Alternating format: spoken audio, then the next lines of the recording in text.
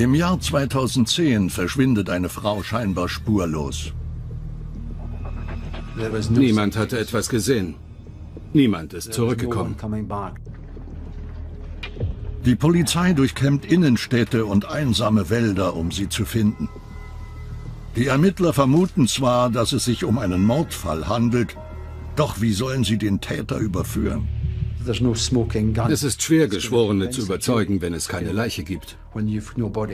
Die wichtigsten Beweise liefern die elektronischen Spuren, die jeder von uns hinterlässt. Wir hinterlassen ständig Spuren, wenn wir beispielsweise unser Smartphone benutzen oder einen videoüberwachten Bereich betreten. Das sind wichtige Beweismittel, die selbst den schlauesten Verbrecher überführen können. Einen Verbrecher, der die Tat niemals zugegeben hat und dessen Schweigen einer Familie ewige Qualen bereitet. Es ist schwer zu ertragen, dass sie irgendwo liegt und niemand weiß, wo sie ist. Er hat sie einfach entsorgt, so als ob sie niemandem etwas bedeutet hätte.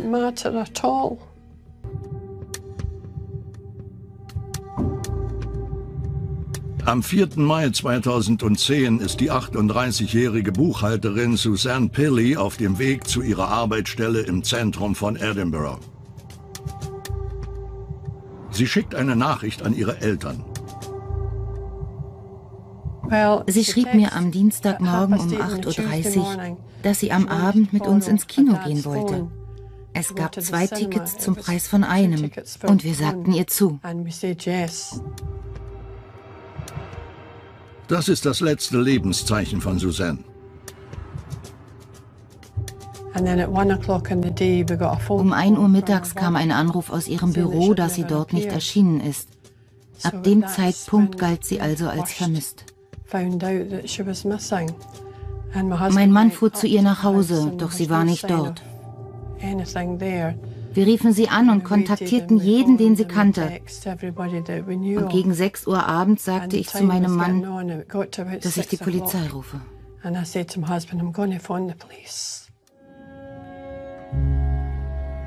Obwohl Suzanne erst einige Stunden verschwunden ist, ahnen ihre Mutter Sylvia und ihre Schwester Gail bereits, dass etwas nicht stimmt. Es passte nicht zu ihr, einfach zu verschwinden. Sie hätte auf jeden Fall meine Mutter oder mich angerufen. Ich hinterließ ihr wütende Nachrichten, dass sich alle Sorgen um sie machten und dass Mom und Dad immer nervöser wurden. Kriminalmeister Stuart Houston teilt die Sorge der Familie. Wir bezweifelten, dass sie eine spontane Reise unternommen hätte, ohne irgendjemandem Bescheid zu sagen. So ein Typ war sie nicht.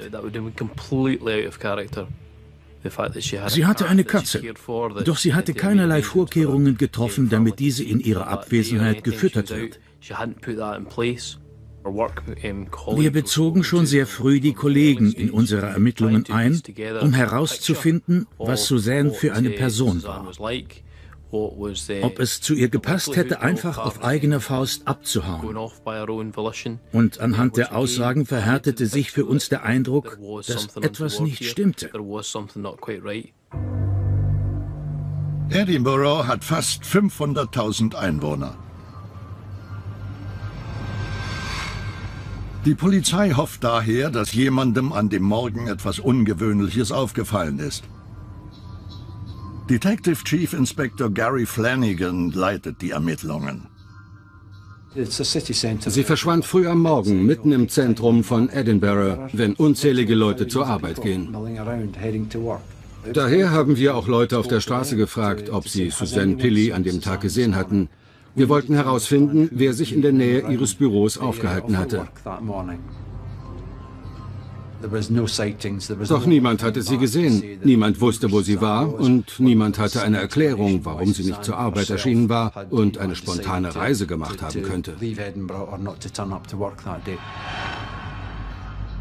Die Polizei findet außerdem heraus, dass Suzanne Pilley ihr Telefon nach dem Morgen des 24. Mai nicht mehr benutzt hat.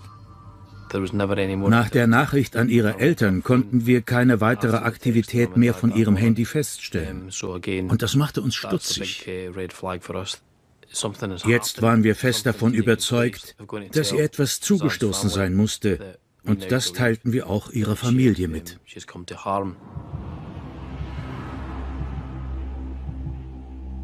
Und die Mutter befürchtet bereits das Schlimmste. Sonst wusste ich immer, wo sie war. Wir sprachen oder schrieben uns täglich. Als ich tagelang keine Nachricht von ihr bekam, wusste ich, dass ich sie nie wiedersehen würde. Die Polizei kann weder sagen, was mit Suzanne Pelly passiert ist, noch warum sie verschwunden ist. Sie weiß nicht mal genau, ob sie sich noch in Edinburgh aufhält oder bereits tot ist. Doch sie verfügt über ein wichtiges Hilfsmittel. Überwachungskameras, die rund um die Uhr jede Bewegung aufzeichnen.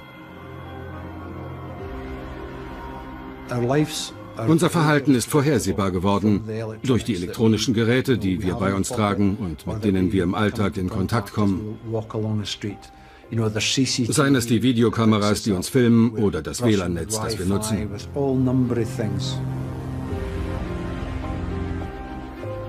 Um herauszufinden, was mit Suzanne Pilly passiert ist, erstellt die Polizei eine Chronologie ihrer letzten Stunden. Wohin ist sie gegangen und wen hat sie getroffen? In der Forensik sagt man, dass jeder Kontakt Spuren hinterlässt. Doch eigentlich trifft das auf so gut wie jede Beweisführung zu. Jedes Mal, wenn man das Handy benutzt oder von Videokameras gefilmt wird, hinterlässt man eine Spur. Bei unserer Arbeit ist es wichtig, den Kreis der Verdächtigen so weit einzugrenzen, bis wir irgendwann den Täter gefunden haben.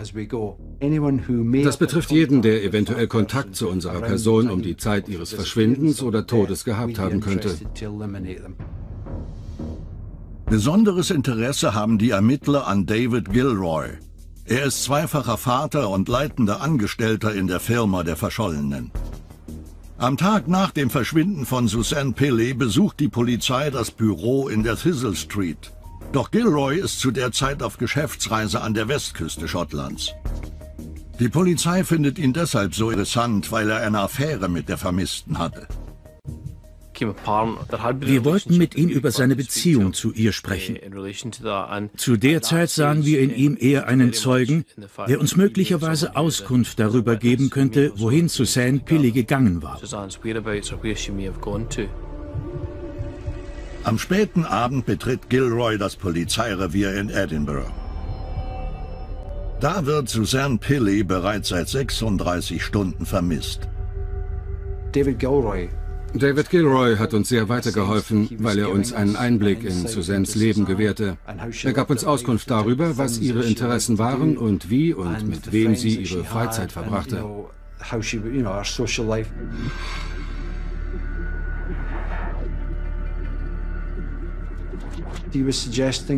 Er vermutete, dass Suzanne eventuell einen alten Ex-Partner oder eine Freundin kontaktiert hatte.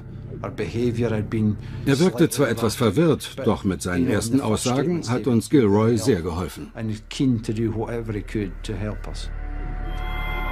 Während der Befragung bemerken die Beamten einige ungewöhnliche Kratzer an seinen Händen. Er gab uns eine Erklärung, die durchaus plausibel klang. Er meinte, es seien nur kleinere Verletzungen, die er sich vor kurzem bei der Gartenarbeit zugezogen hatte.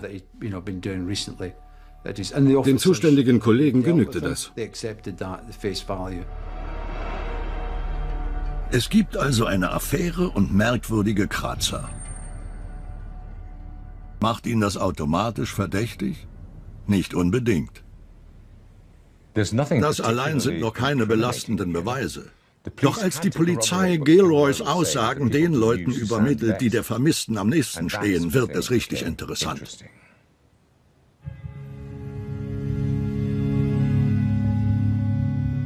Ihre Mutter beschreibt die Beziehung zu Gilroy als nicht gerade harmonisch.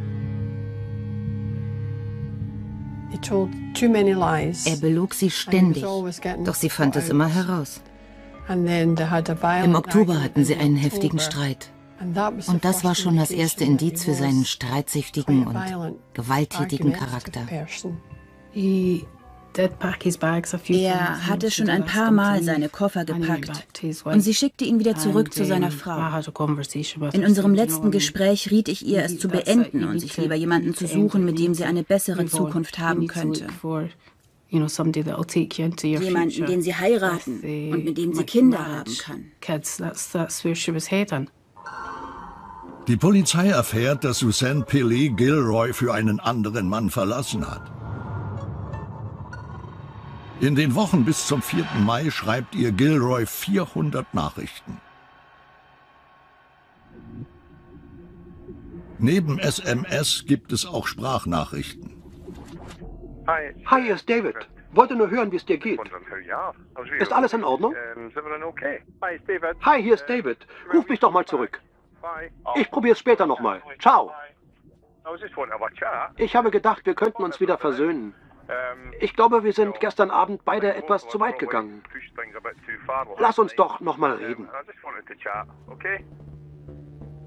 Die Nachrichten sind wehmütig und klingen nach einem Mann, der das Ende einer Affäre nicht akzeptieren will. Unsere Ermittlungen ergaben, dass die Beziehung zumindest von ihrer Seite aus beendet war. Doch David Gilroy glaubte scheinbar, er könnte die Beziehung noch retten. Es bestand eindeutig ein Widerspruch zwischen seiner Version der Dinge und dem Bild, das wir aus der Auswertung der Textnachrichten gewannen.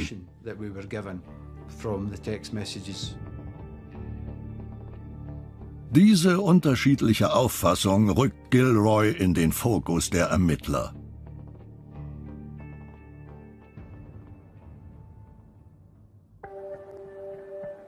Doch es fehlen noch Hinweise, die zeigen, was genau passiert ist. Bisher ist nur klar, dass Suzanne Pilley am Morgen des 4. Mai auf dem Weg zum Büro verschwunden ist.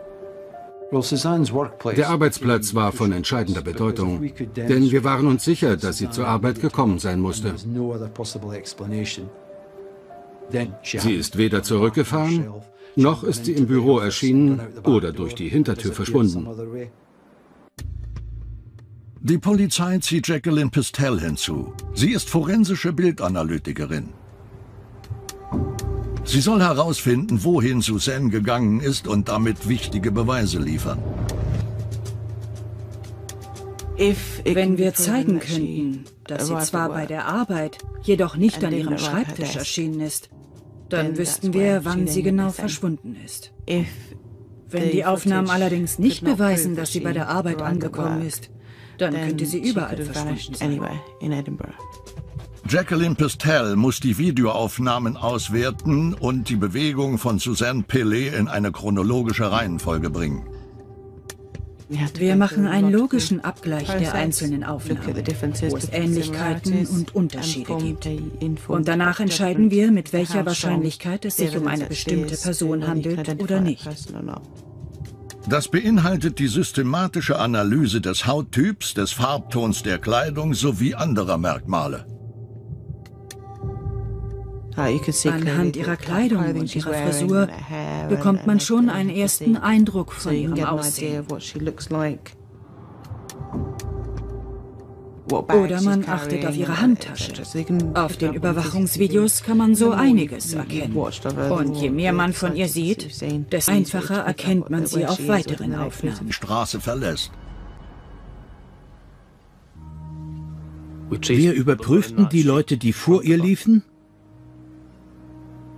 und die hinter ihr.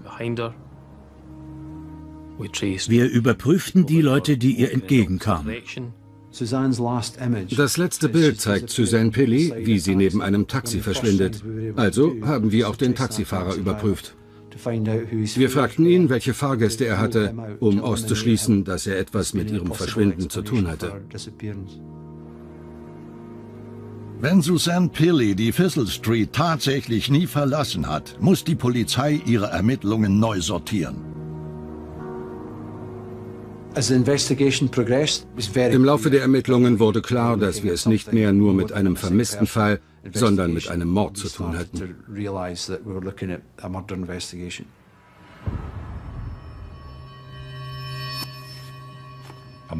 Ist es wirklich ein Mord? Susanne Pilly wird seit weniger als einer Woche vermisst. Das ist natürlich ungewöhnlich und sicher auch beängstigend. Aber einen Mord kann die Polizei nicht so leicht nachweisen. Denn dazu bräuchte sie erstmal eine Leiche. Und vorher muss sie wissen, was genau passiert ist. Die Buchhalterin wurde von keinem ihrer Kollegen an ihrem Schreibtisch gesehen. Wohin ist sie gegangen?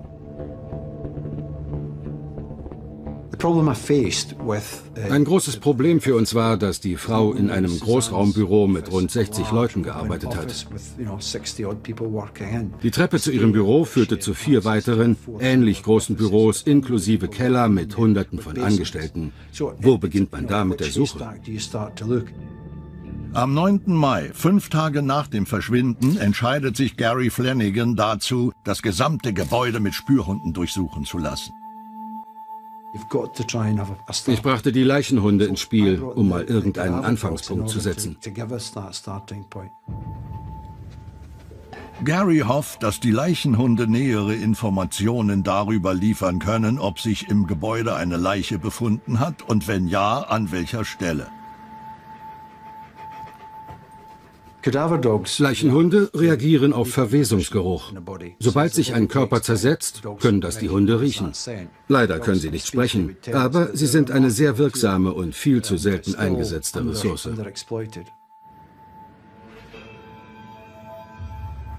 Zwei Leichenhunde werden durch das vierstöckige Bürogebäude in der Fizzle Street geschickt. Am meisten schlagen sie in der Umgebung der Tiefgarage an in der Nähe einer Feuerschutztür, auf einem Parkplatz und unter einer Treppe.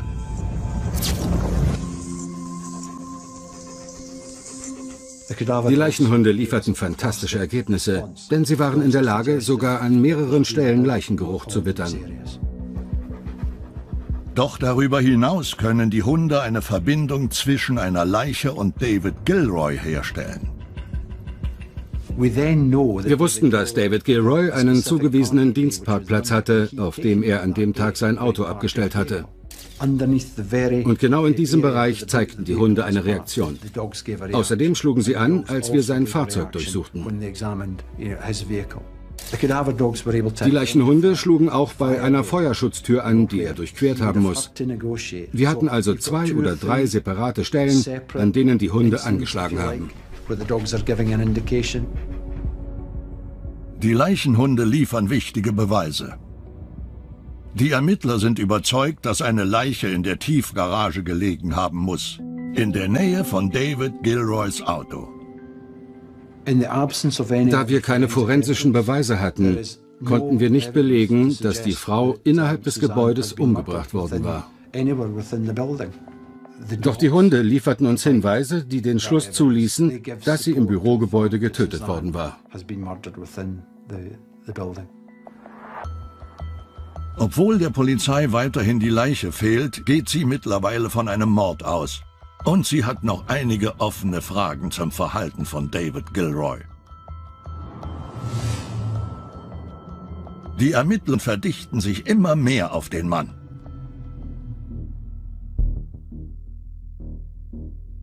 Die Polizei überprüft sein Alibi für den 4. und 5. Mai.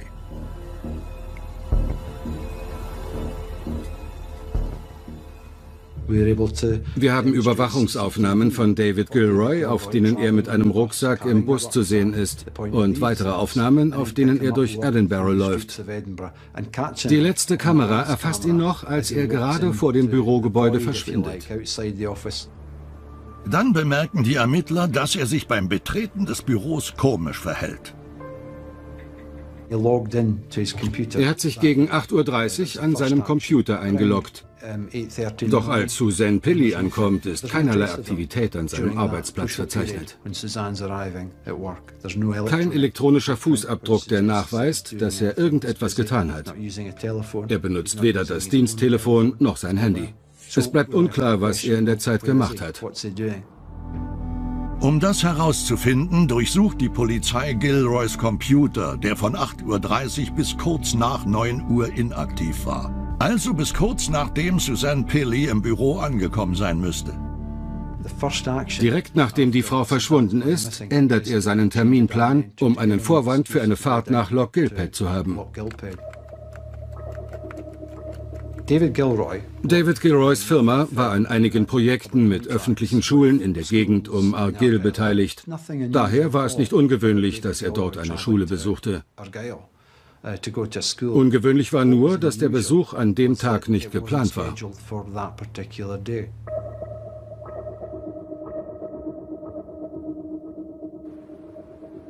Das Büro verfügt über eine Tiefgarage, bei der lediglich die Straße vor der Einfahrt Video überwacht wird.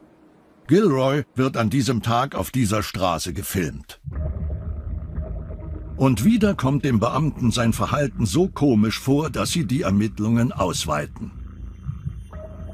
Er verließ das Büro und fuhr nach Hause, um sein Auto zu holen. Es fragt sich warum, denn er war am Morgen mit dem Bus zur Arbeit gekommen. Wir sehen, wie er das Gebäude verlässt und in Richtung Princess Street läuft. Auf dem Rückweg hält er eine Tüte in den Händen. Die Tüte war auffällig pink.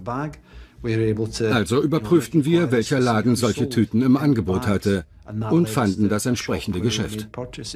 Dann gingen wir die Verkäufe durch, die in dem Laden getätigt wurden. Wir überprüften alle Rechnungen und stießen dann irgendwann auf eine Barzahlung für einen Luftauffrischer. Erst verschwindet er aus dem Büro, um sein Auto zu holen. Dann verlässt er das Gebäude durch den Hinterausgang, um schließlich Luftauffrischer zu kaufen. Isoliert betrachtet beweist das alles noch gar nichts. Doch die Ermittler fragen sich, was Gilroy am 4. Mai genau getrieben hat. Noch merkwürdiger ist Folgendes. Familie und Freunde der Vermissten sind voller Sorge und telefonieren ihr den ganzen Tag hinterher. Aber der Einzige, der sie nicht anruft, ist der Mann, der ihr vorher 400 Nachrichten hinterlassen hat. Gilroy schreibt ihr nicht mal eine SMS, um zu fragen, wie es ihr geht. Nach diesem Tag bricht der Kontakt komplett ab. Das war's. Einzeln betrachtet bedeuten all diese Dinge nicht viel. Doch wenn man sie geschickt miteinander verbindet und in einen logischen Zusammenhang mit den restlichen Ermittlungsergebnissen bringt, ergibt das Ganze schon einen Sinn. Am Abend des 4. Mai, dem Tag, an dem Suzanne Pilley verschwunden ist, erscheint Gilroy wieder auf einer Überwachungsaufnahme. David Gilroy. David Gilroy besuchte mit seiner Familie eine Schulaufführung. Danach gingen alle zum Essen in ein italienisches Restaurant. Er aß nicht viel an dem Abend, aber er führte ein angeregtes Gespräch mit seiner Familie. Für die Außenwelt verhielt er sich normal. Die Leichenhunde und die Videoaufnahmen zeichnen dagegen das Bild eines Mannes, der sich nicht normal verhält. War Susan Pilley während dieses Essens bereits tot? Und wenn dem so ist, wo ist die Leiche? Die Polizei weiß, dass er am 5. Mai einen Termin in Loch Gilpad in Argyll hatte. Das sind über 200 Kilometer von Edinburgh auf der anderen Seite von Schottland. Der Weg nach Argyll führt über einen Gebirgspass namens Rest and Be Thankful,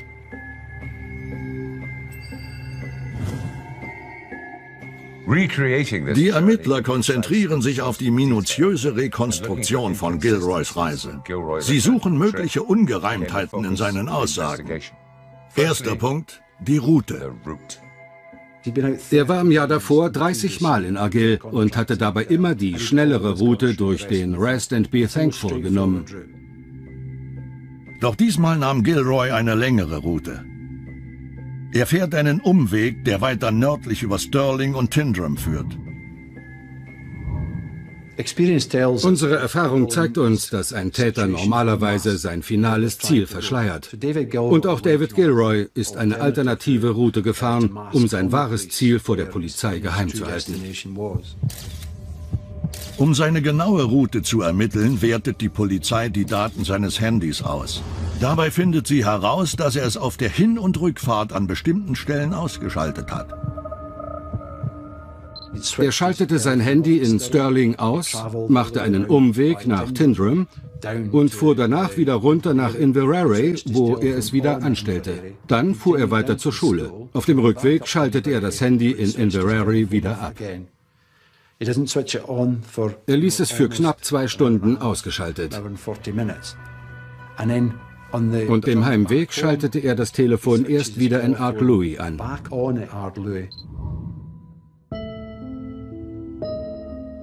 Schaltet Gilroy das Handy bewusst aus, um seinen Standort geheim zu halten? Die Polizei hofft nun, dass die Überwachungskameras etwas aufgenommen haben. Wir versuchten zunächst die genaue Route seines Wagens nachzuverfolgen. Das war eine schwierige Aufgabe, denn obwohl die Kameras zum Teil hochwertige Aufnahmen machten, wurden diese nach relativ kurzer Zeit wieder gelöscht. Mal nach einer Woche, mal schon früher. Daher mussten wir sicher gehen, dass wir so viele Aufnahmen wie möglich nutzen konnten. Stuart Houston und sein Team werten das Material von 250 Kameras aus. Damit wollen sie Gilroys Route und insbesondere seinen Standort bestimmen. Dabei fällt auf, dass Gilroy für die Strecke länger braucht als nötig. Eine Kamera stand an einer Tankstelle in Tindrum, nördlich von Argyll. Die nächste Aufzeichnung bekamen wir in der Stadt Inverary. Wenn man mit normaler Geschwindigkeit fährt, braucht man etwa 36 Minuten, um von einem Ort zum nächsten zu gelangen. Die Aufnahmen zeigen, dass Gilroy auf dem Hinweg zwischen beiden Orten keine 36 Minuten brauchte, sondern 2 Stunden und 29 Minuten. Und der Rückweg dauerte 2 Stunden und 9 Minuten. Das sind fast dreieinhalb unbeaufsichtigte Stunden auf einer Strecke, die durch ein Waldgebiet führt.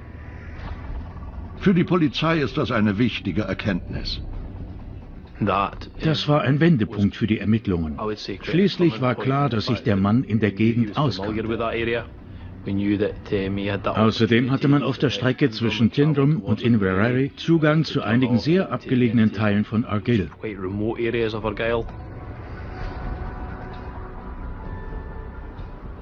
Und wenn man beispielsweise eine Leiche oder ähnliches loswerden möchte, dann wäre das die perfekte Möglichkeit gewesen und es hätte auch vom Zeitraum her gepasst.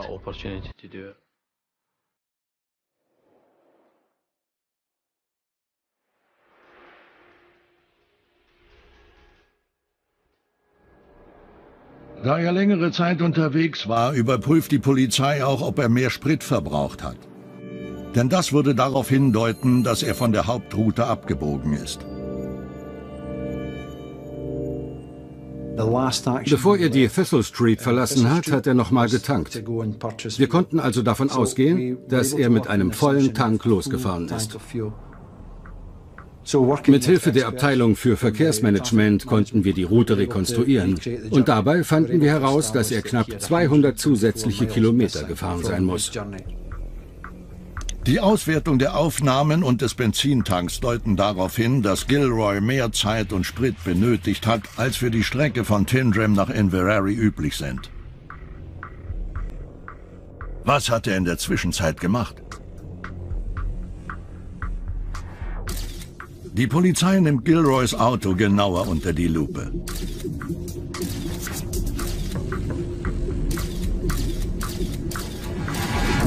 Sie hofft, weitere Beweise am Fahrwerk oder am Motor zu finden. Als wir sein Fahrzeug auseinandernahmen, stellten wir fest, dass drei der vier Federn beschädigt waren. Und wir fanden Grasreste an der Unterseite des Wagens.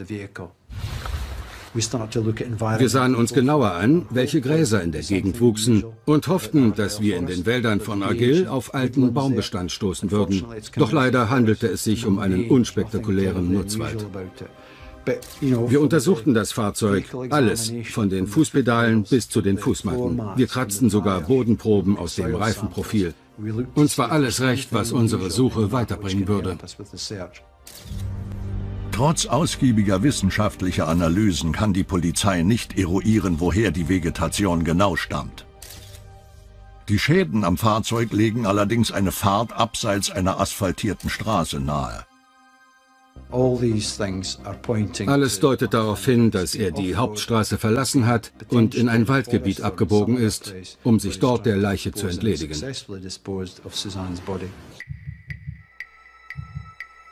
Die Videoaufnahmen zeigen auch, wie Gilroy gegen 16.30 Uhr an der Schule in Loch Gilpet ankommt.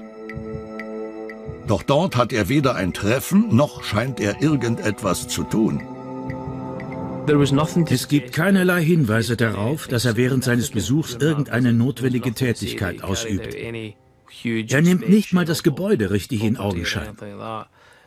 Eine so weite Anfahrt war dadurch nicht zu rechtfertigen. Moderne Technik in Kombination mit klassischer Polizeiarbeit liefert die entscheidenden Beweise, die ein anderes Licht auf Gilroys Reise nach Loch Gilpet werfen. Die Kameras halten den Großteil seiner Route fest. Die Handydaten zeigen, dass er sein Telefon bewusst abschaltet. Und sein Spritverbrauch beweist, dass er über 150 Kilometer mehr gefahren ist. Am 23. Juni glaubt die Polizei, genügend Beweise für eine Mordanklage gegen Gilroy zu haben. Doch es fehlt immer noch das eine Beweisstück, über das die meisten Mordermittlungen verfügen. Eine Leiche. In der schottischen Rechtsgeschichte gibt es bis 2010 nur vier Mordfälle ohne Leiche, in denen es zu einer Verurteilung gekommen ist. Gary Flanagan ist klar, dass alles von der geschickten Kombination der zahlreichen Indizienbeweise abhängt. Bei so komplexen Ermittlungen gibt es nicht den einen entscheidenden Beweis, mit dem man die Geschworenen überzeugen kann. Und es ist noch schwerer, wenn es keine Leiche gibt. Wir suchten die Gegend ausgiebig nach möglichen Nebenrouten ab, die er genommen haben könnte. Wir konzentrierten uns auf mehrere Orte, an denen man eine Leiche entsorgen konnte. Wir suchten nach geeigneten Stellen, an denen der Mörder die Leiche aus dem Kofferraum hätte holen können, um sie im Wald oder im Gelände zu vergraben.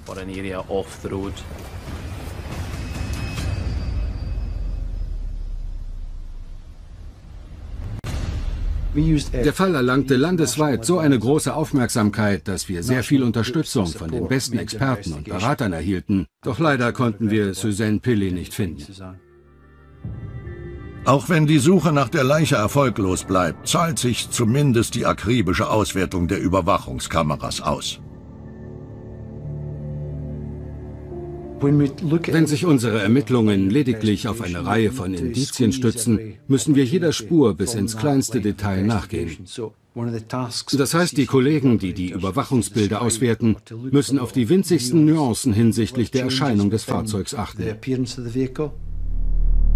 Dann stößt ein aufmerksamer Beamter auf ein weiteres entscheidendes Beweisstück, mit dem Gilroys Handlungen am 5. Mai neu gedeutet werden können einen Regenschirm. Anhand der Aufnahmen konnten wir beweisen, dass der Regenschirm auf der Hutablage lag, als er am Dienstagabend nach Verlassen des Büros an einer Tankstelle anhielt. Wir sahen ihn nochmal, als das Auto an einer Videokamera auf der Strecke nach Loch Gilpet vorbeifuhr. Doch das Entscheidende war, dass der Regenschirm wieder im Kofferraum lag, als die Polizei das Fahrzeug beschlagnahmt hat.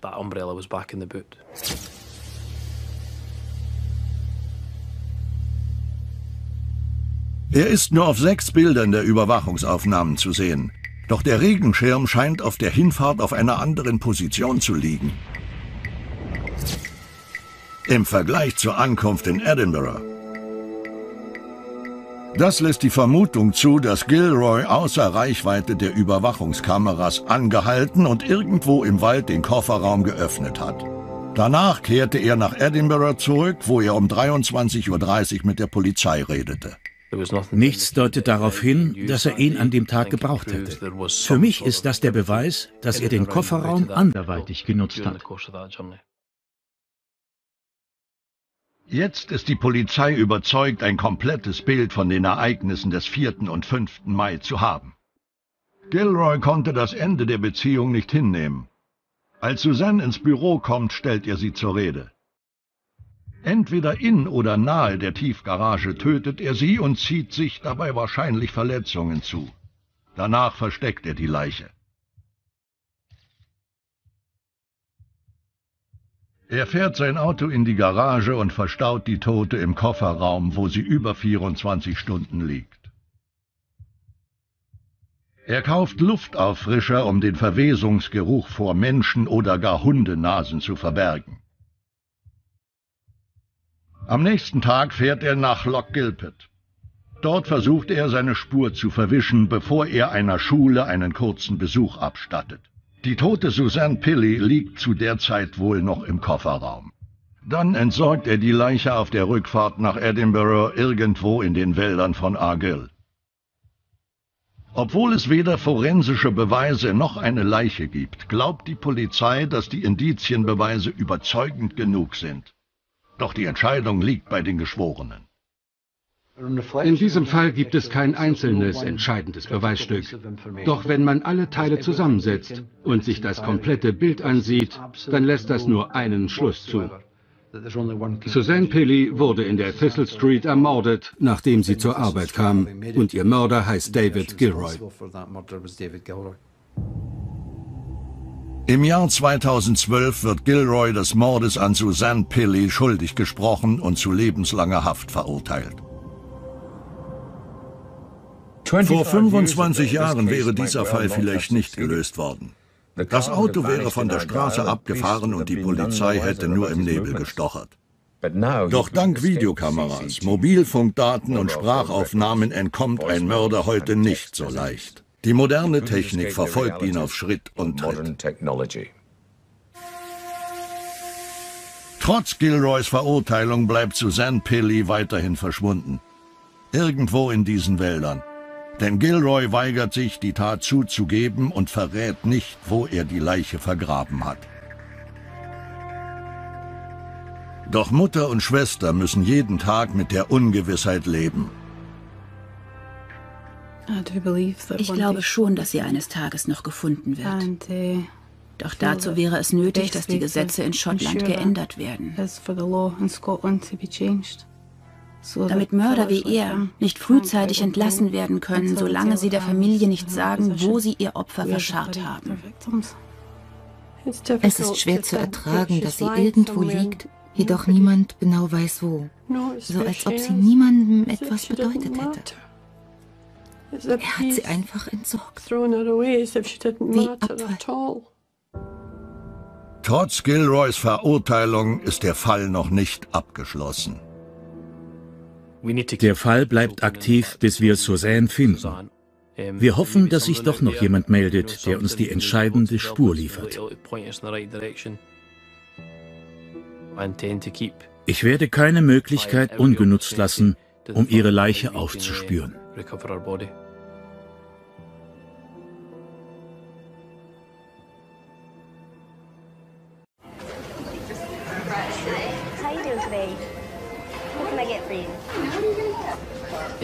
An dem Abend war ein Footballspiel. Joey Johnson arbeitete als Koch. Mary war die stellvertretende Managerin. Sie kam an dem Abend nur, um das Restaurant abzuschließen. Opie Hughes war eine wunderbare Frau. Sie war sehr religiös und die Mutter von drei Teenagern. Es war 1983. Mit sowas hätte doch niemand gerechnet. Ich wünschte, es hätte mich getroffen, nicht sie. Warum ist das passiert? Warum meinem Bruder, meiner Frau? Ich wollte nur eins, die Täter finden.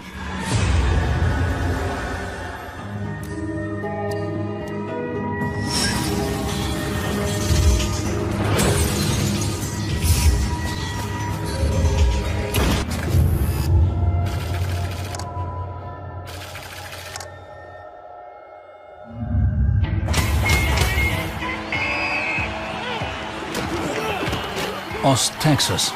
Ein Freitagabend im September. Footballzeit. Das bedeutet für ein örtliches Restaurant, das für sein Brathähnchen bekannt ist, immer ein gutes Geschäft. Um 22.30 Uhr kommt Kim Miller vorbei. Sie und ihre Mutter Mary Tyler arbeiten hier. Die junge Frau wundert sich. Mittlerweile sollte jeder schon zu Hause sein. Draußen stand noch Marys Auto. Das Restaurant war zu, der Schlüssel steckte im Schloss. Es scheint niemand da zu sein. Aber was hat Marys Auto dann noch dort zu suchen? Wo ist Kims Mutter? Kim ging zur Hintertür und sah, dass sie offen stand. Als sie die Arbeit vor einer Dreiviertelstunde verlassen hat, war alles noch in Ordnung. Jetzt sieht es nicht mehr so aus.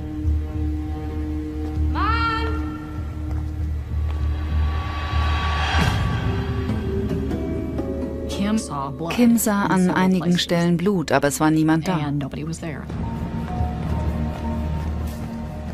Sie dachte, dass sich vielleicht jemand geschnitten oder es irgendeinen Unfall gegeben hatte. Dad, ist Mom zu Hause? Nein, wieso? Irgendwas stimmt nicht.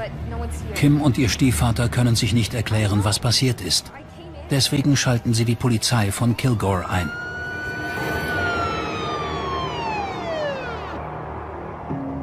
Ihr erfahrenster Detective, Danny Purtle, übernimmt den Fall.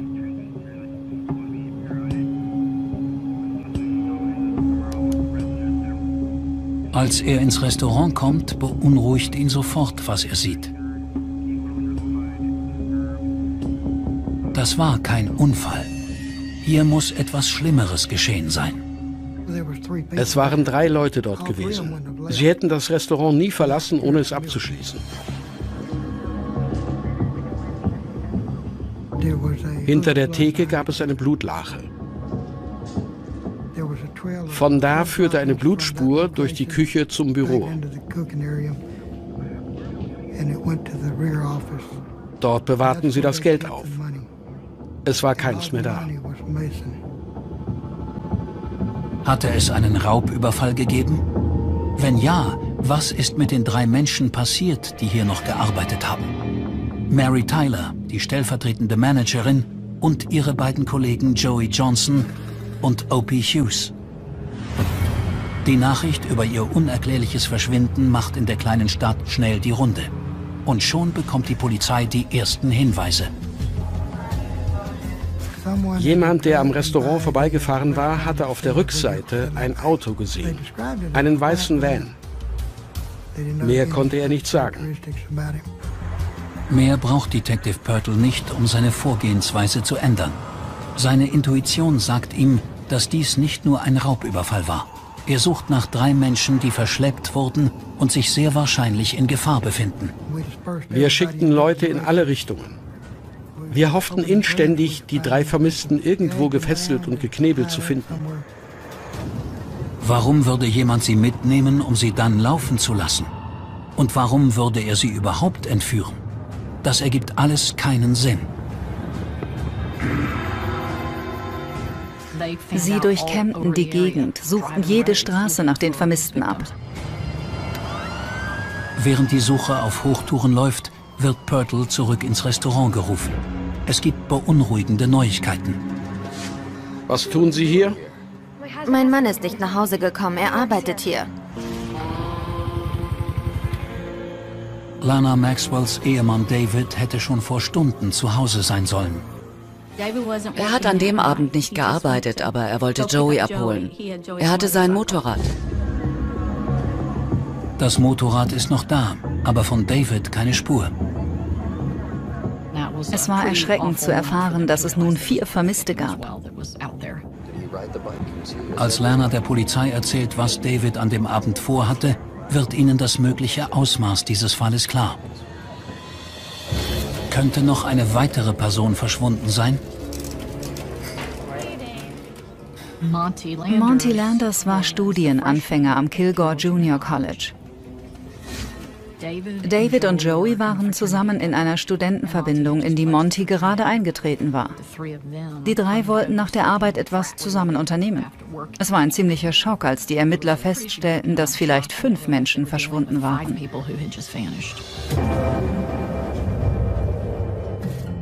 Opie war ein Mädchen vom Land, trug Stiefel und Jeans. Sie hatte kein Interesse an Schmuck, einem großen Haus oder einem dicken Auto. Ihr genügte es, wenn sie ein Pferd zähmen und Essen auf den Tisch bringen konnte. Jack und Opie Hughes verbindet eine ganz besondere Liebe. Sie sind seit 20 Jahren glücklich verheiratet und ziehen gemeinsam ihre drei wohlgeratenen Kinder groß. Als Fernfahrer ist Jack oft lange nicht zu Hause, aber sie bleiben ständig in Kontakt. Hi, Süße. Ich bin's. Wo bist du? Ich habe ihr gesagt, dass wir die ganze Nacht durchfahren und ich am Morgen zu Hause bin. Der Mond war wunderschön an diesem Abend. Um 4 Uhr morgens bin ich bei der Spedition angekommen. Um sieben haben sie an meine Tür geklopft. Sie sagten, meine Kinder suchen nach mir.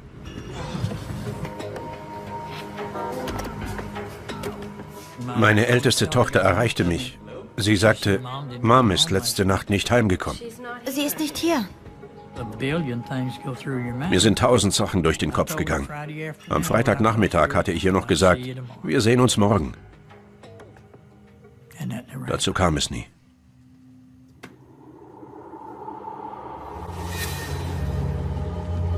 Der neue Tag ist schon angebrochen, doch es gibt immer noch keine Spur von den fünf Vermissten.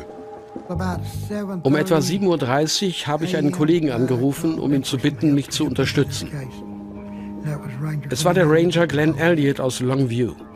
Die Suche ging weiter. Alle suchten die Gegend und die Straßen ab.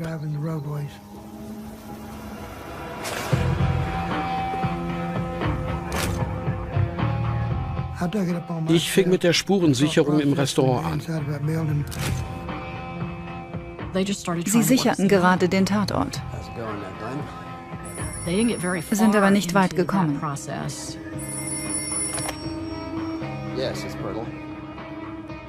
Es wurden fünf Leichen gefunden.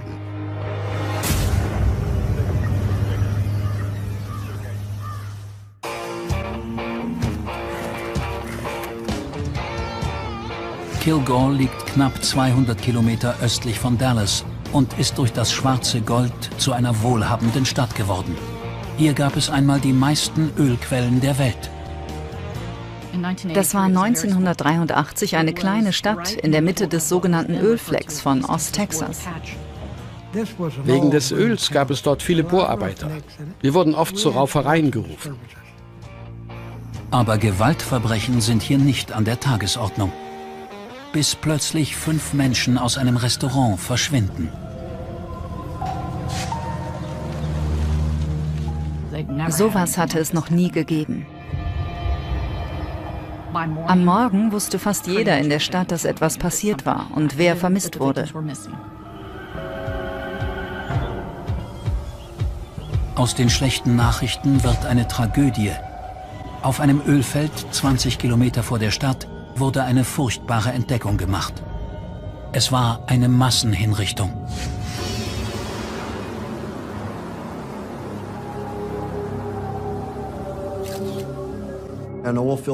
Ein Arbeiter wollte am Samstagmorgen auf dem Gelände die Messinstrumente überprüfen, so wie er das immer tat.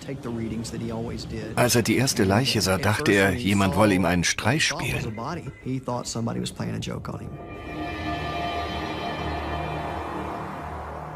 Dann begriff er, dass es bitterer Ernst war. In den 1980ern gab es noch keine Handys. Er meldete sich über das Funkgerät in seinem Truck bei seiner Firma und sagte, dass sie die Polizei verständigen sollen.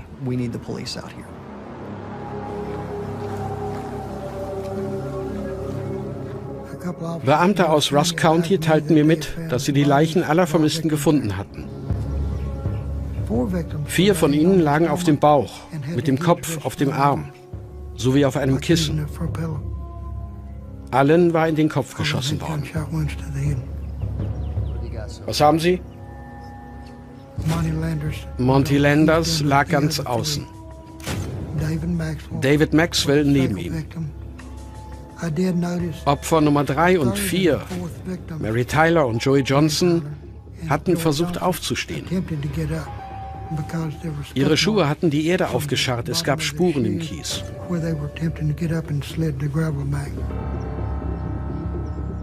Beide waren niedergeschossen worden in my opinion.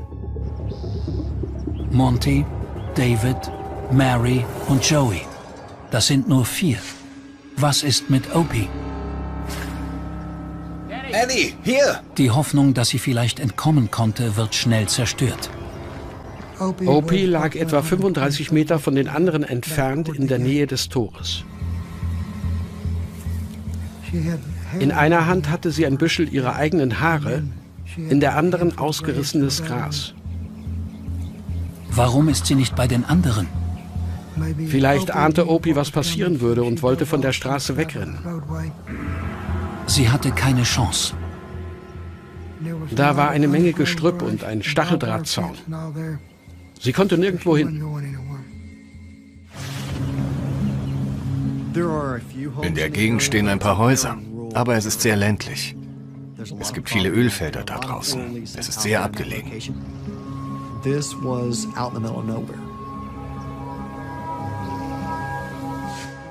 Keiner konnte sich das erklären.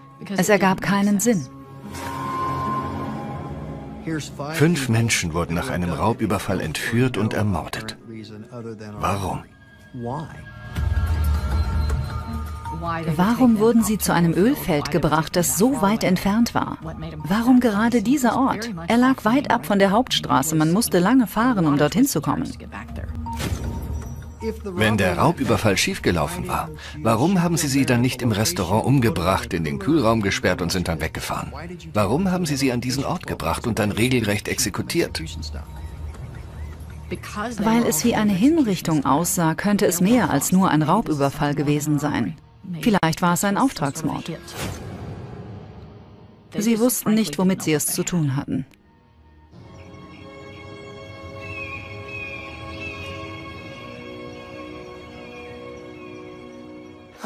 Ich kannte Mary Tyler, Joey Johnson und auch David Maxwell. Ihn habe ich aufwachsen sehen. Es war sehr schwer. Doch das Schwierigste kommt noch. Die Familien müssen benachrichtigt werden. David Maxwell arbeitete halbtags, um über die Runden zu kommen. Er und Lana hatten gerade erfahren, dass sie ein Kind bekommen würden. Joey ging aufs Kilgore College. Er war unter den Besten, ein fantastischer Football-, Basketball- und Baseballspieler. Alle dachten, er würde es weit bringen. Jack Hughes, Opis Ehemann, weiß, dass sie tot ist, bevor es ihm mitgeteilt wird. Ich sah das Polizeiauto vorfahren. Ich rief meine Kinder und sagte, wir bekommen schlechte Nachrichten. Ich wollte sie bei mir haben.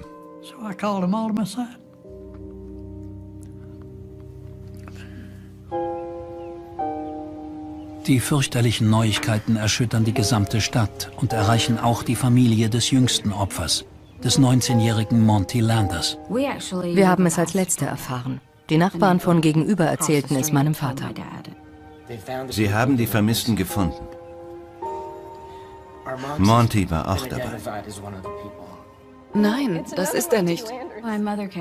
Meine Mutter wiederholte dauernd, das ist ein anderer Monty Landers. Mein Vater identifizierte die Leiche. Als er zurückkam, sagte er ihr, er ist es. Monty liebte seine rote Corvette. Als Teenager sind wir damit rumgefahren und hatten einfach Spaß.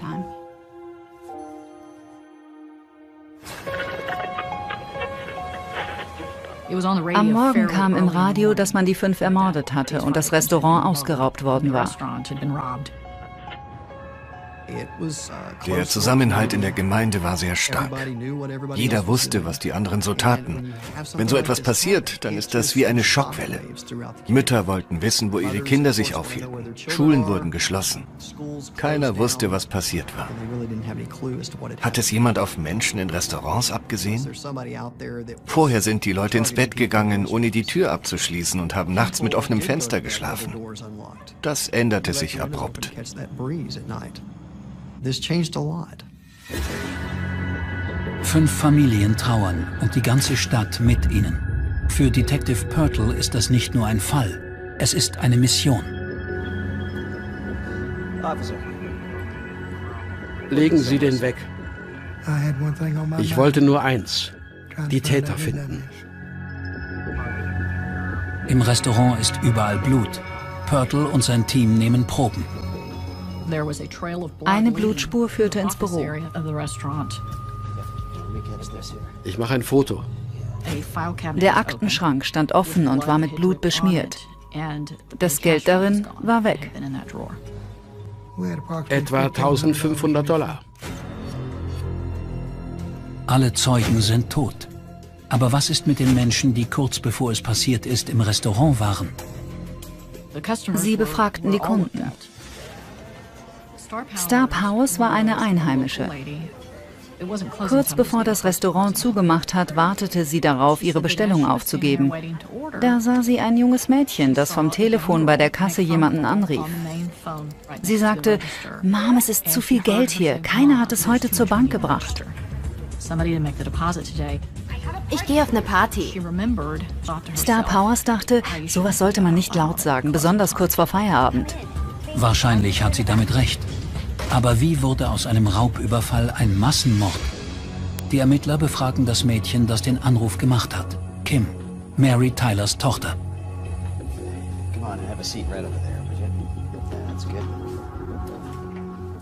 Kim Miller war erst eine Woche vorher aus einem Heim für schwer erziehbare Mädchen aus Louisiana zurückgekommen, wo sie ein Jahr lang war.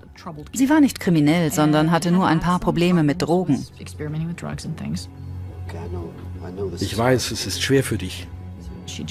Bevor sie im Heim war, hatte sie halbtags im Restaurant gearbeitet und konnte dort wieder anfangen.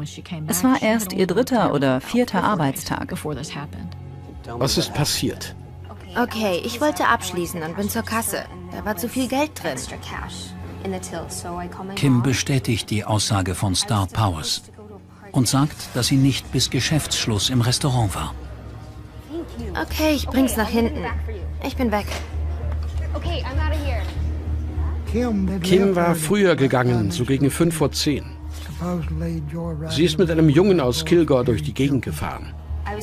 Ich wollte auf eine Party. Sie war verdächtig, weil sie schon mal Ärger gehabt hatte. Purtle hofft, dass die Obduktion Aufschluss über den Tathergang geben kann.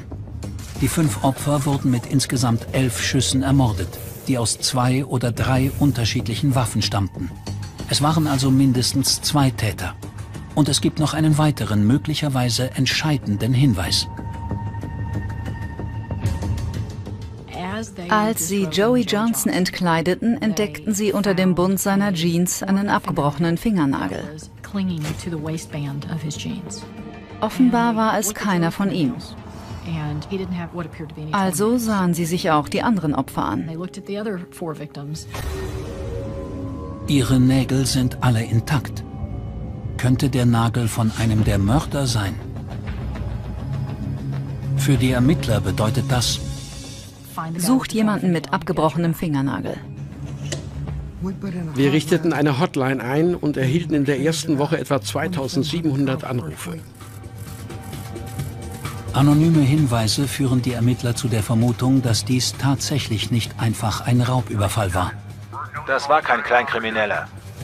Vielleicht ging es um viel mehr als nur 1500 Dollar. Rache.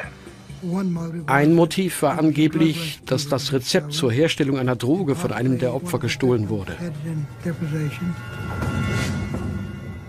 Einer der größten Drogendealer in Osttexas hätte dafür 20.000 Dollar gezahlt. Er wollte es zurück.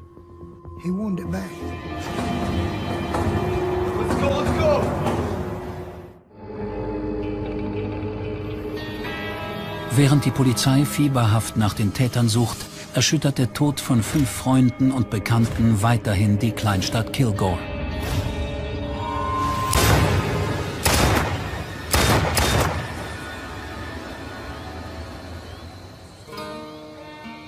Warum ist das passiert?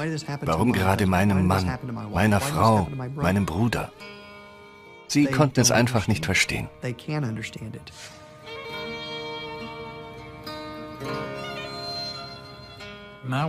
Meine Welt geriet völlig aus den Fugen.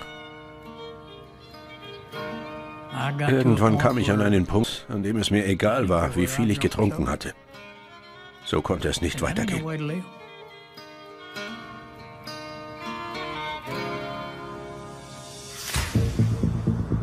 Das Einzige, was den Familien etwas Trost spendet, ist, dass sie sich auf Detective Danny Purtle verlassen können.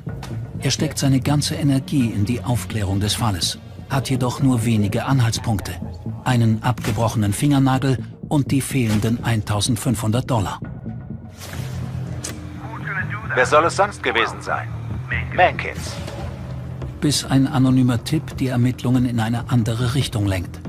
Der Informant behauptet, ein gestohlenes Rezept für die Herstellung von Crystal Meth sei der Grund für die grauenvolle Tat und ein Drogendealer der Täter. Jimmy Earl Mankins Jr. war in Kilgore als Drogendealer bekannt. Es gibt nichts Besseres.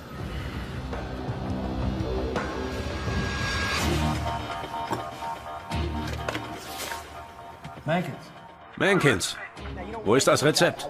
Angeblich hatte ein Drogenboss 20.000 Dollar für das Rezept bezahlt und Mankins wollte sich mit ihm gutstellen, indem er es zurückholte. Besorg's, schnell. Laut dem Informanten hatte es jemand im Restaurant. Mankins wollte es sich dort holen.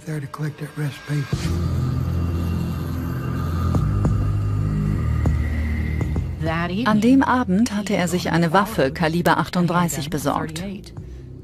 So eine war auch in dem Fall verwendet worden.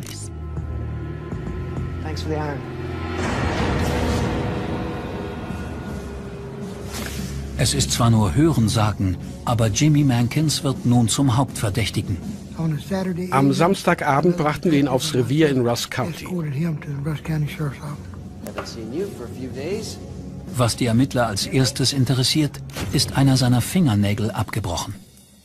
Bei Befragungen hieß es immer sofort, Hände auf den Tisch. Zeigen Sie mir Ihre Hände. Die Ermittler können es kaum glauben. Was ist da passiert? Ein Fingernagel war abgebrochen. Ich muss ein Foto machen. Am Mittelfinger seiner rechten Hand war der Nagel abgebrochen. Er war ihr Mann.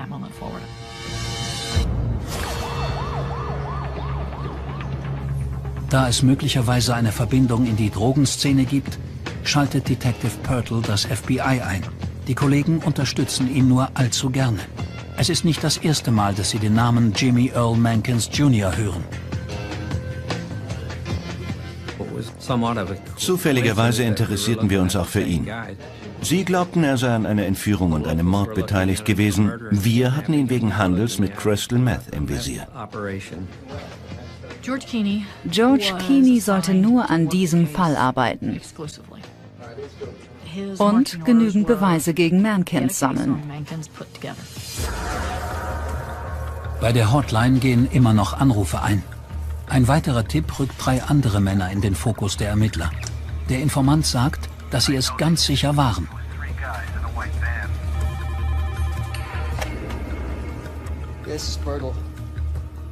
Drei Wochen nach den Morden wurden mir Informationen über Romeo Pinkerton, Donald Hartsfield und einer weiteren Person zugespielt.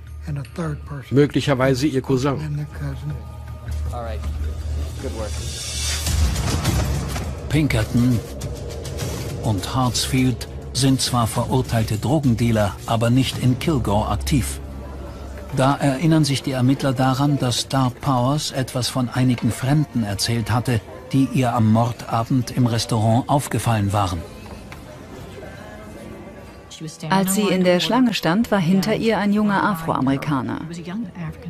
Dann kam ein weiterer rein, der offensichtlich mit ihm zusammen da war. Er ist einfach gegangen, ohne etwas zu bestellen. Okay, Leute, kommt her, schaut euch die an. Könnten Sie die Mörder sein? Die Ermittler wollten herausfinden, ob sie Alibis hatten. Pinkerton hat eins, das gar nicht besser sein könnte. Die Polizei in Tyler bestätigte, dass Romeo Pinkerton zur Tatzeit im Gefängnis gesessen hatte.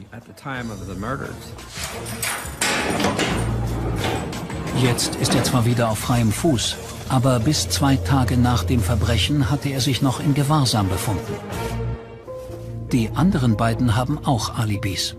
Sie haben gearbeitet, wenn man das so nennen kann. Sie hatten Prostituierte von Longview nach Tyler gefahren, also waren sie in der Nacht beschäftigt. Sie sind zwar keine Heiligen, aber scheinbar auch keine Mörder. Alle drei müssen als Verdächtige ausgeschlossen werden. In dieser ruhigen Gemeinde wurden fünf Menschen hingerichtet und niemand wusste warum. Jeder suchte nach einer Antwort. Es waren viele falsche Informationen im Umlauf. Einige Leute behaupteten, sie wüssten, wer die Täter waren.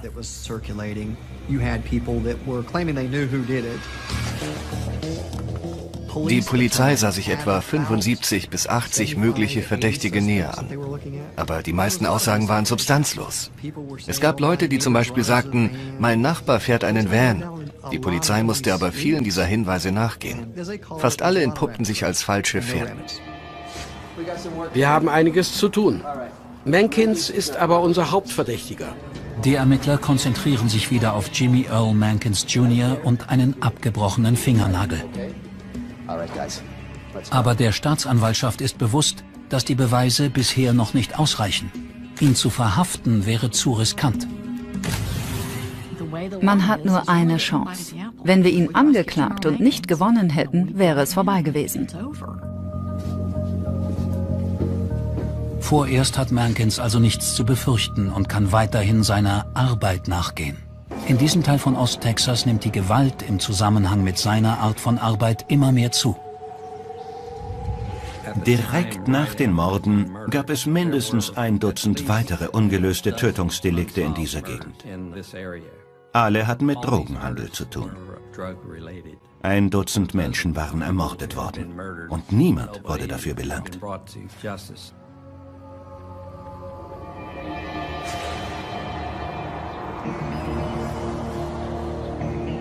In den nächsten Jahren behält die Polizei ihren Hauptverdächtigen im Fall des Massakers von Kilgore ununterbrochen im Auge. Sie sucht nach Beweisen, um Jimmy Mankins dafür vor Gericht bringen zu können. Jeder in Osttexas war sich sicher, es waren Mankins und einige seiner Leute. Es ist sein Fingernagel. Wir müssen ihn nur überführen. Alle Tipps hatten mit Mankins zu tun. Warum bist du so blöd? Er erzählte überall herum, es gewesen zu sein. Dir wird so gehen wie den fünf in Kilgore. Verpiss dich. Jeder hatte ihn im Verdacht.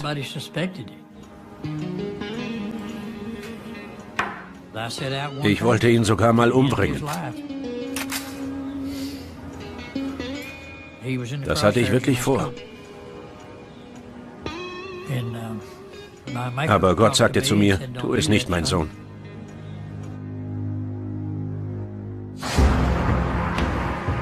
Die Jahre vergehen, aber bei den Ermittlungen im Fall der fünf ermordeten Bürger von Kilgore gibt es keine nennenswerten Fortschritte. Wird je irgendwer dafür verurteilt werden? 1993, zehn Jahre nach den Morden, nimmt sich ein neuer Staatsanwalt der Sache an und ein neues kriminaltechnisches Testverfahren kann angewendet werden. Die Fingernagel-Analyse geht davon aus, dass die Linien in den Fingernägeln bei jedem Menschen einzigartig sind. Der Staatsanwalt lässt den Fingernagel von einem Experten auf dem Gebiet analysieren. Das Ergebnis gibt Grund zur Hoffnung. Er wurde Jimmy Mankins zugeordnet. Der Durchbruch. Zwölf Jahre nach der Tat wird Mankin endlich wegen Mordes angeklagt. Jetzt ist er keine Gefahr mehr für die Gesellschaft. Die Ermittler arbeiten weiter daran, dass er auch ganz sicher verurteilt wird. Die Meinungen in Kilgore sind gespalten. Viele sagen, er sei unschuldig. Andere wissen, dass er es nicht ist. Die Staatsanwaltschaft hat nun die Chance, jeden davon zu überzeugen, dass sie den Richtigen hat.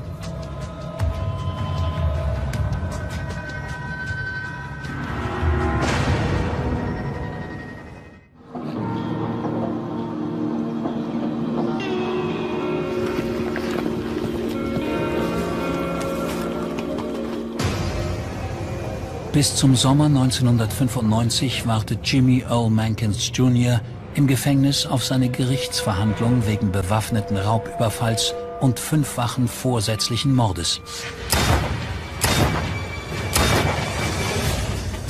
Die Ermittler wissen, dass sie sich nicht allein auf die Analyse des Fingernagelexperten verlassen können. Also suchen sie weiter nach anderen stichhaltigen Beweisen. Der technologische Fortschritt bietet der Staatsanwaltschaft eine zusätzliche Möglichkeit, Mankins sicher zu überführen.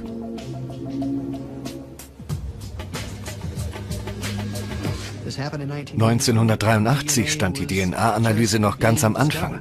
In den 90ern dagegen war sie schon sehr weit entwickelt. Das Problem war, dass zu dieser Zeit noch nie jemand einen DNA-Test an einem Fingernagel durchgeführt hatte. Es dauerte mehrere Monate. Staatsanwaltschaft und Polizei warten gespannt auf das Ergebnis, das den Durchbruch in diesem zwölf Jahre alten Fall bedeuten kann. Es gab schon einen Termin für die Verhandlung. Wir waren alle sehr angespannt. Hallo, es sind alle da. Darf ich Sie auf Lautsprecher stellen? Der Experte meinte, ich weiß nicht, wie ich Ihnen das sagen soll, aber es ist nicht seiner. Totenstille. Ich weiß noch, wie ich dachte, es ist nicht seiner. Das war's dann wohl. Sie haben die Anklage fallen lassen. Das war bitter.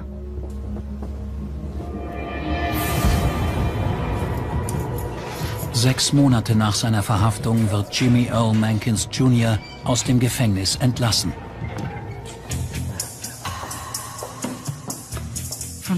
Ab da hieß es, wir müssen doppelt so hart daran arbeiten, etwas gegen Mankins zu finden. Auch ohne Fingernagel. Das beweist nicht, dass er nicht beteiligt war. Sie wussten, dass es mehrere Täter gewesen sein mussten. Fünf Menschen an einen 20 Kilometer entfernten Ort zu bringen, schafft man nicht alleine. Der Fingernagel stammt zwar nicht von Mankins, aber er könnte einem seiner Komplizen gehören.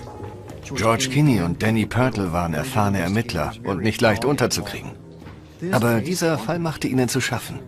Warum wurden die Opfer aus dem Restaurant verschleppt? Das ließ sie nicht los. Für die Ermittler mag es frustrierend sein. Für die Angehörigen der Opfer ist es unerträglich. Wir wollten nur die Wahrheit wissen, aber es gab keine Antworten. Das war schlimm. Wir mussten damit leben, dass vielleicht nie jemand dafür ins Gefängnis kommen würde.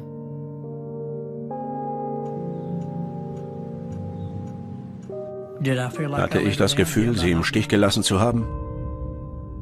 Ja, weil ich nicht da war. Das hat mir schwer zugesetzt. Ich habe mir die Schuld an dem gegeben, was passiert ist. Ich wünschte, es hätte mich getroffen. Nicht sie. Monty sah sich nie einen Horrorfilm an. Es war schlimm für uns, dass er selbst einen erleben musste.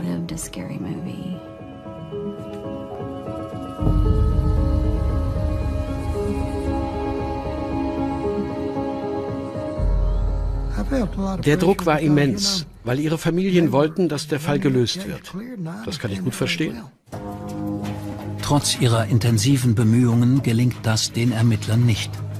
Sechs weitere frustrierende Jahre vergehen. Doch dann wird der Fall noch einmal komplett neu aufgerollt. Es wurde entschieden, dass wir uns nochmal alle Beweise vornehmen und sie kriminaltechnisch untersuchen lassen.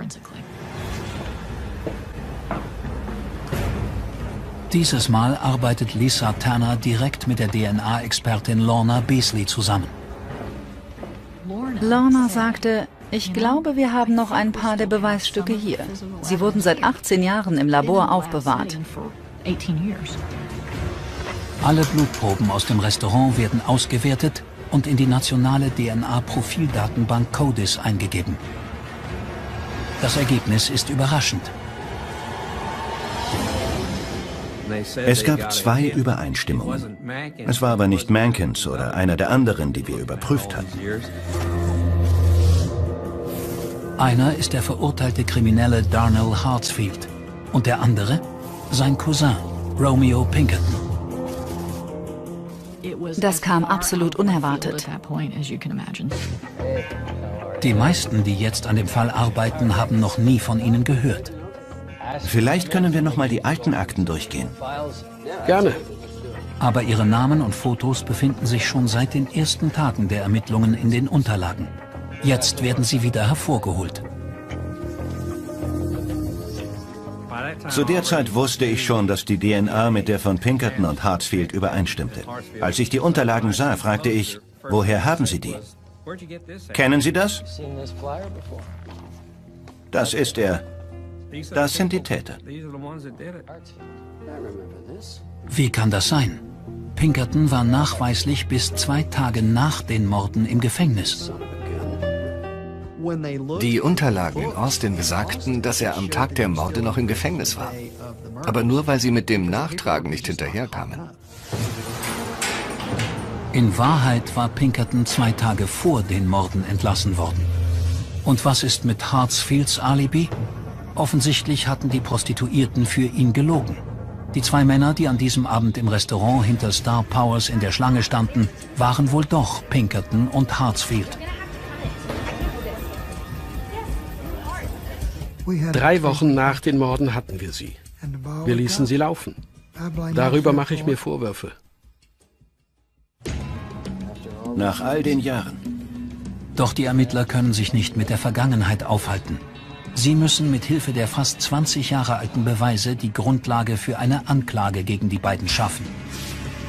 Sie gehen alle Kartons durch und suchen nach etwas, das auf DNA getestet werden kann, wie die Kleidung der Opfer. Auf Opis Hose waren einige eigenartige Flecken. Diese Entdeckung weckt einen schrecklichen Verdacht. Jetzt scheint klar zu sein, warum O.P. Hughes nicht bei den anderen Opfern gefunden wurde. Irgendwer sagte, sie wurde doch nicht vergewaltigt, oder?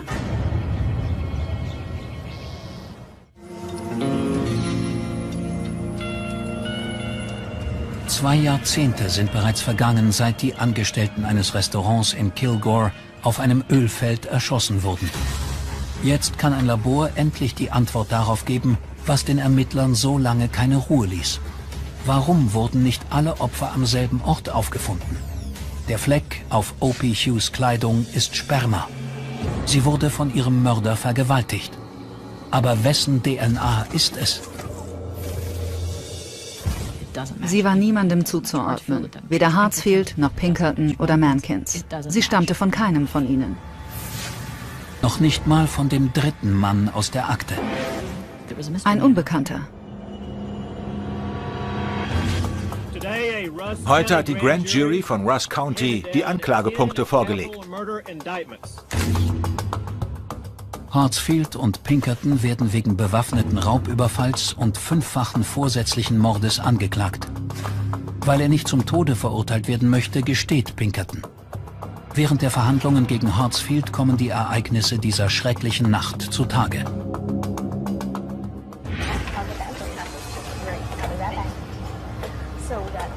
Im Restaurant fing der Abend an wie immer.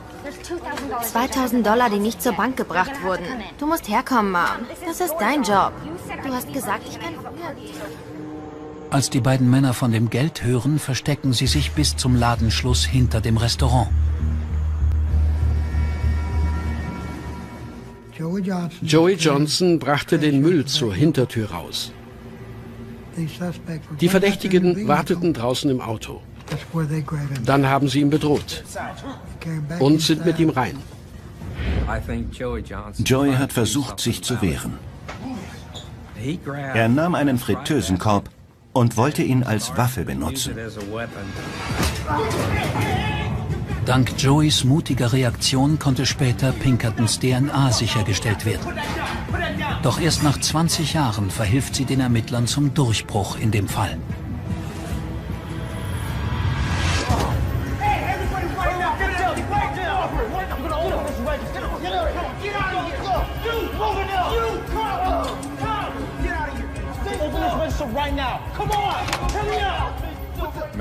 Mary Tyler wurde mit dem Griff einer Pistole gegen den Mund geschlagen. Irgendwie verletzt sich Hartsfield ebenfalls und hinterlässt seinen genetischen Fingerabdruck am Tatort. Steh auf! Kein Mucks! Wo ist das Geld? Da war kein Geld! Wo ist das Geld? Es ist hinten! Es ist hinten! Ihr haltet's Maul, verstanden? Eine Blutspur führte ins Büro. Dort stand ein Aktenschrank offen. Gib mir das Geld! Na los, geh! Geh, los! Sie brachten sie zum Auto. Los, rein da! Und nahmen sie mit.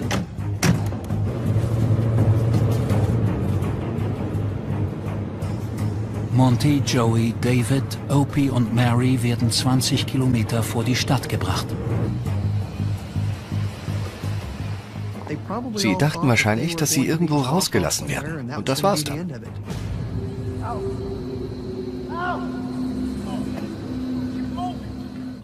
Als wir wussten, dass Sperma auf ihrer Hose war, ergab der Fundort von Opie Sinn. Es war klar, warum sie woanders lag als die anderen. Fürchterlich. Auf die Knie! Runter sofort! Auf die Knie, habe ich gesagt! Ich glaube nicht, dass einer der fünf dachte, er würde in dieser Nacht sterben.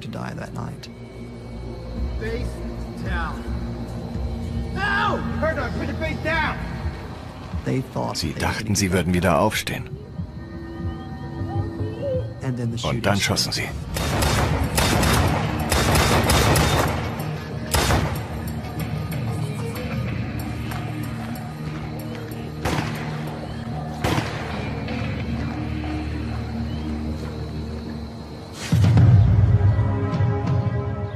Mehr als 25 Jahre nach den Morden werden Pinkerton und Hartsfield zu je fünfmal lebenslänglich verurteilt. Keiner von beiden hat je den Namen des dritten Täters preisgegeben, demjenigen, der O.P. Hughes vergewaltigt hat.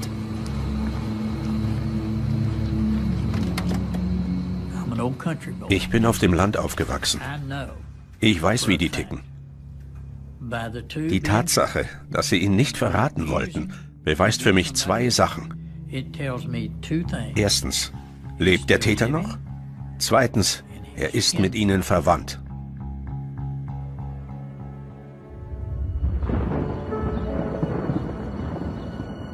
Die Geschichte des Massakers von Kilgore ist noch lange nicht abgeschlossen. Nicht für die Menschen, die die fünf Opfer kannten. Ich denke jeden Tag an den Fall. Jeden Tag.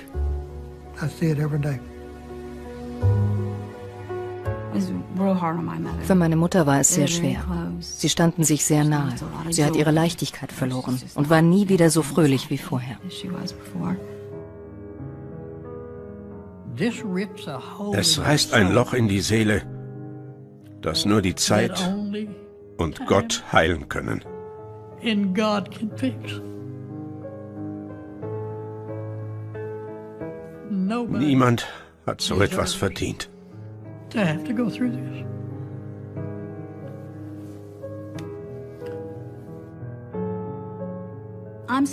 Ich verbüße lebenslänglich. Mein Bruder wird nie seine Geschichte erzählen können. Und wir haben 35 Jahre darauf gewartet. Er hat es verdient, dass man sich an ihn erinnert. Das haben sie alle.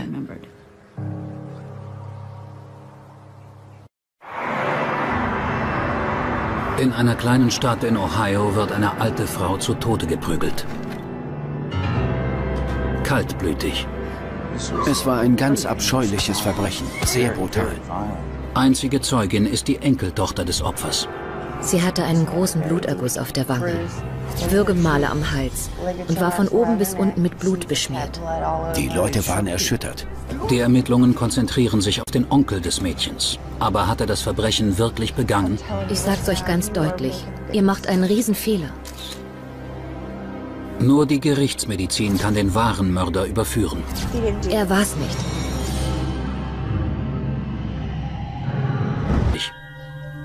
Die sechsjährige Brooke Sutton wird wach und muss erleben, wie ein Albtraum grausame Wirklichkeit wird.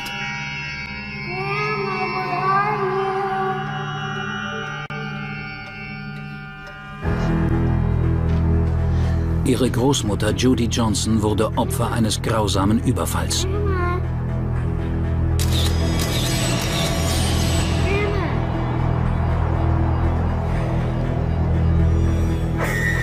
Da die Großmutter nicht wieder aufwacht, läuft Brooke zu den Nachbarn, um Hilfe zu holen. Irgendwer hat Grandma was Schlimmes getan. Du musst ganz dringend meine Mama holen. Die Nachbarin fährt das Kind zu den Eltern, die gut anderthalb Kilometer entfernt wohnen. Daddy, jemand hat Grandma was Schlimmes getan.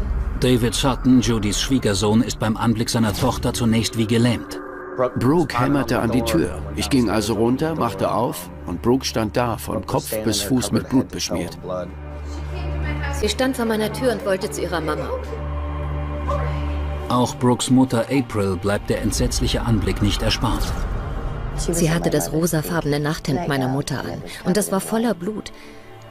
Ich fragte, was denn Schlimmes passiert sei, und sie erzählte, dass meine Mutter tot ist und vor ihrem Sofa liegt.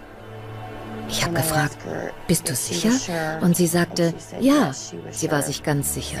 Jemand hat Grandma wehgetan. Ich fahr rüber zu deiner Mutter. Ich werde mal nach dem Rechten sehen. Ich weiß nicht. Wahrscheinlich habe ich gehofft, dass Judy nur verletzt ist. Ich habe nicht geglaubt, dass sie wirklich tot ist. Ich war mal Krankenpfleger und habe mir gedacht, vielleicht ist sie verletzt und ich kann ihr helfen. Ich habe einfach nur das Beste gehofft.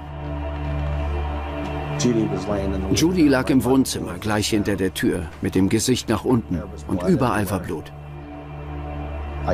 Ich prüfte sofort den Puls, aber sie hatte keinen. Ich schüttelte sie, rief ihren Namen. Mom. Ich wollte sie reanimieren, aber als ich sie bewegte, merkte ich, dass die Totenstarre schon eingesetzt hatte. Ich konnte nichts mehr für sie tun. Ich griff nach dem Telefon, habe den Notruf gewählt und gesagt, dass ich im Haus meiner Schwiegermutter bin und dass sie tot ist. Ermordet.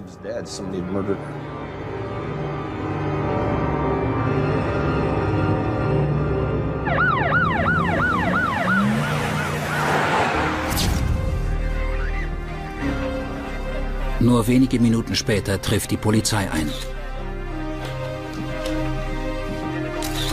Offensichtlich ist Judy Johnson brutal erschlagen worden. Doch von der Mordwaffe keine Spur. Fenster und Türen sind unbeschädigt. Entweder war die Haustür nicht verschlossen oder die alte Dame hat ihren Mörder selbst hereingelassen. Möglicherweise kannte sie ihn sogar.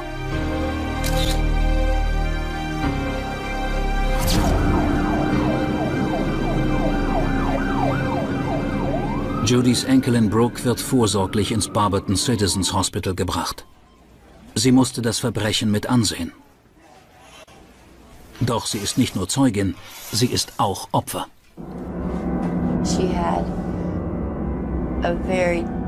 Sie hatte eine sehr, sehr schlimme Verletzung in Form einer Mondsichel und überall Blutergüsse an den Armen und Beinen. Brooke erinnert sich lediglich daran, dass ihr jemand ins Gesicht schlug. Doch das ist längst nicht alles.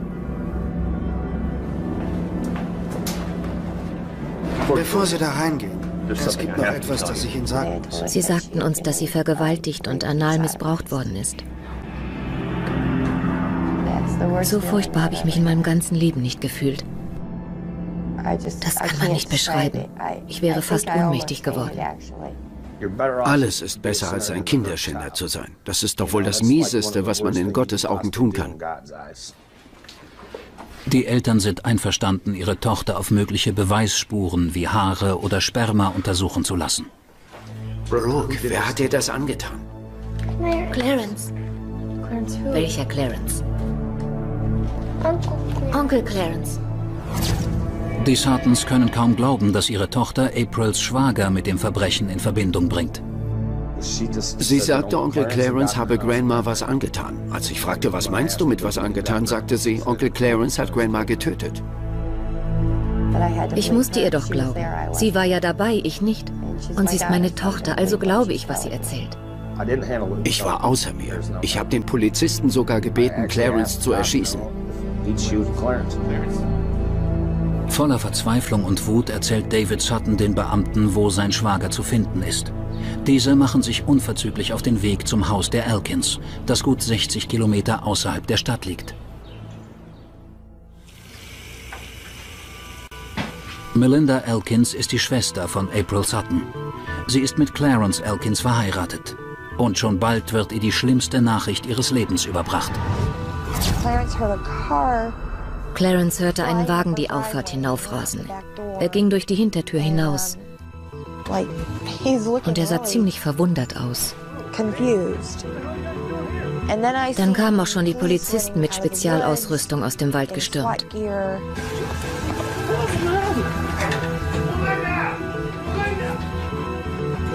Ein Polizist kam durch die Vordertür. Das ging ja alles so furchtbar schnell. Er hat mir jede Menge Fragen gestellt, ganz seltsame Fragen. Wann haben Sie Ihre Mutter zum letzten Mal gesehen? Du bist in einer so verrückten Situation. Du kapierst überhaupt nicht, was los ist. Und dann sagte jemand auf einmal, die Polizei von Barberton hätte einen Anruf erhalten. Eine gewisse Judy Johnson wurde in ihrem Haus niedergestochen. Und ihre Enkelin wurde auch angegriffen. Die Enkelin sagt, dass es ihr Onkel Clarence war. Das hat er alles in einem Satz gesagt. Das musst du im Kopf erstmal richtig sortieren. Und ich habe gefragt, geht es meiner Mutter gut? Nein, hat er gesagt. Sie wurde ermordet. Fassungslos muss Melinda Elkins mit ansehen, wie ihr Ehemann abgeführt wird. Ganz plötzlich gerät ihre Welt völlig aus den Fugen. Clarence Elkins wird verhaftet und auf die Polizeiwache in Barberton gebracht. Er wird verdächtigt, Judy Johnson ermordet und Brooke Sutton vergewaltigt zu haben. Als Judy Johnson im Juni 1998 ermordet wurde, war das für die Einwohner von Barberton eine wirklich schlimme Sache. Bis heute schließen viele Leute hier ihre Haustüren nicht ab. Aber weil das so ein schreckliches Verbrechen war, so unglaublich brutal, waren die Menschen schockiert. Das hat ihr ganzes Weltbild erschüttert. Der Verdächtige beteuert seine Unschuld. Doch erst einmal konzentriert sich die Polizei auf die Opfer. Jody Johnson hatte ein hartes Leben, bis sie auf so tragische Weise zu Tode kam. Meine Mutter war dreimal verheiratet. Mal hatte sie eine Beziehung und dann wieder nicht. Zwei Jahre war sie sogar blind, das Ergebnis häuslicher Gewalt. Aber trotz allem war sie ein fröhlicher Mensch. Als meine Mutter Großmutter wurde, war sie überglücklich. Man konnte ihr deutlich ansehen, wie unglaublich stolz sie war. Judy und Brooke sehen sich regelmäßig ihre Lieblingssendungen im Fernsehen an. Die Enkelin bleibt dann meist über Nacht. Doch diese schöne Gewohnheit findet auf brutale Weise ein jähes Ende. Stück für Stück rekonstruieren die Ermittler die furchtbaren Ereignisse der vergangenen Nacht. Was haben wir bis jetzt? Die Leichenstarre des Opfers lässt darauf schließen, dass der Tod zwischen 2.30 Uhr und 5.30 Uhr eintrat. Judys Schädel ist zertrümmert, zwei Wirbel sind zerquetscht. Des Weiteren wurden ihr Kiefer, Nase, etliche Rippen und das rechte Schlüsselbein gebrochen. Zahllose Schläge auf Kopf, Brustkorb und ins Genick sind die Todesursache. Die Art der Verletzungen weist auf einen stumpfen Gegenstand, wie zum Beispiel ein Brecheisen oder ein Bleirohr als Tatwaffe hin. Überall im Haus finden sich Kampfspuren. Blutspritze an den Wänden, an der Decke, in der Küche und vor dem Zimmer, in dem Brooke übernachtet hat. Sie belegen, dass Judy Johnson erbittert Widerstand leistete, bevor der Angreifer sie schließlich vor dem Sofa überwältigte. Von Judys Fingernägeln sind mehrere abgebrochen und an ihrem Schmuck werden Haare sichergestellt. Sie hat deutliche Abwehrverletzungen an Händen und Armen. Sie hat gekämpft wie eine Löwin. Tapfere alte Dame. Aber mit einer Größe von 1,55 und 54 Kilo Gewicht war Judy ihrem Mörder hoffnungslos unterlegen. Ihre Unterwäsche ist heruntergezogen. Offensichtlich wurde sie vergewaltigt. Um mögliche Rückstände eines männlichen DNA-Profils sicherzustellen, werden ein Vaginalabstrich sowie weitere forensische Spuren im Labor untersucht. In die Kamera schauen. Nach links drehen. Die Zeugenaussage der kleinen Brooke hat zur Folge, dass sich die Ermittler auf einen einzigen Hauptverdächtigen konzentrieren, Clarence Elkins. Er wird von Kopf bis Fuß untersucht um Haare des Opfers, Blut oder anderes belastendes Beweismaterial sicherzustellen. Die Ermittler nehmen Fingerabdrücke, lassen sein Haar und seine Kleidung im Labor überprüfen.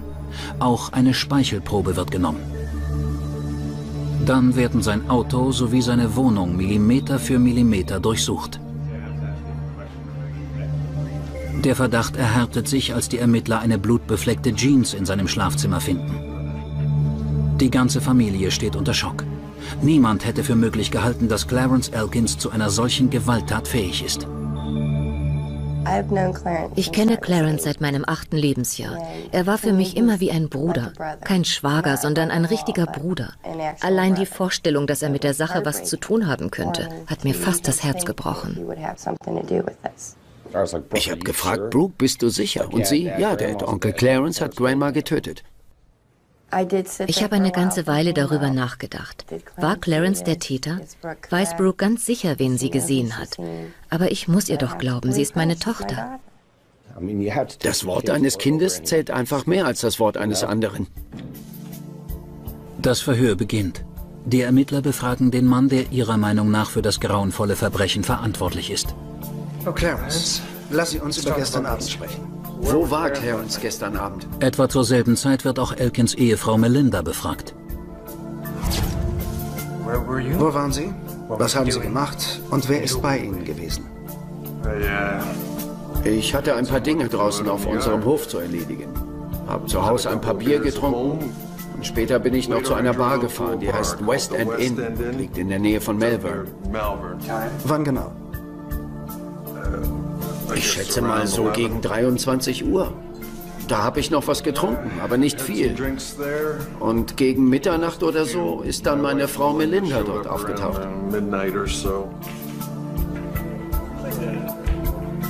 Ich sah ihn in der Theke sitzen, ging hin und habe auch was getrunken. Aber ich konnte nicht lange bleiben, weil unser jüngster Sohn krank war. Melinda fuhr wieder nach Hause. Ich habe weiter getrunken. Noch ein paar Bars abgeklappert und war gegen halb drei zu Hause.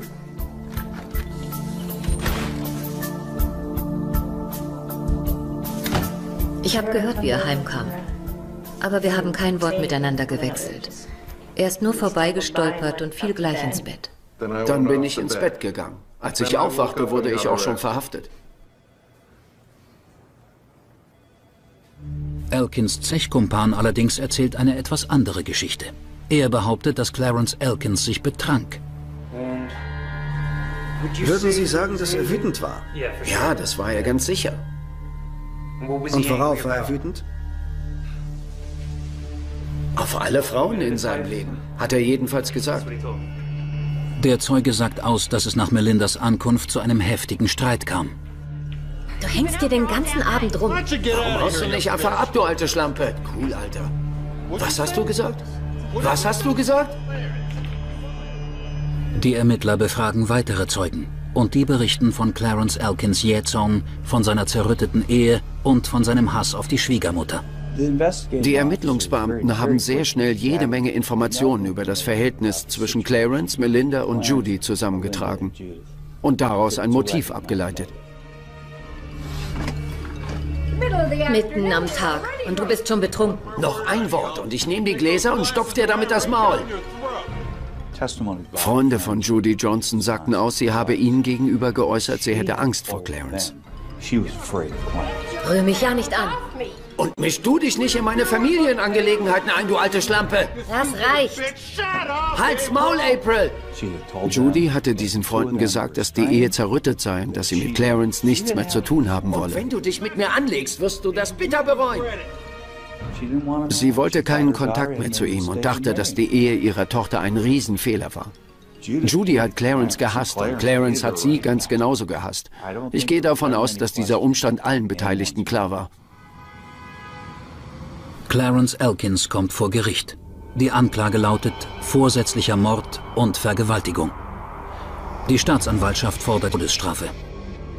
Elkins beteuert seine Unschuld, doch seine Verwandten haben ihr Urteil bereits gefällt. Und zwei Schwestern haben sich endgültig entzweit. Ich habe wirklich geglaubt, dass es Clarence war. Also war ich bereit, alles zu tun, damit der Kerl ins Gefängnis kommt. Eigentlich wollte ich die Todesstrafe. Ich sagte, ich sag's euch ganz deutlich, ihr macht einen Riesenfehler, er war's nicht. Klar, ich war überrascht, dass sie zu Clarence hielt. Der Staatsanwalt eröffnet die Beweisaufnahme. Zeugenaussagen sollen belegen, dass Elkins am 6. Juni 1998 den ganzen Tag über exzessiv getrunken hat. Nach einem Streit mit seiner Frau zieht er durch mehrere Bars, bevor er gegen 2.30 Uhr betrunken und wütend nach Hause zurückkehrt.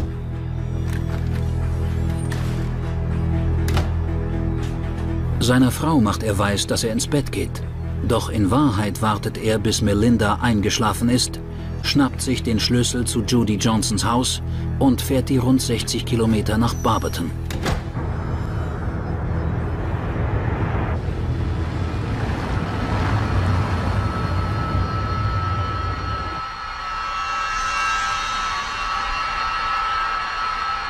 Er hat einen stumpfen Gegenstand als Waffe mitgebracht. Mit dem Schlüssel seiner Frau gelangt er in Judys Haus und rechnet dann ein für alle Mal mit der verhassten Schwiegermutter ab.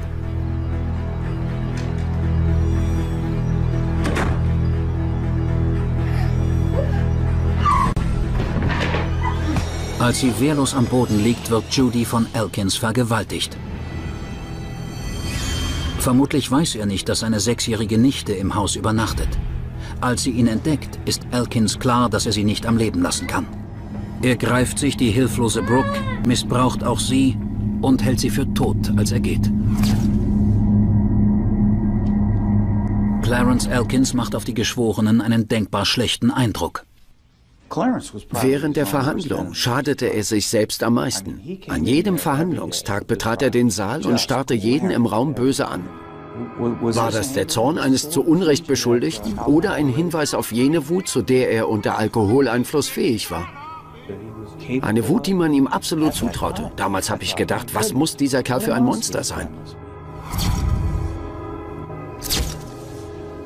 Etliche Zeugen werden aufgerufen. Doch die bei weitem wichtigste Zeugin ist die kleine Brooke Sutton. Aus Sicht der Staatsanwaltschaft ist sie der Dreh- und Angelpunkt in diesem Fall.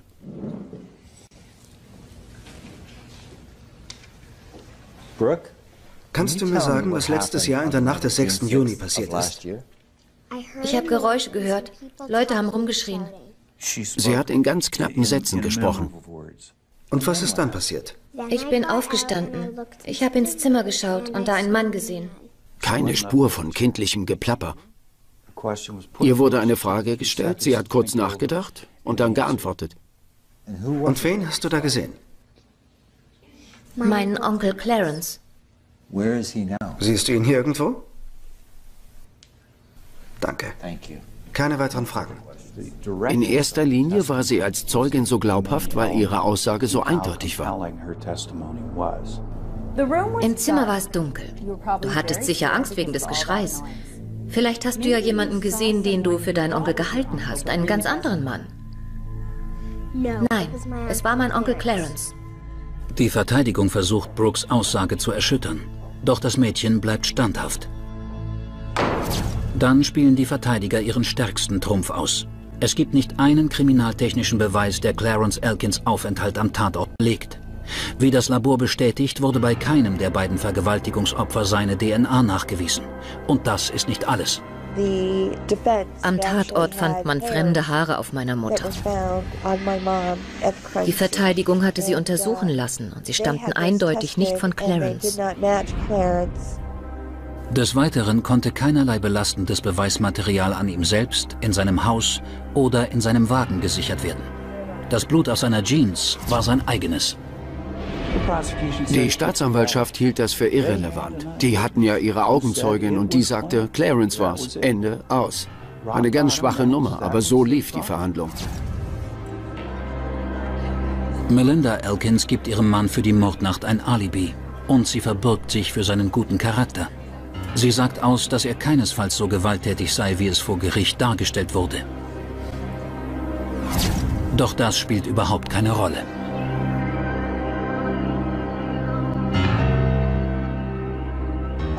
Ich fragte den Anwalt, was glauben Sie, wie stehen unsere Chancen? Und er sagte, es kommt darauf an, ob Sie dem kleinen Mädchen glauben. Da wusste ich, das kann gar nicht gut ausgehen. Nach 14-stündiger Beratung kehren die Geschworenen mit ihrem Urteil zurück. Wir, die Geschworenen, befinden den Angeklagten Clarence Elkins für schuldig. Für mich war das Urteil der Geschworenen eine ganz klare Sache, in Anbetracht dessen, was die Zeugen vor Gericht ausgesagt hatten. Klar, ich war am Boden zerstört. Das Urteil hat mich schlicht umgehauen. Und Clarence stand da mit gesenktem Kopf und ich konnte das alles nicht glauben. Und ich dachte, das kann doch nicht wahr sein. Das darf nicht wahr sein. Und dann dachte ich, damit kommen die niemals durch.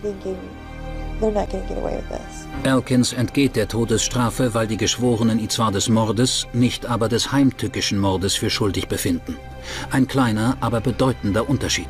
Dennoch, aufgrund der festgesetzten Mindesthaftdauer wird er frühestens nach 55 Jahren eine Entlassung auf Bewährung beantragen können.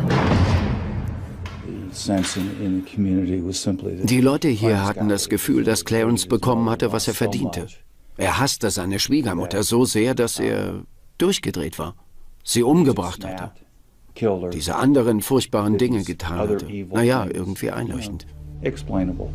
Nur Melinda Elkins glaubt nach wie vor an die Unschuld ihres Mannes. Auf der Beerdigung meiner Mutter an ihrem Grab habe ich mir geschworen, dass ich herausfinde, wer das getan hat. Und mir war klar, dass ich diesen Schwur halten muss. Den Beweis für die Unschuld ihres Mannes zu erbringen, erweist sich als enorme Herausforderung. Von der Familie kann sie nach dem Schuldspruch erst recht keine Hilfe erwarten. Ich wusste, dass er es nicht getan hat. Damals wollte keiner aus meiner Familie mehr mit mir sprechen. Geschweige denn hören, was ich zu sagen hatte. Ich fühlte mich ziemlich alleingelassen mit der ganzen Sache. Ich werde dich hier rausholen. Scheinbar ohne jede Erfolgsaussicht nimmt die Hausfrau aus Barberton die Herausforderung an, ihren Mann aus dem Gefängnis zu befreien und den wahren Mörder ihrer Mutter hinter Gitter zu bringen. Drei Jahre vergehen und Clarence Elkins sitzt noch immer im Gefängnis. Schließlich wendet sich Melinda an Martin Yant, einen Privatdetektiv, der auf Fehlurteile spezialisiert ist. Als erstes sehe ich mir immer genau die Beweislage und die Fakten an. In diesem Fall hatte ich dabei das Gefühl, dass es erschreckend viele Beweismittel gab, die einfach ignoriert wurden. Jent bittet den Forensikspezialisten Michael Sinky um Unterstützung. Wann immer Menschen ein Verbrechen begehen, begeben sie sich in ein Haus oder eine Situation und dort hinterlassen sie irgendeine Spur, die sie mit der Tat in Verbindung bringt. Nach Durchsicht der Polizeiakten zum Mordfall Jody Johnson kommen Yant und Sinky zu dem Schluss, dass von Anfang an schlampig ermittelt wurde. Die Spurensicherung war unübersehbar lückenhaft. Sie hatten zwar vieles eingesammelt, womit der Verdächtige in Kontakt gekommen sein konnte, aber auf verborgene Fingerabdrücke wurden diese Gegenstände, soweit ich weiß, nie untersucht. In der Gerichtsmedizin wurden Hautreste unter Judy Johnsons Fingernägeln sichergestellt, aber nie überprüft. Meiner Meinung nach wurden die Blutspuren nicht ausreichend dokumentiert, denn Blut fand man in mehreren Räumen. Mir wurde klar, dass etliche Beweise ignoriert worden waren. Beweise, die vielleicht in eine andere Richtung gedeutet hätten. Ohne einen handfesten Beweis kann man keinem eine zweifache Vergewaltigung unterstellen. Jent und Sinky stellen fest, dass keines der überprüften Beweismittel auf Elkins deutet. Die Ermittler hatten eine vorgefasste Meinung und das ist immer gefährlich. Für Polizisten genauso wie für die Staatsanwaltschaft. Du bist der festen Überzeugung, dass es nur dieser eine Kerl gewesen sein kann. Und du konzentrierst dich ausschließlich auf diese Person, bis du nicht mehr erkennst, worauf die Beweise eigentlich hindeuten. Allein der Nachweis, dass schlampig ermittelt wurde, hilft im Fall Elkins jedoch nicht weiter. Angesichts der Beweislage habe ich beschlossen, auf weitere DNA-Analysen zu drängen. Und da das Gericht keine Anstalten machte, diese anzuordnen, kam ich auf die Idee, eigene DNA-Proben einzusammeln. Das haben wir dann auch gemacht.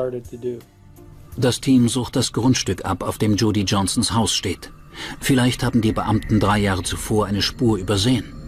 In einem Gebüsch hinter dem Haus machen die privaten Ermittler einen grausigen Fund. In den Büschen lagen die Überreste einer Katze. Meine Mutter hatte eine Katze, die nach ihrem Tod aber nicht gefunden wurde. Offensichtlich wurde Judys Katze mit einer Lichterkette für Weihnachtsbäume stranguliert. Da war noch eine Schraubzwinge, die unter der Katze lag. Die Schraubzwinge ist ein Schreinerwerkzeug und vielleicht die Waffe, mit der Brooke verletzt wurde. Da lagen wichtige Beweisstücke, die man total übersehen hatte. Eine genaue Analyse der Fotos von Brooks Gesichtsverletzungen belegt, dass ihre sichelförmige Wunde tatsächlich vom Schlag mit einer Schraubzwinge herrührt. Doch trotz dieser Erkenntnis und weiterer Funde sind die Behörden nicht an Wiederaufnahme des Falls interessiert. Melinda wird klar, will sie ihren Mann aus dem Gefängnis holen, muss sie selbst den wahren Mörder finden. Sie erstellt eine Liste mit potenziellen Verdächtigen. Ich habe nach Leuten gesucht, die meine Mutter gekannt oder irgendeine Verbindung zu ihr gehabt hatten. Ja, und dann wollte ich mir die Namen vornehmen und nach einem kriminellen Hintergrund forschen. Ich wusste, dass alles von der DNA abhing. Mithilfe ihrer Lieblingsfernsehserie absolviert Melinda einen Crashkurs in Forensik. Ich habe mir jede Folge von Medical Detectives angesehen und dabei alle nützlichen Hinweise notiert, wie auf welchen Materialien finde ich überhaupt DNA, wie sammle ich die Proben, wie bewahre ich sie am sichersten auf. Kein Mensch ist in der Lage, den perfekten Mord zu begehen. Melinda flirtet mit ihren Verdächtigen und sammelt alles ein, was sich für einen DNA-Test eignen könnte. Ich stöberte die Kerle auf, habe ein bisschen mit ihnen geplaudert. Und wenn einer nur eine Sekunde nicht genau hinsah, hatte ich den Zigarettenstummel schon eingetütet.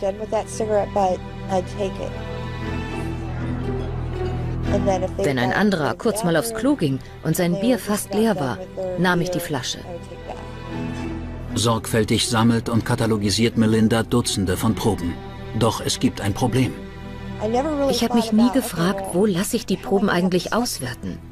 Und wie komme ich an einen Abgleich mit den Beweisstücken vom Tatort? Da habe ich nie drüber nachgedacht. Ich wusste nur, ich brauche die DNA und alles andere kläre ich dann später. Wer wie wir die Analyse aus eigener Tasche zahlt, für den stellt sich natürlich die Kostenfrage. DNA-Tests sind nämlich sehr teuer.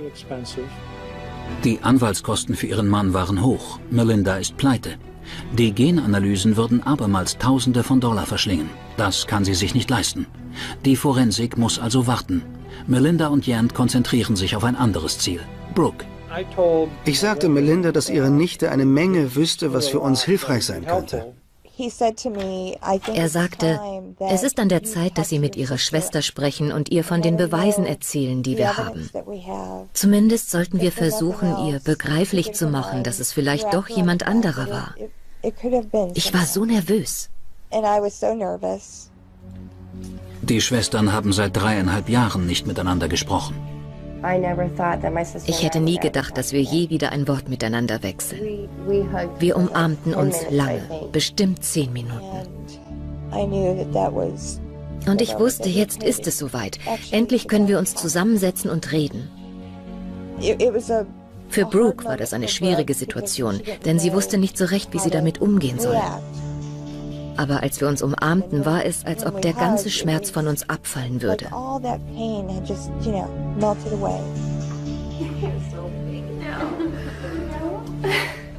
Als Yant Gelegenheit hat, mit Brooke zu sprechen, macht sie ihm gegenüber ein erstaunliches Geständnis. Also, Brooke, Gehen wir das nochmal durch. Ich glaube, ich bin mir nie ganz sicher gewesen. Ich fragte, bist du dir immer noch ganz sicher, dass es Onkel Clarence war? Und sie sagte, sie sei sich nie ganz sicher gewesen. Mir fiel die Kinnlade runter. Das hatte ich nicht erwartet. Brooke sagte, sie habe diese Zweifel auch geäußert, sei aber immer wieder vom Staatsanwalt dazu ermuntert worden, bei ihrer Geschichte zu bleiben. Sie hätte sich bestimmt nicht geirrt. Und jetzt sagte sie ohne zu zögern, vielleicht habe ich einen Fehler gemacht. Im Jahr 2002 widerruft Brooke offiziell die Zeugenaussage, die ihrem Onkel zum Verhängnis wurde. Auf Grundlage dieser eidesstattlichen Versicherung bemüht sich Clarence Elkins Anwalt um ein Wiederaufnahmeverfahren. Doch nach monatelanger Prüfung verkündet der Richter ein Urteil, das die Familie nicht erwartet hat. Er kam zu dem Schluss, dass Brooke von ihrer Familie genötigt worden war, ihre Zeugenaussage zu ändern. Daher wurde kein neues Verfahren bewilligt. Trotz erdrückender neuer Beweise sind weder die Polizei noch die Gerichte an einer Wiederaufnahme des Falls interessiert. Clarence Elkins bleibt hinter Gittern. Vier weitere Jahre. Es war wie bei David und Goliath. Wie soll ich seine Unschuld beweisen, wenn mir jede Tür direkt vor der Nase zugeknallt wird? Aber Melinda gibt nicht auf. Mit Hilfe ihrer Familie, ihrer Freunde und der Medien sammelt sie mehr als 40.000 US-Dollar. Endlich können die DNA-Proben, die sie gesammelt hat, überprüft werden.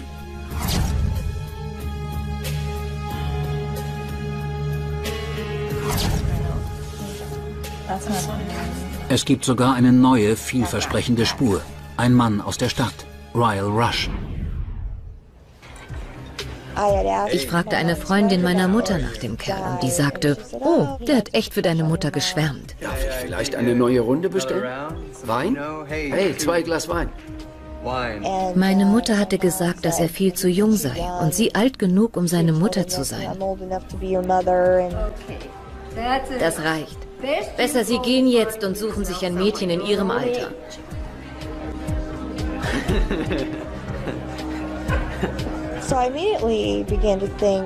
Mir kam sofort der Gedanke, vielleicht hat er sich zurückgestoßen gefühlt.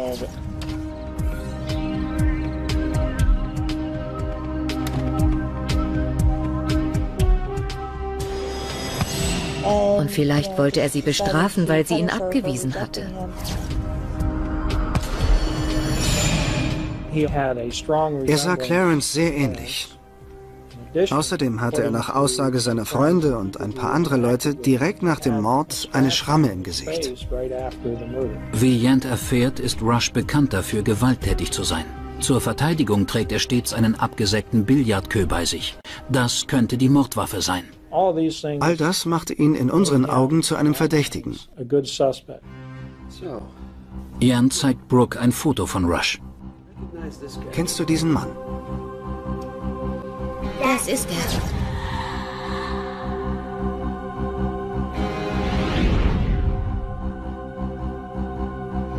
Ich erinnere mich an seine Augen.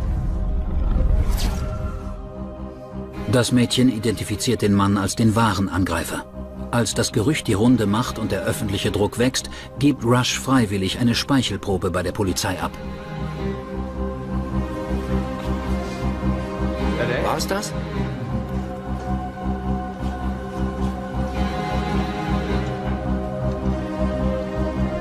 Das Geld für die genetischen Vergleichstests hat Melinda Elkins beisammen.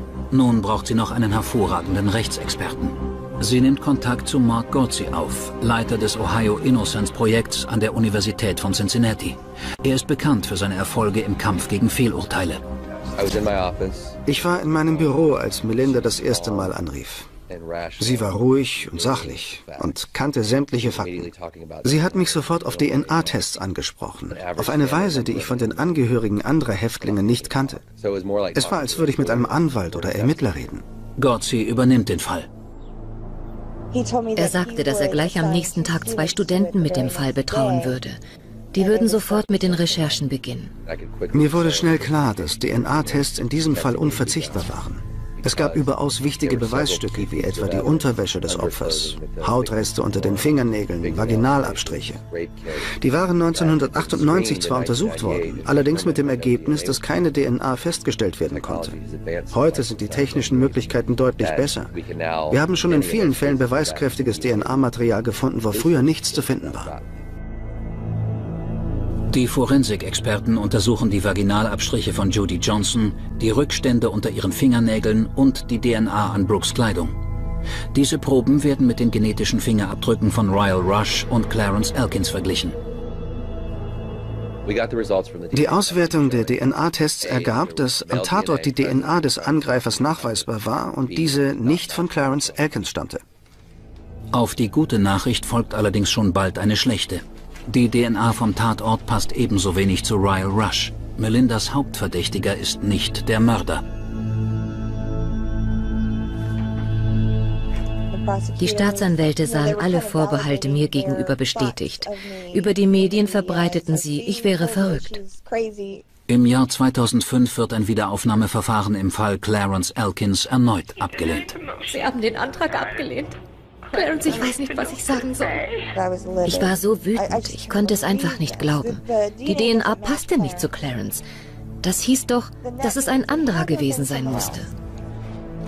Melinda Elkins ist mit ihrem Latein am Ende. Doch die Lage ändert sich, als ihr auf der Titelseite einer Tageszeitung ein Artikel ins Auge fällt. Ich weiß, wer es war. Wovon sprichst du denn?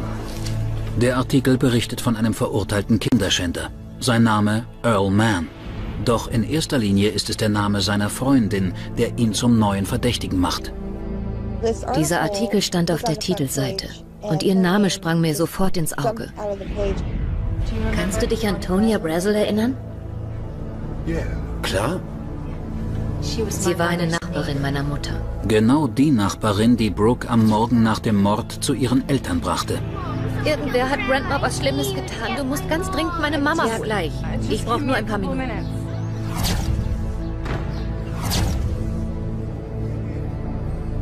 Melinda und Jant überprüfen die Zeugenaussage der Nachbarin. Dabei fällt ihnen auf, dass ihr Benehmen an jenem schrecklichen Tag äußerst merkwürdig war. Sie hat weder die Polizei gerufen noch meine Nichte hereingebeten.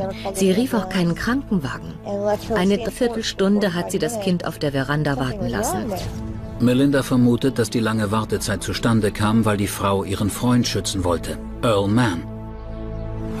Melinda hat Mann nun endgültig in Verdacht, der wahre Mörder ihrer Mutter zu sein. Er lebt zwei Häuser von meiner Mutter entfernt, ist ein Kinderschänder, neigt zur Gewalttätigkeit, ist wegen Körperverletzung schon verurteilt worden. Den Kerl muss ich mir genauer ansehen. Melinda durchleuchtet Earl Manns kriminelle Vergangenheit. Eine lange Liste. Sexuelle Übergriffe auf Kinder, Gewalttätigkeiten gegen Kinder wie auch gegen Erwachsene, all das führt sie zu dem Schluss, dass sehr wahrscheinlich er es war, der ihre Mutter und ihre Nichte überfiel. Sie erfährt, dass er sich zum Tatzeitpunkt in der Gegend aufhielt. Erst ein paar Tage zuvor war er aus dem offenen Vollzug geflüchtet.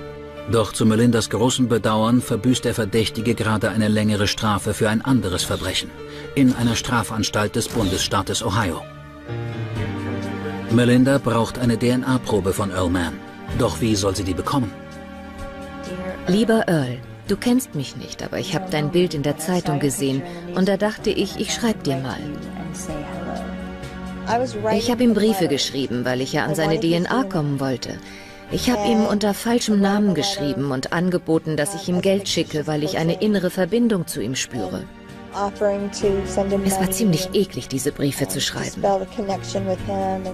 Aber jedes Mal steckte ich einen frankierten Rückumschlag mit rein, den er einfach nur anlecken, zukleben und zurückschicken musste.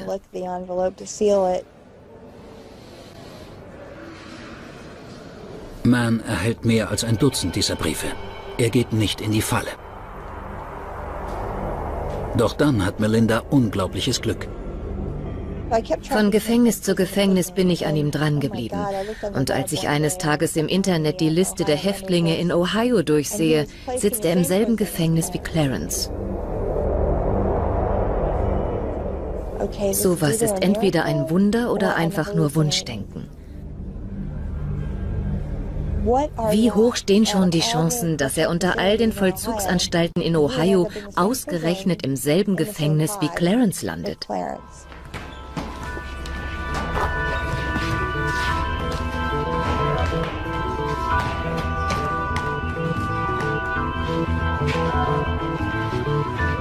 Clarence Elkins verschwendet keine Zeit. Bei der erstbesten Gelegenheit schnappt er sich eine von Mans Zigarettenkippen.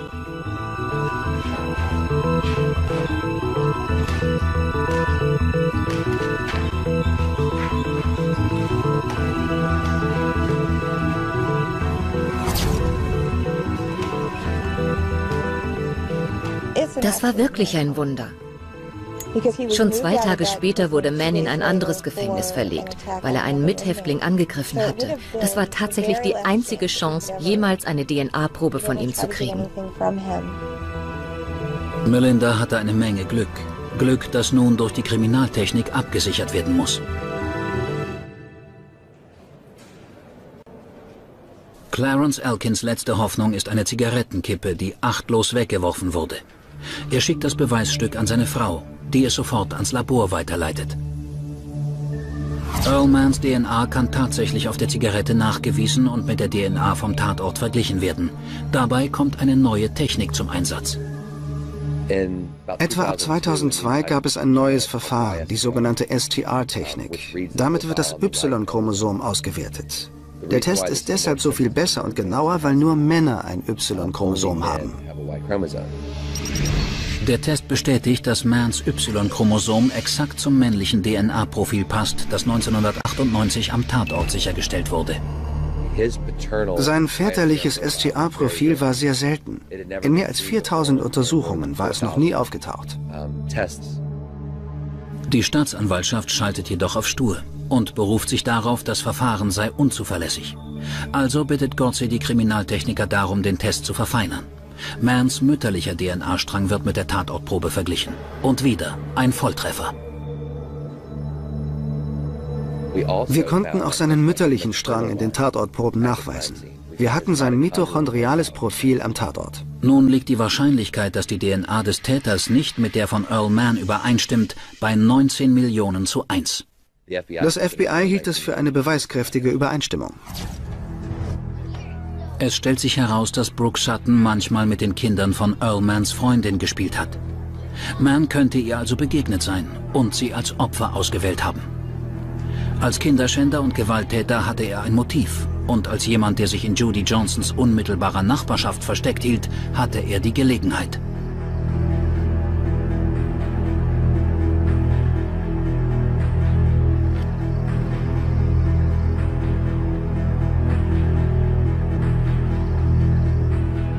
Vielleicht hatte Judy die Tür offen gelassen. Vielleicht hatte es Man auf Brooke abgesehen, vielleicht auch auf Judy. Wie auch immer, beide fielen seiner Grausamkeit zum Opfer.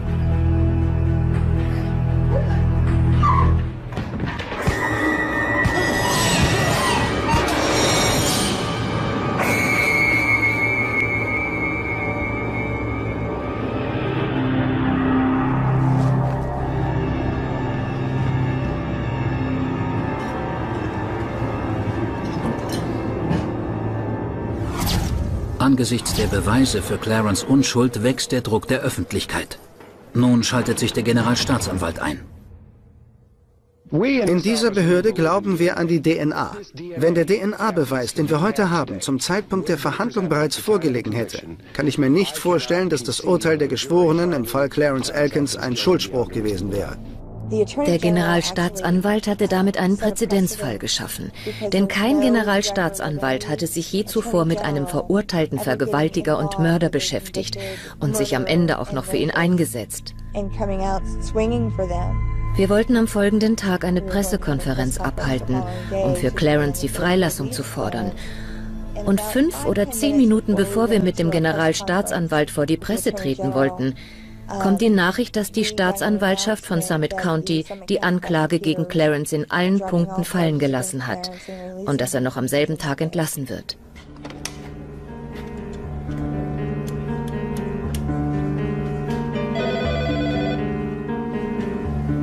Ja, ich bin's. Hast du Lust, nach Hause zu kommen?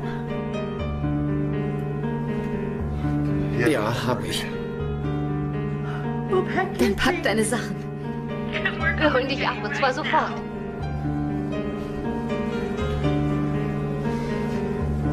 Okay.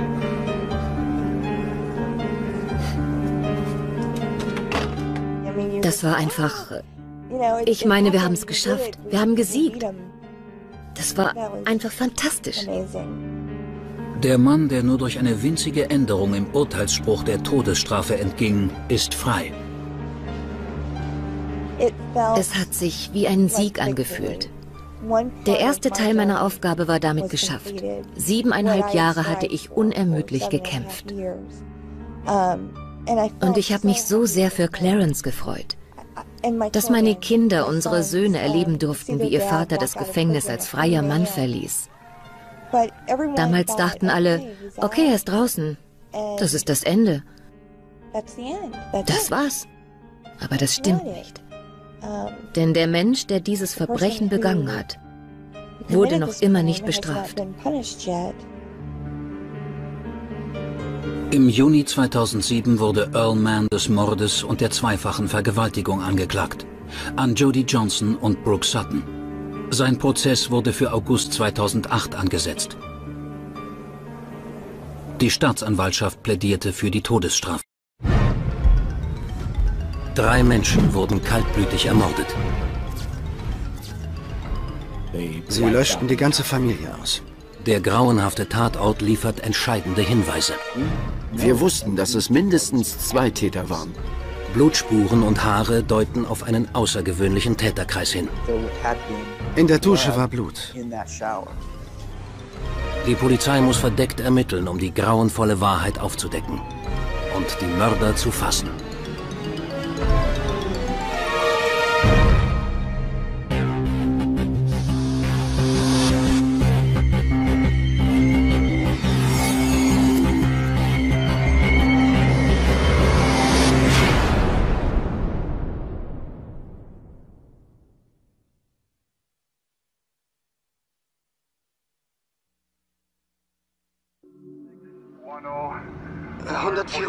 Straße. Ist es ein Haus oder eine Wohnung? Es ist äh, ein, ein Haus. Was für ein Problem liegt vor? Es hat eine Art äh, Einbruch gegeben. Ich. Äh, Gut, beruhigen Sie sich. Was ist passiert? Es, äh, ich, ich weiß nicht. Die beiden. Meine Freunde, seine Mutter und sein Vater sind. Äh, alle beide. Da ist Blut. Sie atmen nicht mehr. Sein Gesicht ist blutverschmiert. Ich, ich weiß nicht. Wir glauben, sie sind tot. Die Polizei wird zu einem Haus in Bellevue in der Nähe von Seattle gerufen. Lieutenant Jim Kowalczyk trifft als einer der ersten am Tatort ein. Es gab sehr wenig Informationen. Wir nahmen einen Notruf entgegen. Es hieß, ein junger Mann sei nach Hause gekommen und habe seine Eltern und seine Schwester blutüberströmt vorgefunden. Man wusste nicht, ob sie noch lebten oder ob der Täter noch anwesend war.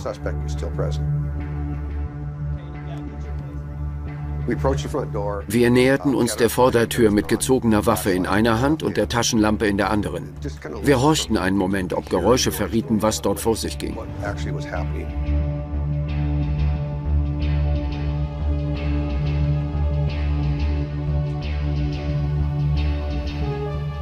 Im Wohnzimmer entdecken Kowalczyk und sein Kollege das erste Opfer. Wir sahen eine kleine Gestalt am Boden liegen mit dem Gesicht nach unten. Ihr Kopf war mit einer Art Tuch umwickelt. Ich weiß nicht, ob es ein Schal oder so etwas war. Der Stoff war voller Blut und die Person bewegte sich nicht.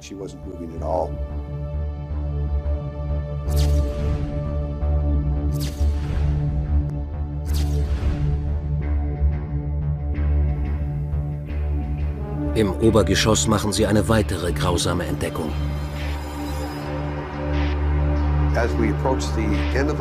Am Ende des Korridors lag das Schlafzimmer. Ganz hinten im Raum stand ein Bett und ich sah Füße, die an den Knöcheln überkreuzt waren. Das Ganze war ein unglaubliches Blutbad.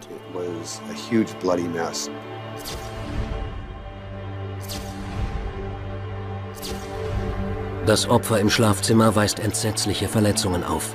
Vom Kopf ist kaum etwas übrig. Die Wand direkt hinter dem Bett war voller Blut. Die Blutspritze ergaben einen riesigen Bogen. Es gab auch Gewebespuren an Wand und Decke. Nach der Menge der Gewebespuren und dem Zustand von Hinterkopf und Gesicht zu urteilen, sah es aus, als wäre die Tat mit einer Schusswaffe verübt worden. Zumindest war das mein erster Eindruck.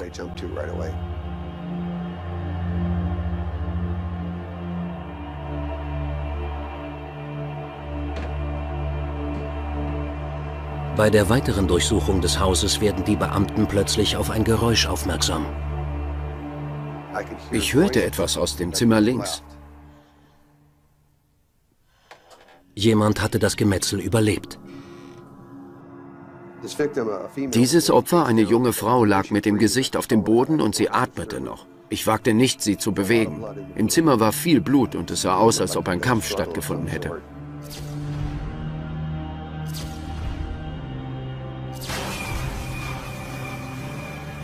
Kowalczyk ruft umgehend einen Krankenwagen.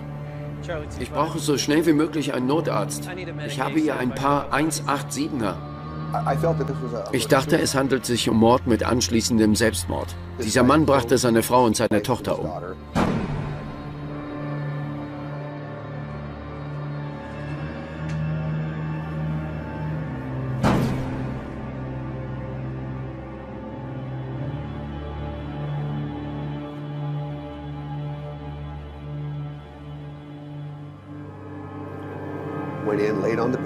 Dann legte er sich aufs Bett, überkreuzte die Füße, legte seinen Personalausweis neben sich und tötete sich selbst. Das war meine Vermutung damals.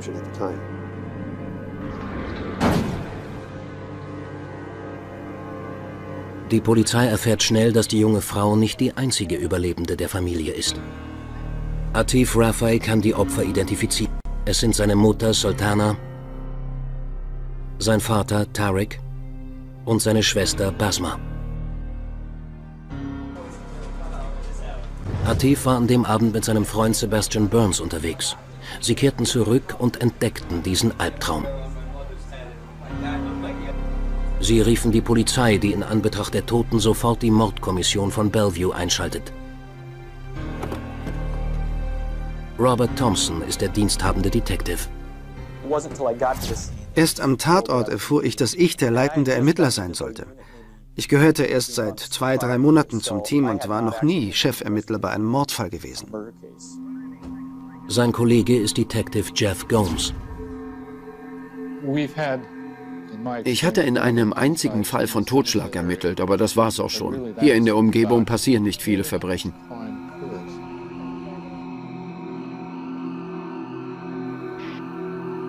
Die Ermittler betreten einen Tatort, der von unvorstellbarer Gewalt zeugt.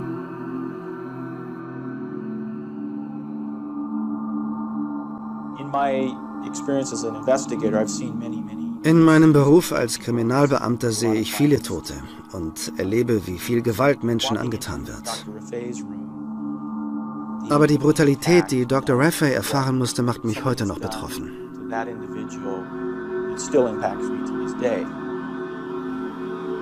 Nachdem Basma ins Krankenhaus gebracht worden ist, untersuchen die Beamten von der Spurensicherung den Tatort genauer.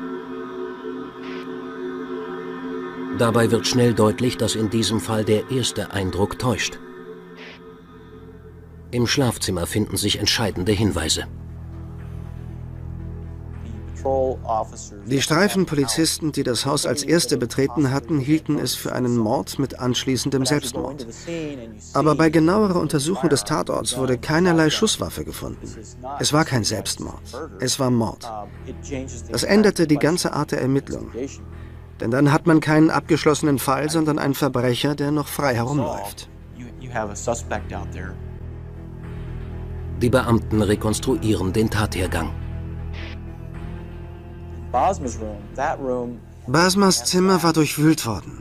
Die Laken waren weggerissen und in den Gipskartonwänden befanden sich Löcher. Es gab Blutspritzer an verschiedenen Stellen, was vermuten ließ, dass Basma sich gegen ihren Angreifer zur Wehr gesetzt hatte.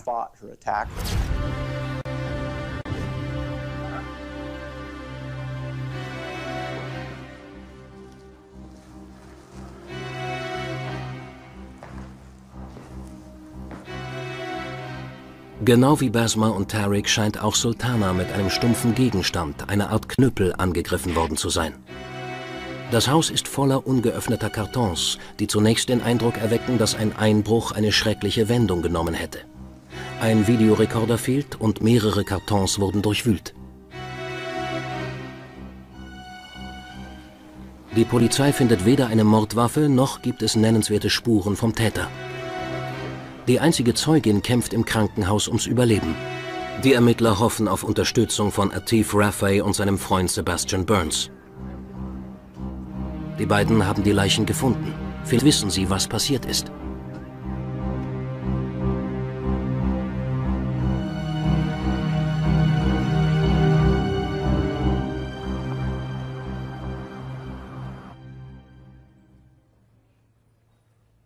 They're witnesses Sie waren unsere wichtigsten Zeugen. Sie konnten Informationen beisteuern, ob jemand der Familie schaden wollte, ob sie Feinde hatten und woher die Familie stammte. Die jungen Männer leben in Vancouver, Kanada. Atif Raffay ist 18 und studiert seit einem Jahr an der Cornell University. Sebastian Burns ist ebenfalls 18. Die beiden sind seit der 10. Klasse befreundet. Atifs Familie ist erst vor kurzem von Kanada nach Bellevue gezogen. Atif blieb in Kanada und war für ein paar Tage zu Besuch bei seiner Familie.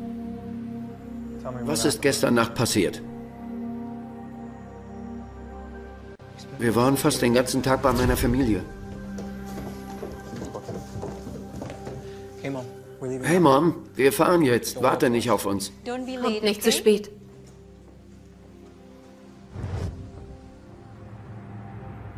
Wir verließen das Haus gegen 20.30 Uhr und nahmen das Auto meines Vaters. Die jungen Männer aßen in einem Restaurant in der Nähe und gingen anschließend ins Kino. Den sehen wir uns an.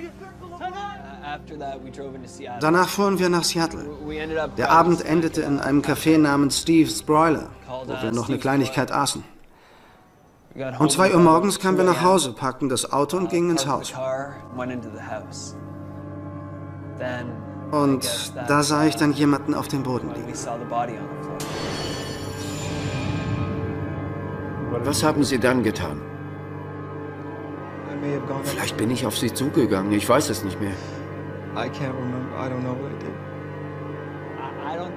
Ich glaube nicht, dass sie sich bewegt hat. Da waren überall Kartons und anderer Kram. Dann habe ich das ganze Blut an der Wand gesehen. Und bin durchgedreht. Atif sah seinen toten Vater und hörte seine Schwester um ihr Leben kämpfen. Es war zu viel für den 18-Jährigen. Ich konnte es nicht ertragen und bin weggerannt. Ich nahm das Telefon und wählte den Notruf.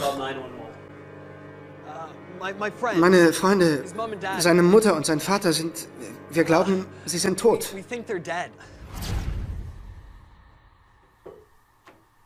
Atif und Sebastian müssen ihre Kleidung der Spurensicherung überlassen.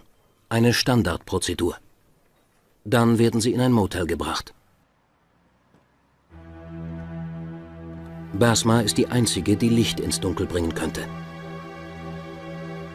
Doch sie überlebt nicht. Sie starb gegen 7 Uhr morgens. Erst später fanden wir heraus, dass sie gar nicht sprechen konnte. Die Polizei erfährt, dass Basma stark autistisch war.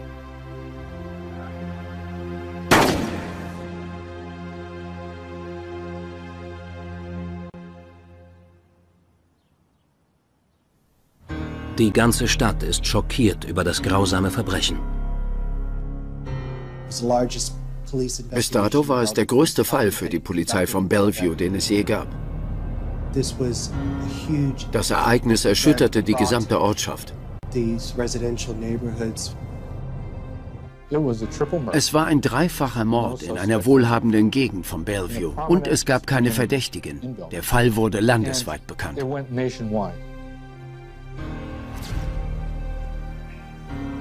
Die Polizei sammelt Informationen über die Raffays. Hatte die Familie womöglich Feinde? Er erfährt, dass Tarek Rafay Bauingenieur war und aus Pakistan stammte. Er und seine Frau Sultana waren beide praktizierende Muslime. Die 20-jährige Basma lebte bei ihnen. Mit ihrer Behinderung konnte sie nicht für sich selbst sorgen. Die Familie war wegen Tareks neuem Arbeitsplatz erst kürzlich nach Bellevue gezogen. Daher standen überall im Haus noch Umzugskartons. Die Polizei vernimmt die Nachbarn, darunter auch Mark Siddle. Ja, ich habe etwas bemerkt, als ich gestern Abend das Haus verließ. Ein Nachbar sagte aus, nach 9 Uhr abends Geräusche gehört zu haben. Ich hörte dumpfe Schläge. Als würde jemand hämmern oder Bilder aufhängen.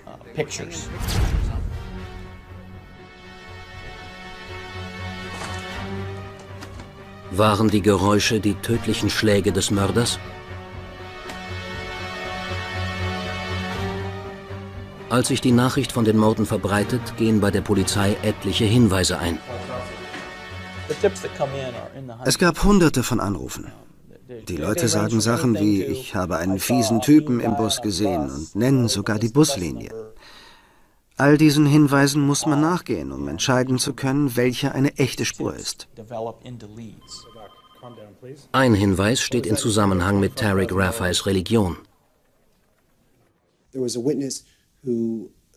Ein Zeuge berichtete von einem muslimischen Geistlichen, der Tarek Rafays Tod forderte.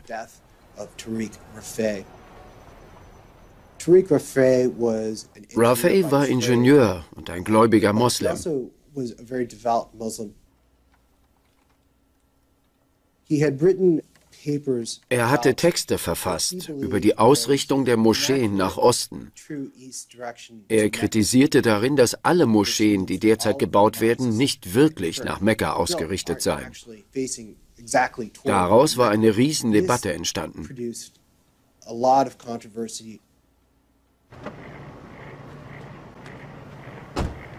Die Polizei geht dem Hinweis nach und durchsucht das Haus erneut nach Spuren. Die gründliche Überprüfung des Tatorts überzeugt die Ermittler endgültig davon, dass es sich nicht um einen Raubmord handelte. Die Mörder waren keine Einbrecher, die auf frischer Tat ertappt wurden. Irgendetwas an dem Zimmer stimmte nicht. Die Kartons waren umgekippt, aber nicht durchwühlt worden. Es wirkte inszeniert. Und jemanden für einen Videorekorder umzubringen wäre extrem ungewöhnlich. Die Beamten finden keinerlei Hinweise auf einen Einbruch. Der Mörder kam offenbar durch eine unverschlossene Terrassentür.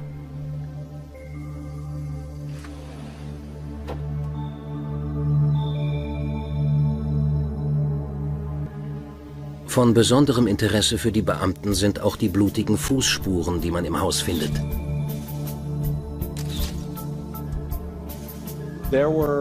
Am Boden fand sich verschmiertes Blut, aber keine Schuhabdrücke. Die Person muss barfuß gewesen sein oder Socken oder Hausschuhe ohne Profil getragen haben.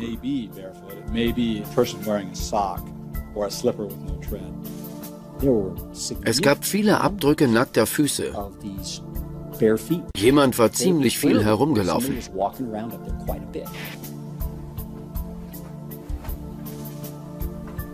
Die Polizei analysiert kleinste Aluminiumpartikel, die sie in der Wand in Basmas Zimmer findet. Es war eine Aluminiumlegierung, die typisch für Baseballschläge aus Metall ist. Ein weiterer Hinweis auf einen Baseballschläger als Waffe war ein runder Blutfleck. Er befand sich auf dem Teppich des Elternschlafzimmers in der Nähe des Bettes, auf dem der Vater gefunden wurde. Es gab also zwei Spuren, die auf einen Baseballschläger als Waffe hindeuteten. An der Wand befinden sich außer den Blutspritzern auch noch andere Blutspuren. Es gab Schmierspuren.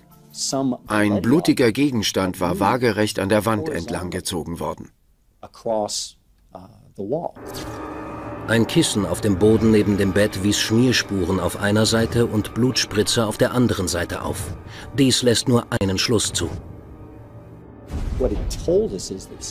Das Kissen wurde weggezogen, während man noch auf Tarek einschlug.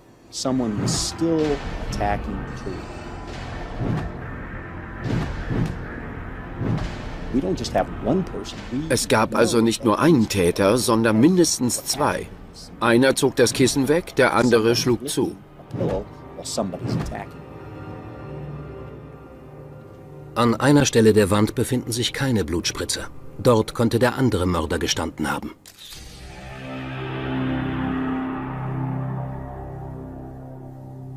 Ein einzelnes Haar liegt auf dem Laken in der Nähe von Tareks Leiche. Es scheint nicht von einem der Opfer zu stammen. Dies muss jedoch durch eine DNA-Analyse noch geprüft werden. Im Bad im Untergeschoss werden verblasste Flecken in der Dusche gefunden.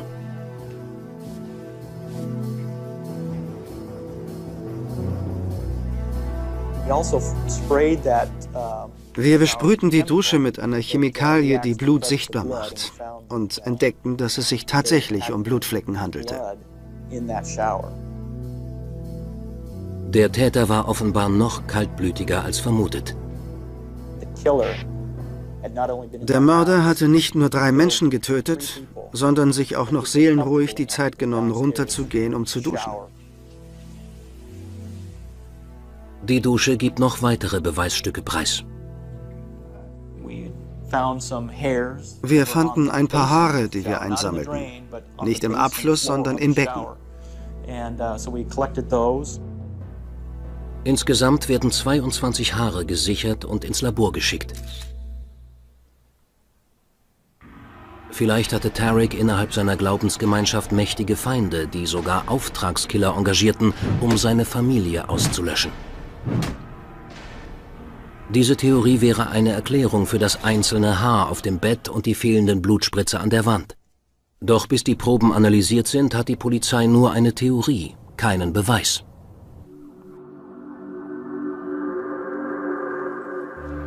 Der Autopsiebericht. Thompson bittet Staatsanwalt James Cornett um Hilfe bei den Ermittlungen. Bevor man bei einem Mord nach dem Warum fragt, muss man das Wie klären. Der Autopsiebericht bestätigt, dass es sich bei der Mordwaffe um einen Baseballschläger handelt und enthüllt die brutale Gewalt des Angriffs. Der Rechtsmediziner bestätigte, dass man Sultana Raffay mindestens zweimal auf den Kopf geschlagen hatte. Dr. Tariq Raffay schlief. Er erhielt mindestens 15 Schläge mit dem Baseballschläger. An Tariks und Sultanas Körper finden sich keine Hinweise auf einen Kampf. Die Abwehrverletzungen an Basmas Händen und Armen jedoch zeugen von dem Grauen, das sie erleiden musste. Basma muss alles mit angehört haben. Ihr Zimmer war nur durch eine dünne Wand vom Schlafzimmer der Eltern getrennt. Wer auch immer diese Familie tötete, war wahnsinnig oder rasend vor Wut.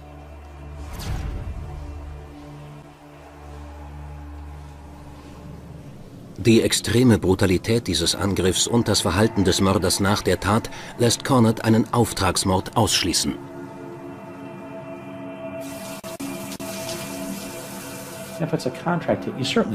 Ein Profikiller verwischt keine Spuren, indem er einen Videorekorder mitgehen lässt. Und erst recht nimmt er keine Dusche am Tatort und hinterlässt Blut und andere Spuren. Er erledigt den Job und geht.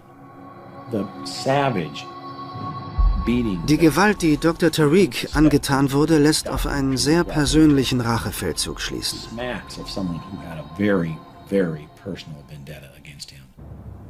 Wer hasste die Familie so sehr, dass er derart kaltblütig mordete?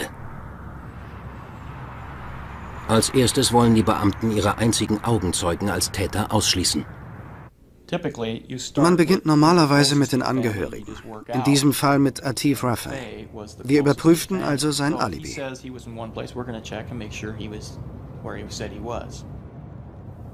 Die Polizei vernimmt Personen, die die beiden jungen Männer in der Mordnacht gesehen haben. Die Restaurantangestellten erkennen sie wieder und auch der Geschäftsführer des Kinos bestätigt, dass sie da waren. Wir zeigten ihnen Fotos der beiden und sie erinnerten sich an die Männer, weil sie so viel geredet hatten. Ein Zeuge sagte, er hatte zu tun, aber Sebastian hätte ständig auf ihn eingeredet. Auch eine Kellnerin bei Steve's Broiler erinnert sich an die beiden. Sie bestellten für 5 Dollar Essen und hinterließen 8 Dollar Trinkgeld. Überall erinnerte man sich an sie. Das ist schon ziemlich ungewöhnlich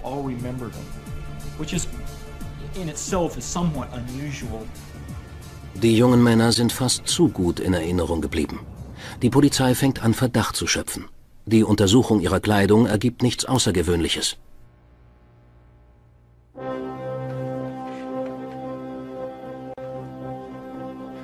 Doch Thompson möchte sie zur Sicherheit ein zweites Mal vernehmen. Diesmal ganz offiziell. Kommen Sie mit. Wir wollten sie getrennt voneinander vernehmen. Tiff Raffay war zuerst an der Reihe. Da legte Sebastian Burns seine Hand auf Etifs und sagte, er wolle mitkommen. Das fand ich schon seltsam. Wir haben bereits alles gesagt. Sebastians Verhalten sorgt auch in anderen Punkten für Skepsis bei den Beamten. Er war jemand, der gerade miterlebt hatte, wie die Familie seines besten Freundes niedergemetzelt wurde. Er aber sprach sehr sachlich und zeigte keinerlei Emotionen, obwohl es ein so traumatisches Ereignis war. Atifs Vernehmung lässt bei der Polizei noch mehr Zweifel aufkommen. Was ist Ihnen noch aufgefallen? Ich kann mich nicht daran erinnern, meinen Walkman im Zimmer gesehen zu haben. Ihr was? Er kommt nach Hause, findet seine tote Mutter, läuft die Treppe hinauf, sieht seinen toten Vater und hört seine Schwester. Aber anstatt nach ihr zu sehen, geht er in sein Zimmer und stellt fest, dass sein Walkman nicht da ist.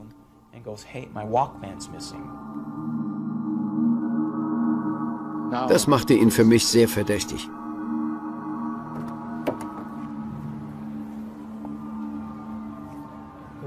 Rufen Sie mich an, wenn Ihnen noch etwas einfällt. Diese beiden wollten sich von der ganzen Sache fernhalten, sich distanzieren. Sie verhielten sich einfach sehr seltsam. Drei Tage nach dem Mord findet die Beerdigung statt. Doch weder Atif noch Sebastian erscheinen. Burns und Raffay kamen nicht zur Beerdigung. Also prüften wir die Grenzübergänge und fanden heraus, dass die beiden die USA in einem Greyhound-Bus verlassen hatten.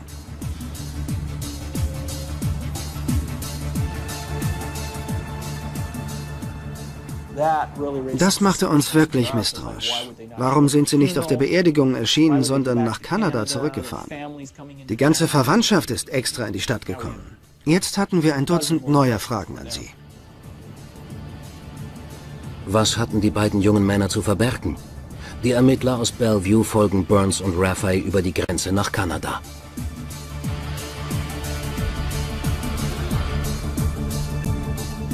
Doch dort haben sie keine Polizeibefugnis. Sie müssen auf die Kooperation ihrer beiden Hauptverdächtigen hoffen. Detective Thompson und ich fuhren nach Vancouver. British Columbia, Vancouver. Wir kontaktierten Raffay und Burns, um sie nochmal als Zeugen zu befragen.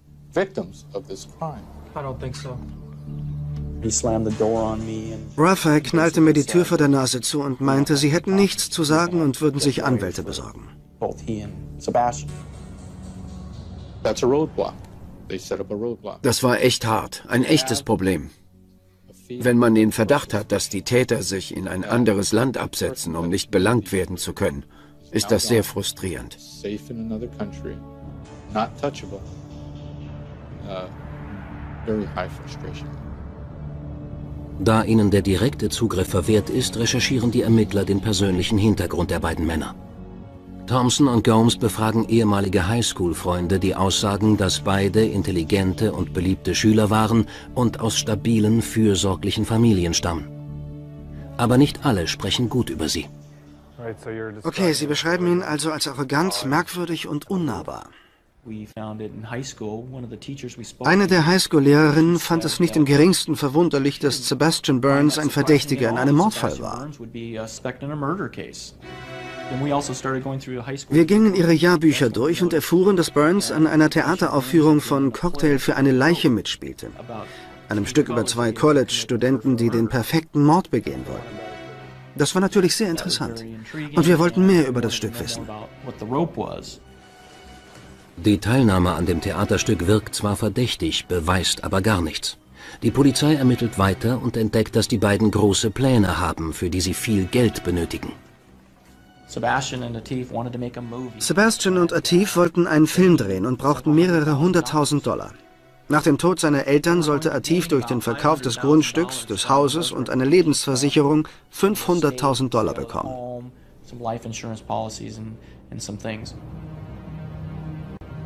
In Vancouver hinterlassen die jungen Männer keinen guten Eindruck. Angehörige organisierten einen Gedenkgottesdienst in Kanada.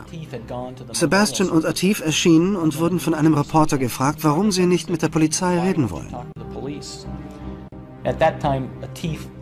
Aber Atif lachte und kicherte nur, drehte sich um und sprang dann in ein wartendes Auto. Es war sehr, sehr irritierend, den Sohn und Bruder dreier Mordopfer wie einen Schuljungen rumalbern zu sehen.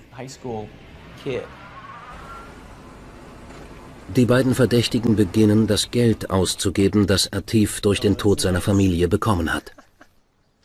Die Polizei hat jetzt ein ernstzunehmendes Motiv, hegt aber Zweifel, ob zwei 18-Jährige imstande sind, mit so viel Kalkül und Brutalität zu handeln. Die Ergebnisse der Kriminaltechnik stützen diese Theorie nicht. Am Tatort wurden keine Fingerabdrücke gefunden. Die blutigen Fußspuren lassen keinerlei Schlüsse zu. Trotz einer DNA-Analyse kann das Haar aus Tariks Bett nicht identifiziert werden. Das Blut in der Dusche stammt von den ermordeten Familienmitgliedern. Die Polizei setzt ihre Hoffnung nun auf die 22 Haare, die in der Dusche lagen. Sie müssen vom Täter stammen. Die letzte Person, die duschte, war der Mörder. Denn in der Dusche fanden wir das Blut von Dr. Raphael. Der Mörder muss es sich dort abgewaschen haben. Da die Haare hell sind, sollen sie mit Sebastian Burns Haaren verglichen werden.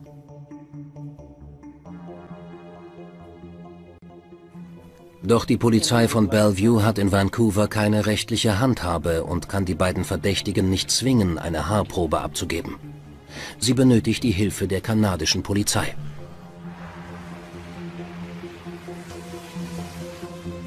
Diese lässt Sebastian überwachen und besorgt die nötige DNA-Probe.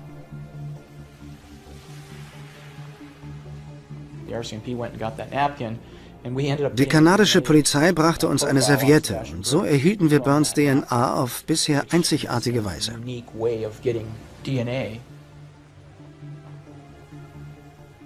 Das Ergebnis fällt für die Ermittler positiv aus. Die DNA auf der Serviette stimmt mit der DNA der Haare aus der Dusche überein. Sebastian Burns war höchstwahrscheinlich die letzte Person, die dort duschte. Es ist kein hundertprozentiger Beweis, aber ich halte es für ungemein bedeutend, dass nur seine Haare dort gefunden wurden. Die kanadische Polizei glaubt, dass die beiden die Mörder sind und ihren grausamen Plan in Kanada ausheckten. Daher strengt sie nun eigene Untersuchungen an. Michael Levine, Experte für verdeckte Ermittlungen, hat den Fall ausgiebig studiert. Der erste Ermittlungsschritt war die Überwachung. Im Auto und im Haus wurden Wanzen angebracht. Ist die Kamera an? Sie zeichneten 4000 Stunden Konversation zwischen Sebastian Burns und Atif Rafai auf. Die kanadische Polizei entdeckt, dass die beiden tatsächlich ein Drehbuch schreiben. Es handelt von zwei Freunden, die eines Mordes beschuldigt werden, den sie nicht begangen haben.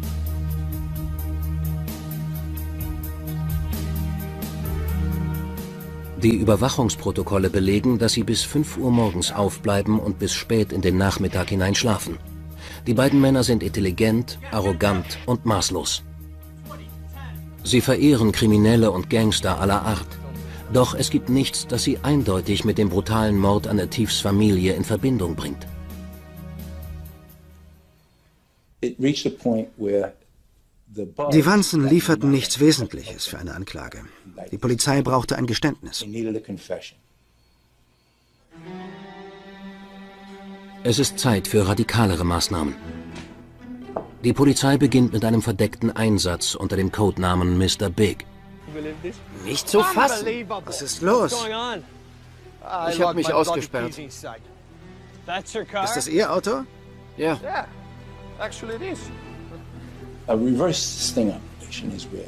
Es war eine Aktion, bei der verdeckte Ermittler vorgaben, Kriminelle zu sein. Sie wussten, dass Raphael und Burns die Mafia, das Medellin-Kartell und Motorradgangs für das Allergrößte hielten. Diese Gruppen verkörperten für sie den Begriff von Ehre. Könnten Sie mich mitnehmen? Ja. Danke, toll. Ich parke da drüben. Der verdeckte Ermittler gibt sich als Gangster aus und versucht, Sebastian zu beeindrucken. Er hat mir geholfen. Freut mich. Der Trick funktioniert. Sebastian ist von dem Mann, der sich Gary nennt, tief beeindruckt. Er lernt andere Undercover-Agenten kennen, die sich als dessen Freunde ausgeben. Bald danach macht Gary Sebastian mit Mr. Big persönlich bekannt. Also, was hat es mit diesem Drehbuch auf sich? Wie bitte? Al, das ist der Typ, von dem ich dir erzählt habe. Sebastian. Sebastian, das ist Al. Ich sag's Ihnen. Es ist eine Hammeridee, die sich gut verkaufen lässt. Sebastian erhält den Eindruck, er hätte das Interesse eines Unterweltbosses geweckt, der ihn unterstützen will. Die Polizei ist zuversichtlich.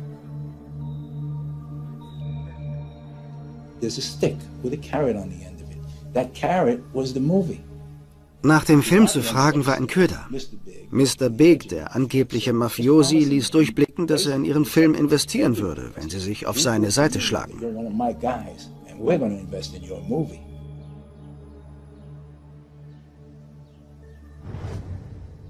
Es funktioniert. Er fährt total darauf ab. Gute Arbeit, Jungs. Bringen wir es zum Abschluss. Unterschreib. Go!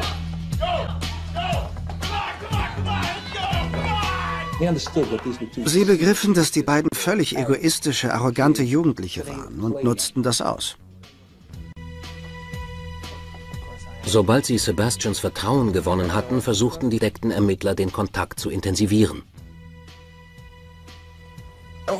Ich hätte einen Job für dich. Interessiert? Sie ließen Burns in dem Glauben, dass sie zur echten Mafia gehörten.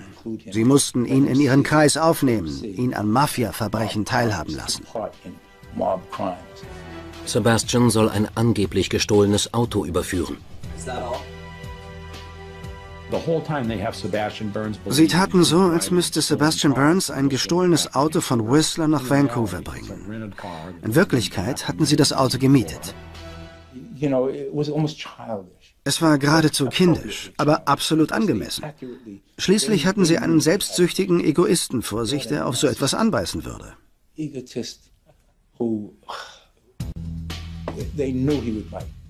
Sebastian erhält für seinen Einsatz 200 Dollar. Doch die Belohnungen werden schnell höher. Burns ist von dem kriminellen Lebensstil und seinen Verdienstmöglichkeiten fasziniert.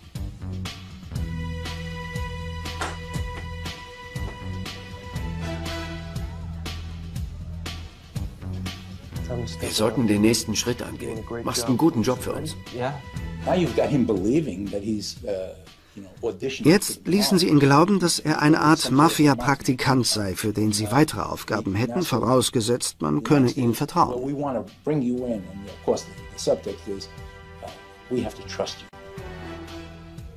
Die verdeckten Ermittler bringen das Gespräch auf Mord.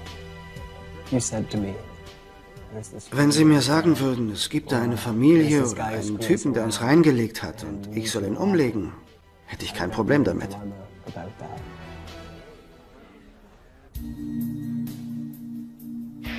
Doch ein Mordgeständnis kommt dabei nicht heraus. Die Polizei geht noch einen Schritt weiter. Hast du in letzter Zeit Zeitung gelesen?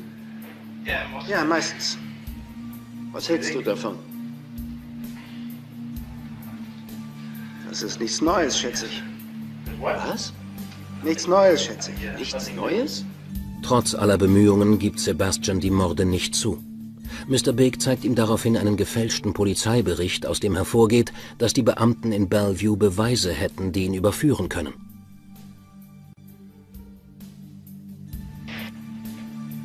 Ich sag's dir, die werden dir die Hölle heiß machen. Dir und deinem Freund. Die List geht auf. Wir befürchten, dass sie dich hochnehmen und du alles, was du über uns weißt, auspackst. Du erzählst uns besser von dem Mord, dann können wir die Beweise loswerden. Dermaßen in die Enge getrieben, muss Sebastian eine Entscheidung treffen. Naja, ich könnte Hilfe gebrauchen. Die brauchst du dringend. Du brauchst dringend meine Hilfe. Vertraut er den angeblichen Verbrechern so sehr, dass er ein Geständnis ablegt?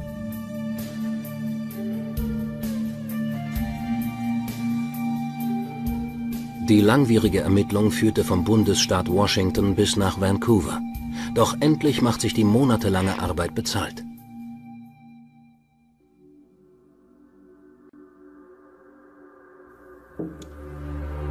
Ihr beide habt euch eines Morgens also einfach gedacht, lass uns die Familie loswerden und uns das ganze verdammte Geld holen? Im Grunde ja. Wie habt ihr alle drei auf einmal erledigt? Nicht auf einmal. Einen nach dem anderen. Wie konntest du mit einem Baseballschläger zuschlagen, ohne Blut an der Kleidung zu haben? Man muss es nackt machen. Und hinterher habe ich geduscht.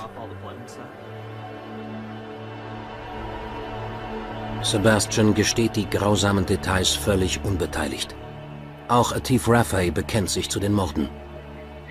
Wie fühlt es sich an, wenn man seine Eltern und seine Schwester tötet? Ziemlich mies, aber es wurde dadurch ausgeglichen, dass ich es notwendig fand.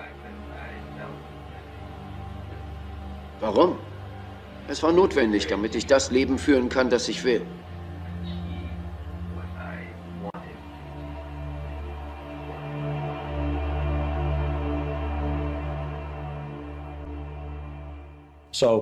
Wir hörten also diese Geständnisse, warum sie zu dem Haus gefahren waren, wie sie sich ihre Alibis beschafft und ihre Tat verschleiert hatten. Aber das Beeindruckendste oder das Deprimierendste daran, je nachdem, wie man es sieht, ist, dass sie die Dreistigkeit besaßen, das alles tatsächlich auszuführen. Als das Geständnis auf Band ist, schreitet die Polizei ein. Was soll das? Ich will mit meinem Anwalt sprechen.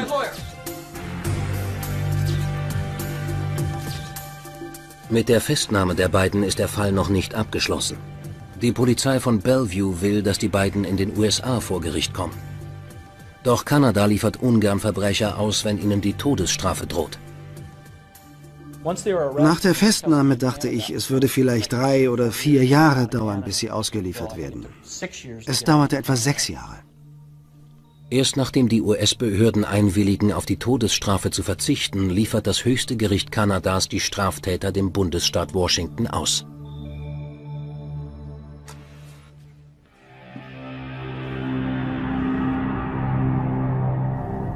Am 23. November 2003, neun Jahre nach den Morden, beginnt der Prozess gegen Atif Raffay und Sebastian Burns. Die Staatsanwaltschaft legt den Fall dar. Das Motiv ist einfach. Geld. Atif Raffay erbte das Haus, zwei Lebensversicherungen, Sparguthaben, das Grundstück und sämtlichen persönlichen Besitz der Toten. Um ein Alibi für die Mordnacht zu haben, sorgten die Männer dafür, dass man sich an jedem Ort, an dem sie sich aufhielten, an sie erinnern würde. Sie inszenierten sogar einen Streit im Kino. Sie verließen das Kino kurz nachdem der Film angefangen hatte und fuhren im Auto der Raffais in die Nähe des Hauses. Sie parkten so, dass man sie nicht sehen konnte, gingen zum Haus und löschten die ganze Familie aus. Die Staatsanwaltschaft geht davon aus, dass Sebastian, der dominantere der beiden, die Führung übernahm. Er erschlug zuerst Sultana, während Atif zusah. Tarek wachte gar nicht erst auf. Auf ihn wurde 20 bis 30 Mal eingeschlagen. Basma war die Einzige, die sich wehrte, doch es nützte ihr nichts. Nach dem Gemetzel nahm Sebastian eine Dusche. Der Staatsanwalt führt an, dass DNA-Analysen ihn als denjenigen überführen, der duschte. Außerdem befand sich das Blut der Opfer im Becken. Daraufhin inszenierten die beiden den angeblichen Einbruchdiebstahl. Sie verließen das Haus, entledigten sich der Waffe und machten sich auf in das Restaurant, wo sie von einer Kellnerin gesehen wurden.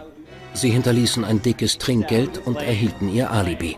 Alles war sorgfältig geplant und kaltblütig durchgeführt worden. Seien wir ehrlich, jedes Geschäft basiert auf Vertrauen. Ohne Vertrauen keine Zusammenarbeit, verstanden?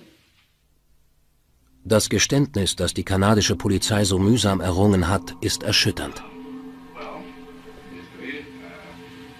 Naja, der Vater war echt kein Ding.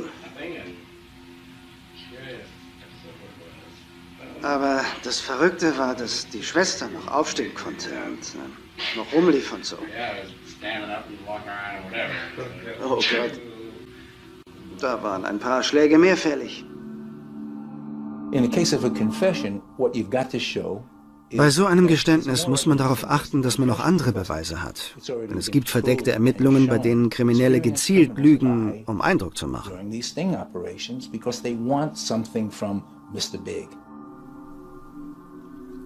Die Verteidiger argumentieren, dass solche verdeckten Operationen in den USA illegal seien. Das Tonband mit dem Geständnis dürfe daher nicht als Beweis zugelassen werden. Doch dieses Argument wird verworfen und die Verteidigung kann die Geschworenen auch nicht davon überzeugen, dass jemand anderer für die Tat in Frage kommt. Kein Geschworener würde sie für unschuldig erklären. Wir glaubten, dass das auf keinen Fall eintreten würde. Unsere einzige Befürchtung war, dass das Verfahren in die Länge gezogen wird durch Anschuldigungen gegen die Polizei von Bellevue und die kanadischen Ermittler, weil sie die Angeklagten getäuscht hatten.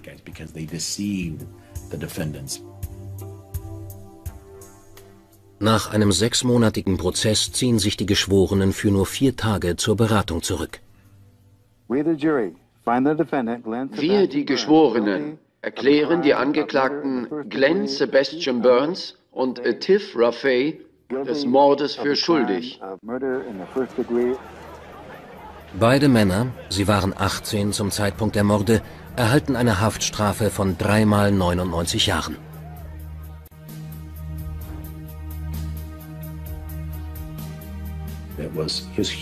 Es war seine Überheblichkeit, seine Selbstgefälligkeit und Arroganz, die zu Sebastian Burns Untergang führten. Er zeigte der ganzen Welt deutlich, dass er dachte, er wäre schlauer als alle anderen. Er ging davon aus, sich vor der Verantwortung für die Morde drücken zu können. Aber er vertraute sich ausgerechnet einem verdeckten Ermittler an.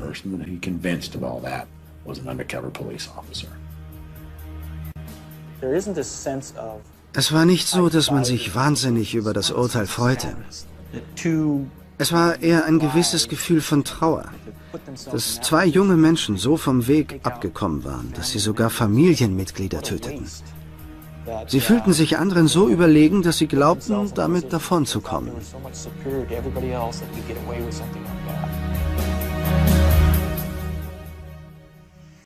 An einem ruhigen Herbstabend wird ein kleines englisches Dorf zum Schauplatz eines grausamen Gewaltverbrechens. Ein junges Mädchen mit durchgeschnittener Kehle. Die Tat war so bestialisch, da muss jemand komplett durchgedreht sein. Die brutalsten Verletzungen, die ich je gesehen habe. Die Polizei fahndet fieberhaft nach dem Mörder. Wo soll man so jemanden finden? Und schlägt dieser jemand wieder zu? Der grausame Mord schockiert die gesamte Gemeinde. Die Familie des Opfers ist am Boden zerstört. Bitte gehen Sie zur Polizei und helfen Sie, den zu fassen, der diese schreckliche Sache getan hat. Das Alter des Opfers 15 Jahre. Die Leute wollten Resultate sehen.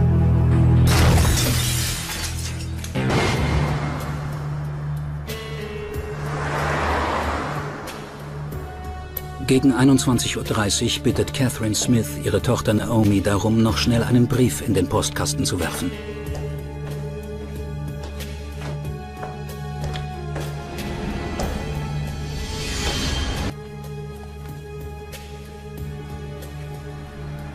Doch knapp zwei Stunden später ist Naomi noch immer nicht zu Hause.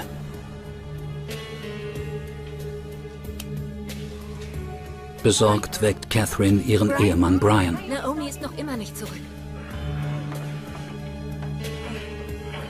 Doch der geht zunächst davon aus, dass seine Tochter bei ihrer besten Freundin Emma ist. Wir haben Emmas Mutter angerufen und gefragt, ob sie da ist. 202. Hallo? Doch die sagte, nein, bei uns ist Naomi nicht. Ja, aber wo zum Teufel steckt sie dann? Da fing auch ich an, mir Sorgen zu machen. Brian Smith fährt mit dem Wagen die Strecke zu Emmas Elternhaus ab. Vergeblich. Von seiner Tochter keine Spur. Emma bietet an, dem beunruhigten Vater bei der Suche nach Naomi zu helfen. Ich wusste einfach, dass was Schlimmes passiert sein musste. Langsam nähern sich die beiden einem Park, der bei den Jugendlichen aus dem Ort als beliebter Treffpunkt gilt.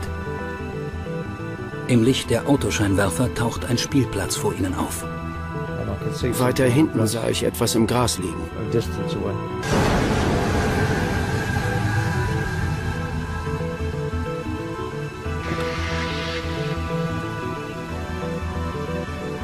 Ich dachte mir, ich dachte, oh nein, bitte nicht.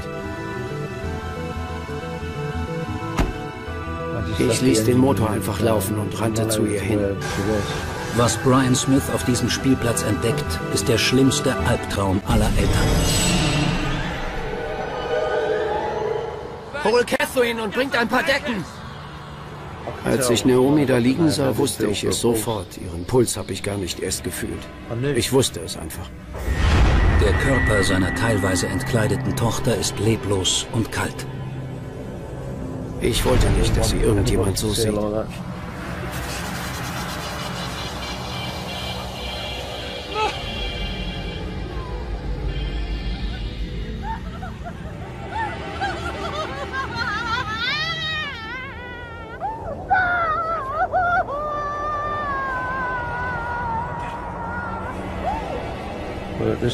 Zu dem Zeitpunkt, da waren ihre Lippen schon ganz blau.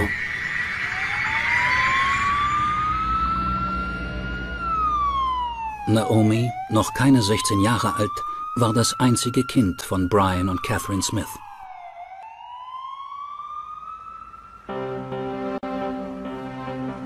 Kurz darauf treffen immer mehr Polizisten am Fundort der Leiche ein. Einer der ersten Beamten vor Ort ist Paul Taberner von der Spurensicherung. Da liegt so ein junges, unschuldiges Mädchen vor dir, auf dem Rücken, das Hemd weit hochgezogen. Da fragst du dich nur, was zum Teufel ist da passiert? Schon bald steht fest, dass Naomi mit einem Messer brutal niedergestochen wurde. Die Schnittwunden im Bereich der Kehle waren ungewöhnlich tief. Die Folge eines brutalen, äußerst grausamen Überfalls. Wer sowas tut, muss durch und durch böse sein. Wie kann ein Mensch nur sowas tun und Warum? Es sieht doch so aus, als... Ach, ich weiß auch nicht. Uns war klar, dass der Täter jede Menge Blut an seiner Kleidung gehabt haben muss. Doch das Motiv hinter diesem grausamen Verbrechen bleibt zunächst ungeklärt. Auch der Leiter der Mordkommission, Tony Bayliss, trifft am Tatort ein. Ich habe schon ziemlich abscheuliche Dinge gesehen. Aber ein Mädchen, das mit durchgeschnittener Kehle auf einem Kinderspielplatz liegt und, und dazu noch die besonderen Umstände, zum Beispiel, dass ihr eigener Vater sie gefunden hat, das macht es einem nicht gerade leichter. Man versucht emotional Abstand zu halten, die eigenen Gefühle außen vor zu lassen. Und doch bleibt es immer die Tochter irgendeines Vaters. Es fällt schwer, sich einen Menschen vorzustellen, der zu einer Tat wie dieser fähig ist. Aber sicherlich schießen da jedem von uns Bilder von, von einem ziemlich widerlichen und fiesen Kerl durch den Kopf. Der Leichnam wurde unter absolut sterilen Bedingungen in die Gerichtsmedizin gebracht. Uns war sofort klar, dass es eine komplizierte und breit angelegte Mordermittlung geben würde.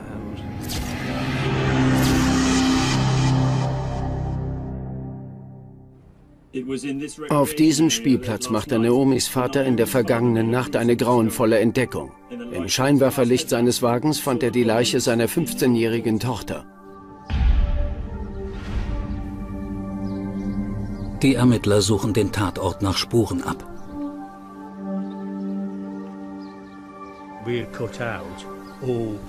Wir haben den Kunstrasen unter der Rutsche herausgeschnitten. Die ganze Fläche, die von Naomis Blut durchtränkt war. Es wurde alles herausgenommen und genauestens untersucht. Nach Fingerabdrücken haben wir natürlich auch gesucht. An der Rutsche, am Geländer und überall sonst auf dem Spielplatz. Es gab jede Menge Abdrücke, aber sie waren alle nicht verwertbar.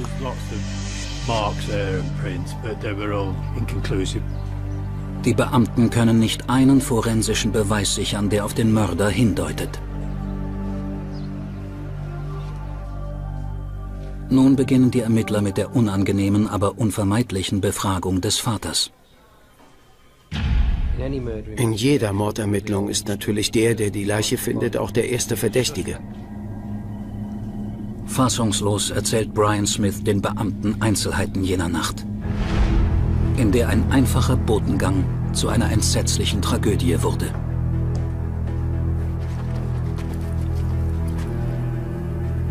Der Briefkasten ist keine hundert Meter vom Haus entfernt, direkt an der Hauptstraße. Da kommt doch kein Mensch auf die Idee, dass ein Teenager auf dieser kurzen Strecke gefährdet sein könnte.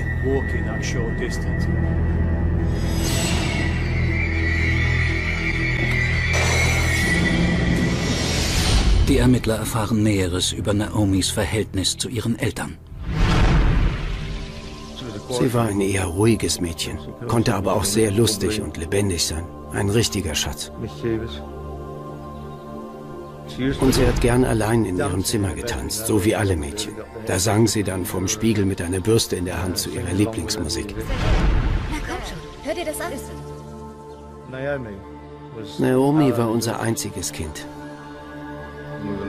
Wir haben uns auf Enkel gefreut und gedacht, dass, dass sie irgendwann heiratet. Naomi war ein liebenswertes Mädchen, ein, naja, ein Familienmensch. Letzten Endes war sie ein Teenager, der ein ganz normales Leben in einer kleinen Dorfgemeinschaft führte. Den Beamten ist schnell klar, dass Naomis Eltern nicht zu den Verdächtigen zählen. Die Eltern waren in diesem Fall eindeutig die Opfer und am Verbrechen völlig unbeteiligt. Also konnten wir uns auf andere Verdächtige konzentrieren. Von der Autopsie der Leiche in der Gerichtsmedizin erhoffen sich die Ermittler neue Erkenntnisse. Wer hat Naomi getötet? Und aus welchem Grund? Detective Gino Variali schließt sich dem Team an. Ich muss gestehen, dass dies der mit Abstand brutalste Mordfall war, den ich je gesehen habe. Die Verletzungen waren einfach grauenvoll. Sie hatte vier oder fünf tiefe Schnittwunden. Luftröhre und Halsvene waren durchtrennt. Die Tatwaffe war ein sehr scharfes Messer mit einer Klinge von etwa 25 Zentimetern. Doch unter den vielen Verletzungen fällt eine als besonders grausam auf. Auf ihrer linken Brust war eine große Bisswunde. Aber das ist noch nicht alles. Die Brutalität des Mörders scheint grenzenlos. Das Ergebnis der medizinischen Untersuchung hat uns alle schockiert. Ein Bild des Grauens, die Tat eines Wahnsinnigen. Ich habe schon so manches Mordopfer gesehen, aber das war einfach entsetzlich. Ich meine, er hat sie mit einer Waffe sexuell missbraucht.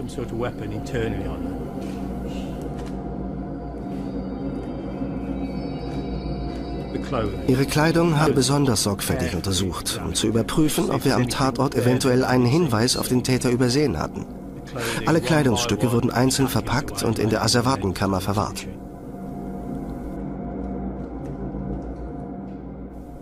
Die Beamten sind entschlossener denn je, den Verantwortlichen für diese entsetzliche Tat zu überführen.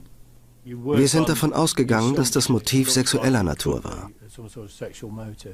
Um den Mörder zu identifizieren, setzen die Ermittler auf eine recht neue wissenschaftliche Methode, den genetischen Fingerabdruck. DNA-Beweismaterial ist heutzutage ein selbstverständlicher Bestandteil der polizeilichen Ermittlungsarbeit. Aber seinerzeit war das noch völliges Neuland für uns.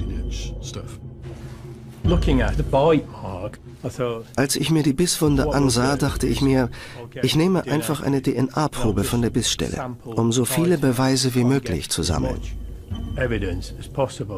Um ein Haar kommt es zur Katastrophe, als einer der Assistenten das wichtige Beweismaterial abwaschen will. Was tun Sie da? Na, die Leiche waschen, was sonst? Wir konnten ihn gerade noch aufhalten. Ich bezweifle, dass der Mann sich mit gerichtsmedizinischen Ermittlungen auskannte. Er wollte nur helfen, aber zum Glück konnte ich verhindern, dass er die Beweise vernichtet. Officer Taberner versucht so viel Material wie möglich aus dem Bereich der Bisswunde sicherzustellen. Die Erstellung von DNA-Profilen steckte noch in den Kinderschuhen. Insbesondere, wenn es sich um derart kleine Proben handelte. Ich habe einfach Proben genommen und gehofft, dass irgendjemand etwas damit anfangen kann. Wir schickten das Material ein, um überprüfen zu lassen, ob ein DNA-Profil aus dem Speichel rings um die Bisswunde erstellt werden kann.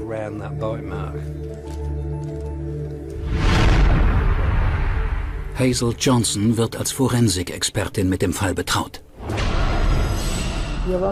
Die Herausforderung besteht darin, immer dein Bestes zu geben. Und die Ergebnisse, egal wie sie ausfallen, werden dann an die Ermittlungsbeamten weitergeleitet. Ein DNA-Profil aus einer derart kleinen Speichelprobe zu erstellen, ist eine immense Herausforderung. Und selbst wenn der genetische Fingerabdruck des Mörders auf diese Weise gefunden wird, ist das noch keine Garantie dafür, dass der Fall auch gelöst werden kann. Damals fingen wir gerade erst damit an, eine landesweite DNA-Datenbank aufzubauen. Wir hatten in dieser Datenbank also noch eine viel zu geringe Anzahl von Proben von viel zu wenigen Verdächtigen für einen erfolgversprechenden Abgleich. Dies wiederum bedeutet für die Ermittler, dass sie mit ihrer Suche nach dem Mörder noch keinen Schritt weiter sind. Die Polizei setzte heute ihre Suche nach der Tatwaffe fort. Diese wurde nach dem Mord an Naomi Smith möglicherweise weggeworfen. Wir hatten ein Suchteam vor Ort, das die Gegend abriegelte und sich anhand von Karten systematisch vorarbeitete. Unsere Leute suchten nach Messern und überhaupt nach allem, was man irgendwie als Waffe benutzen konnte. Die Bewohner von Ansley Common sind zunehmend beunruhigt, da mitten unter ihnen möglicherweise ein brutaler Mörder lebt. Ansley Common ist eine kleine, verschworene Dorfgemeinschaft. Der Ort hatte damals so um die zweieinhalbtausend Einwohner.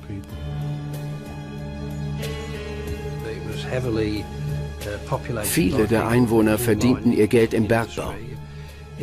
Das hatte was von einer, ich sag mal, verschworenen Bergbaugemeinschaft. Die Menschen standen sich relativ nah.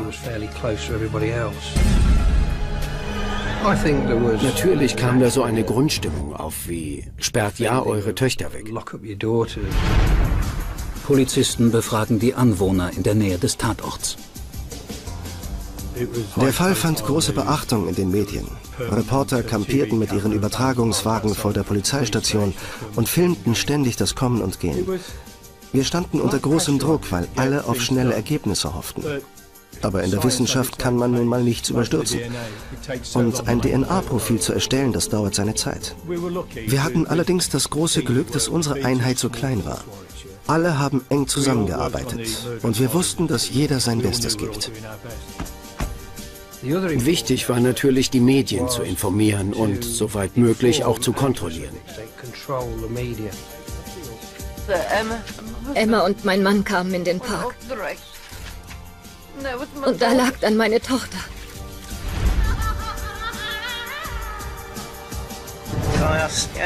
Ich möchte jeden bitten, der irgendwelche Informationen hat, und seien sie auch noch so unbedeutend. Bitte gehen Sie zur Polizei und helfen Sie, den zu fassen, der diese schreckliche Sache getan hat.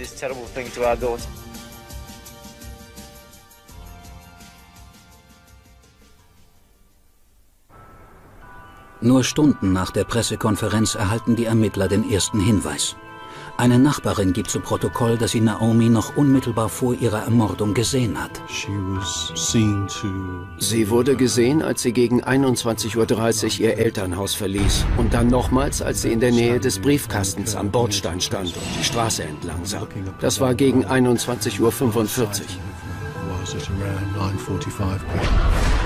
Das war das letzte Mal, dass sie lebend gesehen wurde. Was die Zeit danach betrifft, wussten wir nicht, was geschehen war.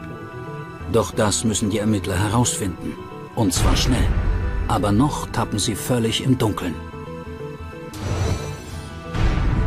Wir hatten keine Ahnung, wie viele Täter am Überfall beteiligt gewesen waren. Möglicherweise zwei. Oder sogar drei?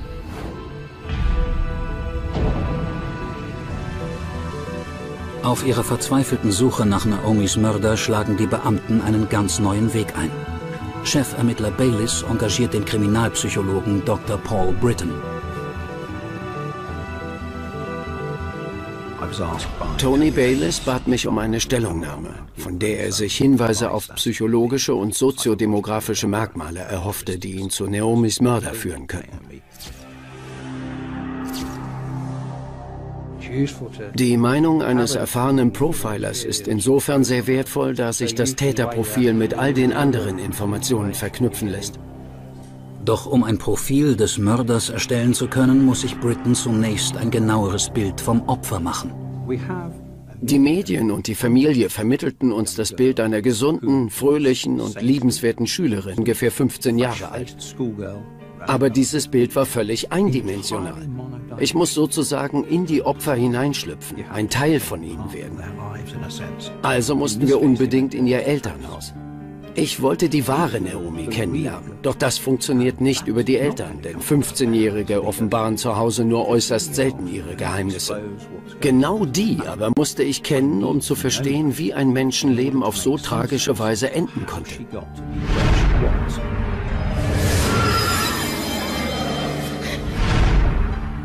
Detective Bayliss und Dr. Britton durchsuchen Naomis Zimmer, um den Geheimnissen in ihrem Leben auf die Spur zu kommen.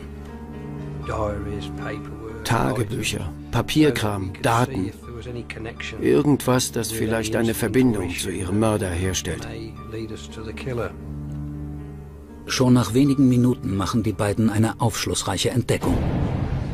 Wir haben Kondome gefunden und allerlei Accessoires, mit denen sich eine heranwachsende junge Frau zurechtmacht. Kein Zweifel. Naomi traf sich bereits mit jungen Männern. Ich meine, da ist man schon ziemlich beunruhigt. Die Ermittler finden heraus, dass Naomis letzter Freund acht Jahre älter war als sie selbst. Er war eng mit Naomi befreundet und hielt sich aus welchen Gründen auch immer häufig in der Gegend auf. Den mussten wir finden. Die Polizei schreibt den Mann zur Fahndung aus. Unterdessen haben die Gerichtsmediziner Grund zur Hoffnung, den Mörder auf andere Weise identifizieren zu können. Die Bisswunde. Es geht um das Gewebe unter der Haut. Da hat hier einer ziemlich brutal zugebissen. Dabei sind die Blutzellen im Gewebe beschädigt worden und dann abgestorben. Und als sie abstarben, wurden sie dunkler, was wiederum zu Flecken und Hämatomen führte. Als die Bissspuren deutlicher hervortreten, erhoffen sich die Ermittler entscheidende Hinweise auf das Gebiss des Täters. Wir haben die Bissspuren auf herkömmliche Art und Weise und zusätzlich noch mit Ultraviolett- und Infrarotlinsen fotografiert. Diese Spur scheint vielversprechend. Andere hingegen enden in einer Sackgasse. Die Ermittler finden heraus, dass sich Naomis Freund in der Mordnacht nicht einmal in der Nähe von Ansley Common aufhielt. An einem solchen Punkt ist es nötig, durchzuhalten und einfach weiter Informationen zu sammeln. Man schaut sich den Tatort noch einmal an, erinnert sich an die damaligen Umstände und betrachtet dieses Mädchen, das gerade mal 15 war. All das zusammen macht einen Fall wie diesen so schwierig. Da es noch immer keinen Verdächtigen gibt, hoffen die Ermittler, dass ein Aufruf durch Naomis beste Freundin den Fall in Bewegung bringt. und von irgendwoher vielleicht ein neuer Zeuge auftaucht. Ich habe gesehen, was dieser böse Mensch ihr angetan hat. Ihrer Familie und mir fällt es so schwer, ohne sie zu leben. Jemand muss doch wissen, wer das war. Das beschauliche Ansley Common ist noch immer wie paralysiert angesichts des Mordes an der 15-jährigen Naomi Smith. Auf der Suche nach einem Verdächtigen haben die Ermittler bereits an die 300 Personen befragt. Während der Fahndung gab es etwa dreieinhalbtausend verschiedene Ermittlungsstränge. Die Beamten beginnen zu zweifeln, ob der gewaltige Aufwand sich am Ende auch auszahlen wird. Doch dann stoßen sie auf eine neue Spur. Eine Zeugin hatte sich gemeldet, die, soweit ich mich erinnere, in der Nähe des Eingangs zum Park wohnte. Und die sagte aus, sie habe jemanden laufen hören und dann einen blonden Mann mit wuschelten Haaren gesehen, der vom Tatort wegrannte. Die Ermittler reagieren unverzüglich und lassen eine Phantomzeichnung des jungen Mannes anfertigen. Jeder, auf den diese Beschreibung passt, wird gebeten, sich bei der Polizei zu melden. In der Zentrale der Sonderkommission gingen etliche Anrufe ein. Eine Folge unseres Zeugenaufrufs. Alle Anrufer werden von den Beamten vernommen. Einer dieser Anrufer weckt sofort ihr Interesse. Edwin Hopkins meldete sich freiwillig, da er zur fraglichen Zeit in der Gegend war. Der 19-Jährige gibt zu Protokoll, dass er in der Tatnacht seine Schwester besucht habe und zwischendurch nur kurz Bier kaufen war. Seiner Aussage zufolge hatte er die Wohnung seiner Schwester nur für kurze Zeit verlassen, um mit dem Fahrrad zu einem Schnapsladen zu fahren. Diese Geschichte lässt sämtliche Alarmglocken läuten. Zwar gibt Hopkins an, das Opfer nicht zu kennen, doch sein Weg zum Spirituosengeschäft führte ihn direkt am Briefkasten vorbei.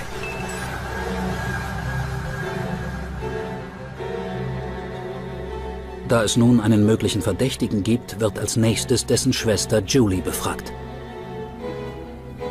Seine Schwester gab ihm ein Alibi und sagte, er sei zum Zeitpunkt des Mordes bei ihr gewesen. Seine fünfminütige Fahrt zum Laden hätte Hopkins nicht genügend Zeit gelassen, den Mord zu begehen. Also wieder eine Sackgasse? Wir befanden uns in einer ziemlich ausweglosen Lage. Sechs Tage nach Naomis Tod versammelt sich die Trauergemeinde zu einem Gedenkgottesdienst. Der Vater von Naomi Smith und ihre Schulfreundin, die gemeinsam die Leiche fanden, nahmen am Gottesdienst teil, um so die Tragödie begreifen zu können, die vor nicht einmal einer Woche ihr Leben aus der Bahn warf.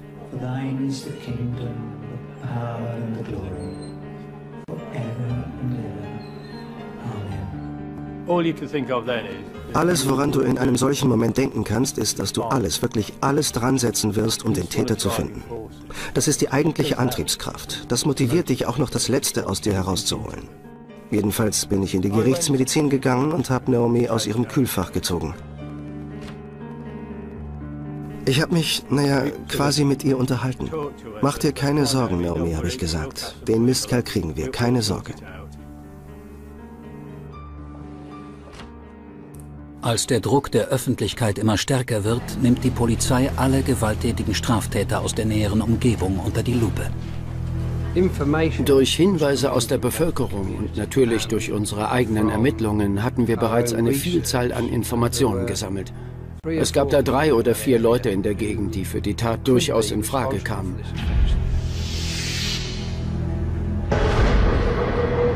Ihre Vergangenheit deutete darauf hin, dass sie zu einer solchen Straftat absolut fähig war.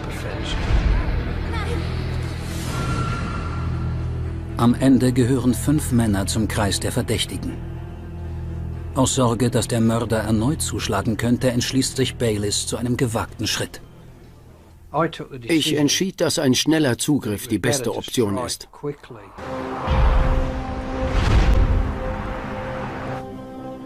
Eine schnelle Verhaftung war wichtig, um noch forensisches Beweismaterial sicherstellen zu können.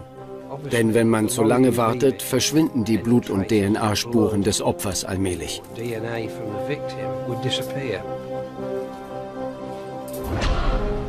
Am 21. September um 7 Uhr früh führt die Polizei in einer groß angelegten Aktion eine Reihe von Hausdurchsuchungen durch. Wir standen damals so sehr unter Beobachtung, dass die Medien Wind von der Sache bekamen. Kamerateams waren vor Ort und finden die Verhaftungen. Das hat uns eine Menge Ärger eingebracht. Die Frau ist im Hintereingang, er im Schlafzimmer. Er ist in Gewahrsam, alles klar? Ein aufwendiges und zugleich allzu öffentliches Spektakel. Die Ermittler setzen damit die Unterstützung der Bevölkerung und ihren eigenen Ruf aufs Spiel. Etwa 100 Beamte waren an der Aktion beteiligt, bei den Verhaftungen und natürlich bei der Spurensicherung. Dann die intensiven Verhöre. Wir wollten ja herausfinden, wo die Männer in der Tatnacht gewesen waren und was sie zur Tatzeit getrieben hatten. Wir hofften auf diese Weise, den Täter zu finden. Etwa zur selben Zeit machen die Gerichtsmediziner Fortschritte mit den Bissspuren an Naomis Leiche. Sie haben nun ein ziemlich klares Bild vom Gebiss, das diese Wunde verursacht hat. Mindestens einer der Zähne wies eine deutliche Fehlstellung auf. Daher war uns klar, sobald wir einen Verdächtigen haben, können wir einen Abdruck nehmen. Genau wie beim Anfertigen von Zahnersatz. Und diesen Abdruck können wir dann mit den Bissspuren an Naomis Brust vergleichen. Die Ermittler brennen förmlich darauf, diese unverhoffte Geheimwaffe bei den fünf Verdächtigen einzusetzen. Man braucht ein bisschen Dentalwachs, lässt den Verdächtigen draufbeißen und fertig ist der Abdruck. Dann wird ein Modell hergestellt und schon hat man ein Duplikat vom Gebiss. Ein geniales Verfahren. Denn der Mörder kann sein Bissmuster unmöglich verbergen. Der Reihe nach untersuchen die Ermittler die Abdrücke der Verdächtigen. Das Ergebnis ist niederschmetternd. Es stellte sich heraus, dass es bei keinem dieser fünf Männer eine Übereinstimmung gab. Nach ein paar Tagen mussten wir sie alle wieder laufen lassen. Keiner der Verdächtigen kommt als Täter in Frage. Die Ermittler haben alles auf diese eine Karte gesetzt und verloren. Ein gewaltiger Misserfolg, keine Frage. Doch hätten wir diese Aktion nicht durchgeführt und die Chance nicht genutzt, mögliche Beweise zu sichern, und irgendwann hätte sich herausgestellt, dass einer dieser Männer tatsächlich der Täter war, dann hätte man uns zu Recht vorgeworfen, wir hätten zu lange gewartet.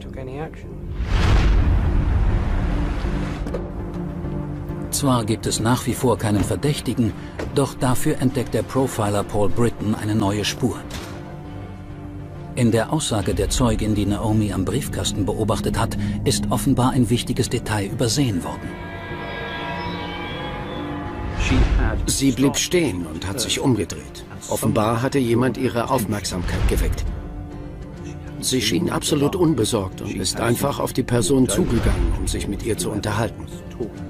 Das ist eine ganz entscheidende Beobachtung, die erklären könnte, wie Naomi auf den Spielplatz kam. Sie wäre ganz sicher nicht mit einem Fremden dorthin gegangen. Den Park hätte sie nachts nur in Begleitung einer bekannten Person betreten. Sie war clever genug, um auf sich selbst aufzupassen. Aber leider komplett unerfahren in Bezug auf Männer. Insbesondere in einer Situation, die völlig eskaliert. Auf der Suche nach weiteren Hinweisen befragt Dr. Britton nochmals die Freundin des Opfers. Das Mädchen war völlig traumatisiert. Ihr war die beste Freundin auf grausame Weise genommen worden. Trotz ihres Schocks ist es Emma, die Dr. Britton den entscheidenden Hinweis liefern kann. Es stellte sich heraus, dass Naomi ein weitaus aufregenderes Leben geführt hatte, als es ihrem Umfeld bewusst war. Und ihre Erfahrungen mit Jungs gingen sehr viel weiter, als man es ihr zugetraut hätte. Wen Naomi im Park getroffen hat, bleibt weiterhin rätselhaft. Doch warum Emma auf der Suche nach ihrer Freundin dorthin ging, ist nun klar. Wir haben uns immer gefragt, aus welchem Grund Emma mitging, um nach Naomi zu suchen. Offenbar hat sie gedacht, dass sich Naomi dort mit einem Jungen trifft. Sie wollte ihre Freundin warnen, damit sie nicht erwischt wird. Mit dieser neuen Erkenntnis über das grauenvolle Ereignis im Hinterkopf erstellt Britton ein Profil des Mörders. Naomi wurde angegriffen und starb dann sehr schnell. Demnach ist er kein Sadist.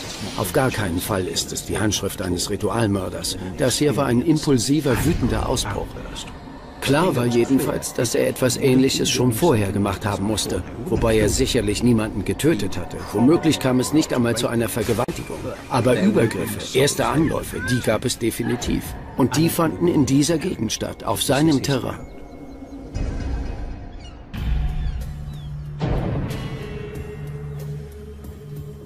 Anhand dieses Profils erstellt die Polizei eine neue Liste von Verdächtigen. Meiner Ansicht nach suchten wir nach einem älteren Teenager oder einem Mann Anfang 20, keinesfalls älter, der in unmittelbarer Nähe lebte. Meine Schätzung damals war, keine 400 Meter vom Tatort entfernt. Einzig auf diese Altersvermutung und auf die Nähe zum Tatort gestützt, läuten die Ermittler eine neue Vernehmungsrunde ein. Wir haben uns alle Personen vorgenommen, die im fraglichen Alter und in der Mordnacht in Ansley Common waren. Anhand dieser Namensliste haben wir weitere Nachforschungen angestellt. Wir verglichen ihre Namen mit unseren eigenen Ermittlungsakten und den Unterlagen anderer Behörden, die vielleicht etwas über sie hatten. Da gerät einer ins Visier, der zum Beispiel 800 Meter weit vom Tatort entfernt lebt. Also kommt er weiter unten auf die Liste als einer, der in nur 400 Metern Entfernung wohnt und so weiter. Anhand dieser Parameter entsteht eine Pyramide. Man beginnt an der Spitze und arbeitet sich dann systematisch durch.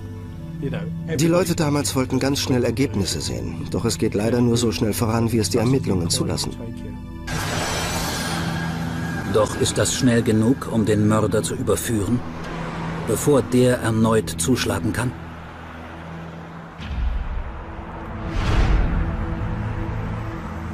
Fast zwei Monate sind seit dem Mord schon vergangen. Doch allmählich zieht sich das Netz um den Täter zu. Wir haben gewissermaßen eine Favoritenliste aufgestellt, von der wir die Verdächtigen nach und nach streichen konnten. Unterdessen kommt aus dem Labor eine Erfolgsmeldung. Die Wissenschaftler haben in den Proben aus der Bisswunde zwei genetische Fingerabdrücke entdeckt. Das war wirklich ein bedeutender Durchbruch, denn wir dürfen nicht vergessen, das waren ja noch die Anfänge der DNA-Analyse. Wir hatten ein sogenanntes gemischtes Profil gefunden. Darin waren sowohl Naomis Profil enthalten, als auch das Profil einer zweiten Person. Eine faszinierende Entdeckung. Eine Spur von etwas, das nur die DNA des Mörders sein kann. Bayliss musste eine Entscheidung treffen. Wie sollte es nun weitergehen? Er entschloss sich dazu, DNA-Untersuchungen durchzuführen, um nach und nach den Kreis der Verdächtigen weiter einzuengen. In einer beispiellosen Aktion ruft die Polizei zu einem flächendeckenden Gentest auf. Die Polizei ließ über die Medien verkünden, dass sie einen DNA-Reihentest durchführen will und daher nach Freiwilligen sucht. Alle männlichen Einwohner zwischen 15 und 28 sollen getestet werden, ob sie nun verdächtig sind oder nicht. Sie erstellten eine Rangordnung aller Männer in einem Radius von etwa 800 Metern. Als die Ermittler damit beginnen, die Männer auf ihrer Liste zu testen, sticht ihnen ein Name sofort ins Auge.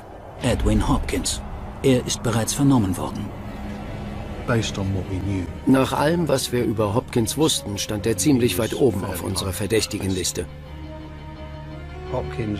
Hopkins war in jener Nacht unterwegs und kam zur fraglichen Zeit genau an der Stelle vorbei, an der Naomi sich aufhielt, kurz bevor sie verschwand.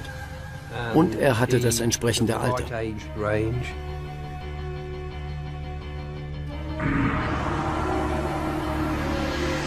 Hopkins passt zwar ins Profil, hat jedoch ein wasserdichtes Alibi durch seine Schwester. Um ihn als Verdächtigen ausschließen zu können, lassen die Ermittler seine DNA untersuchen. Diese DNA-Probe haben wir dann mit dem Ergebnis der Probe verglichen, die wir aus der Bisswunde isoliert hatten. Ungeduldig warten die Ermittler auf die Ergebnisse. Wird das neue Verfahren wirklich halten, was es verspricht? Ich komme da rein und Tony Bayliss sieht mich an und sagt, ach, sie muss ich unbedingt sprechen. Im Raum wird es mucksmäuschenstill. Alle unterbrechen die Arbeit und sehen uns an. Ich denke, Mist, da ist was schiefgelaufen. Und er sagt, die Probe von dieser Bisswunde. Ich sage ja. Ich zittere wie verrückt und bin total nervös. Und Tony steht auf und sagt, ich muss Ihnen da was mitteilen. Wir haben eine Übereinstimmung. Ich habe ihn wüst beschimpft vor all den Leuten, das vergesse ich nie. Das DNA-Profil passte exakt zu einer Person namens Edwin Hopkins. Was für eine Erleichterung. Nach mehr als zwei Monaten Ermittlungsarbeit scheint der Fall endlich gelöst. Wir wussten, dass wir den richtigen hatten. Und ich sagte, ich habe euch ja gesagt, dass wir den kriegen. Ich hab's euch gesagt. Es war ein tolles Gefühl.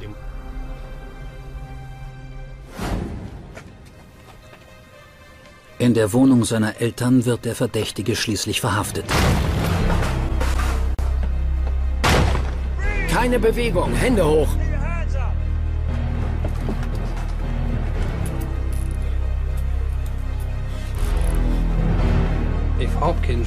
Falls Hopkins wirklich der Täter war, wovon man anhand der DNA-Probe ja ausgehen musste, dann hatte irgendwer in seiner Familie gelogen.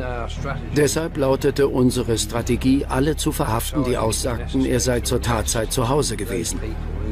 Denn die behinderten ganz offensichtlich die Justiz, indem sie ihm ein falsches Alibi gaben.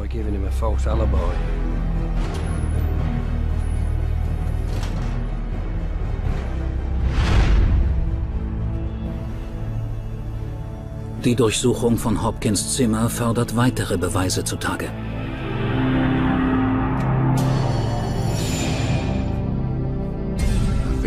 Alles in allem haben wir in seinem Elternhaus etwa zehn Messer sichergestellt. Die wurden alle zur forensischen Untersuchung eingeschickt, aber keins der Messer war die Waffe, mit der Naomi verletzt worden war. Ohne die Mordwaffe haben die Ermittler Zweifel, ob Hopkins allein aufgrund der DNA-Beweise verurteilt werden kann. Denn im Jahr 1995 ist der genetische Fingerabdruck ein noch weitgehend unerprobtes Werkzeug der Staatsanwaltschaft. Das waren ja noch die Anfänge der DNA-Analyse in forensischen Ermittlungen. Möglicherweise hält dieser Beweis vor Gericht nicht stand. Ich war mir nicht sicher, ob das für eine Verurteilung ausreicht. Die Ermittler brauchen handfeste Beweise. Und sie hoffen, dass ein letzter, entscheidender Test diese liefert. Wir machten einen Abdruck von Hopkins Gebiss. Wenn Hopkins Zähne nicht zur Bisswunde passen, droht den Ermittlern ein Scheitern auf ganzer Linie.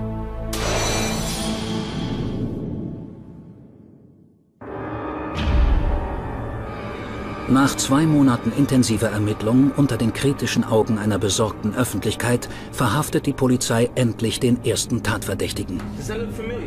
Den 19-jährigen Edwin Hoss. Ich kannte Hopkins nicht. Ich hatte den noch nie gesehen. Aber später fanden wir raus, dass Naomi ihn kannte.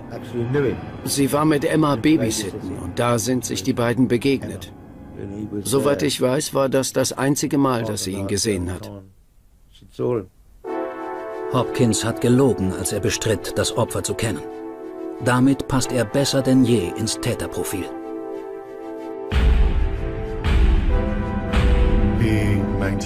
Er ist stur bei seiner ersten Aussage geblieben und konnte uns nicht mal ansatzweise erklären, wie seine DNA auf Naomis Körper gekommen war. Als Hopkins seine DNA-Probe abgab, wusste er natürlich, dass wir von ihm kein Sperma am Tatort gefunden hatten. Und wie so viele damals ging er davon aus, dass die DNA nur aus Spermaproben gewonnen wird. Ihm war überhaupt nicht klar, dass wir seine DNA aus der Bisswunde haben könnten. Während die Ermittler auf die Ergebnisse des Zahnabgleichs warten, durchleuchten sie Hopkins Vergangenheit. Es war notwendig, seinen Hintergrund äußerst präzise zu durchleuchten, um zusätzlich zum DNA-Nachweis vor Gericht genügend Beweise zu haben. Die Nachforschungen ergeben genau das, was Paul Britton vorhergesagt hat. Der Verdächtige hat bereits zwei Jahre zuvor eine Frau angegriffen. Er wurde angezeigt, weil er eine junge Frau attackierte, ganz in der Nähe des jetzigen Tatorts. Er versuchte, sie zu Boden zu reißen und sie auf genau dieselbe Weise zu vergewaltigen, wie er es bei Naomi getan hat. Doch Hopkins wurde wegen des Überfalls nie angeklagt. Demzufolge war der Täter nicht in unserer Datenbank. Nun glauben die Ermittler genau zu wissen, was in der Nacht des 7. September 1995 geschah. Naomi geht zum Briefkasten, um diesen Brief einzuwerfen. Etwa zur selben Zeit verlässt Hopkins das Haus seiner Schwester. Edwin Hopkins radelt zum Spirituosenladen. Seine Route verläuft so, dass er ziemlich genau um 21.45 Uhr auf Naomi trifft. Er sieht sie am Briefkasten stehen, merkt, dass er das Mädchen kennt und hält an.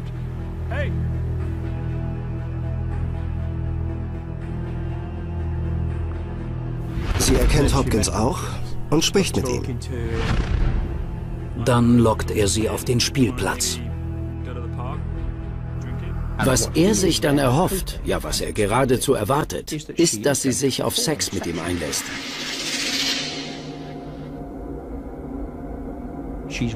Sie begleitet ihn bis zur Rutsche und dort kommen die beiden sich körperlich näher.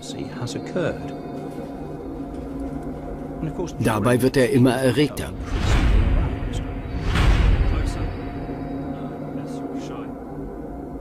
Von diesem Moment an ist er nur noch auf seine sexuelle Befriedigung fixiert.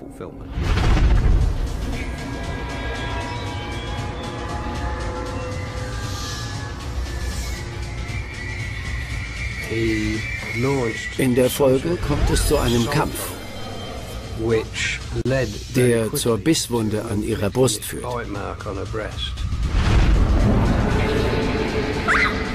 Und als das Mädchen sowas sagt wie, nein, nein, lass das, kocht die Wut in ihm hoch und er will sie bestrafen. Höchstwahrscheinlich wehrt sie sich und fängt an zu schreien.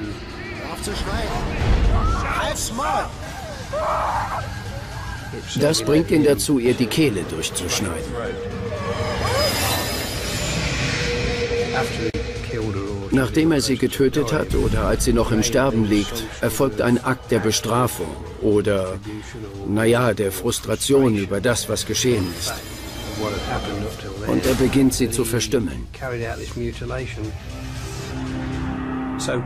Doch warum ausgerechnet er? Haben es mit einem Einzelgänger zu tun, der sich von seinen Mitmenschen abgekapselt hat.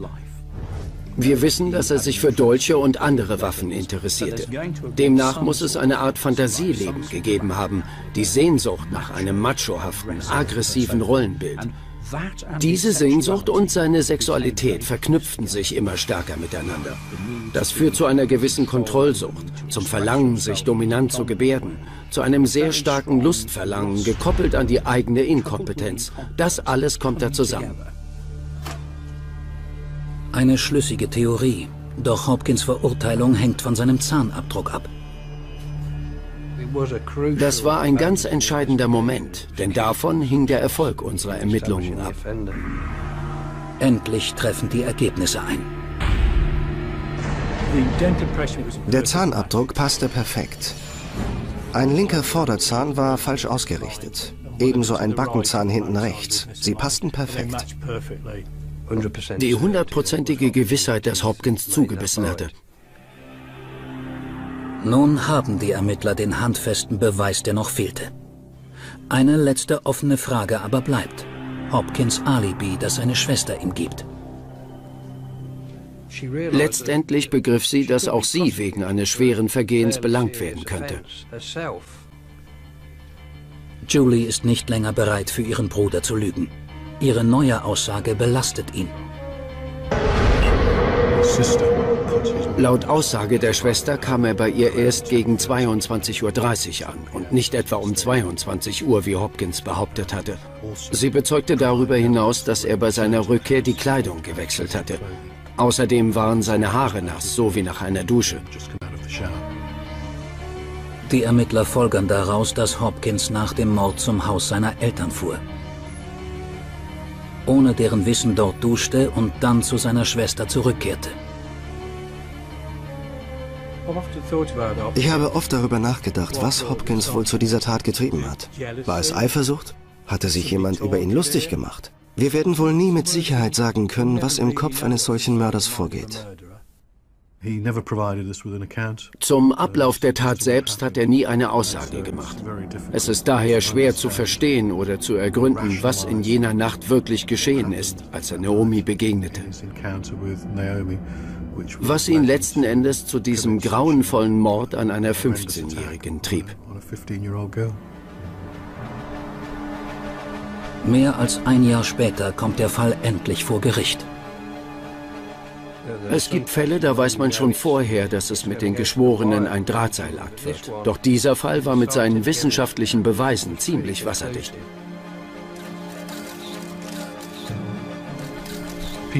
Die Menschen berufen sich gern auf, auf das Böse. Und wer gesehen hat, was Naomi durchmachen musste, dem fällt es schwer zu behaupten, dass Edwin Hopkins kein von Grund auf böser Mensch ist. Hopkins beteuert seine Unschuld. Doch am 30. Januar 1997 wird er zu einer lebenslangen Freiheitsstrafe verurteilt. Ein schönes Gefühl, wenn der Sprecher der Geschworenen schuldig sagt.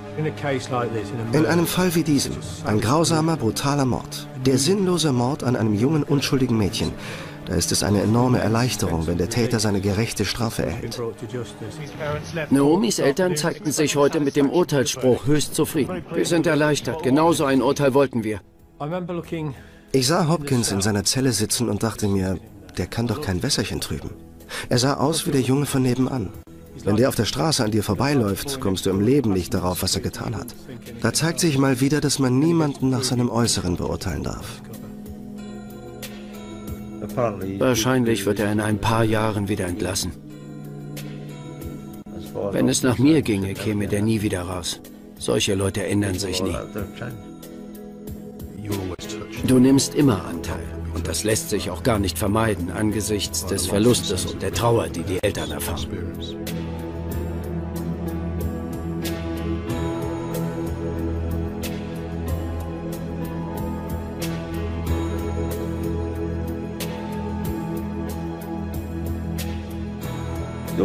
In meinen Gedanken ist sie immer bei mir.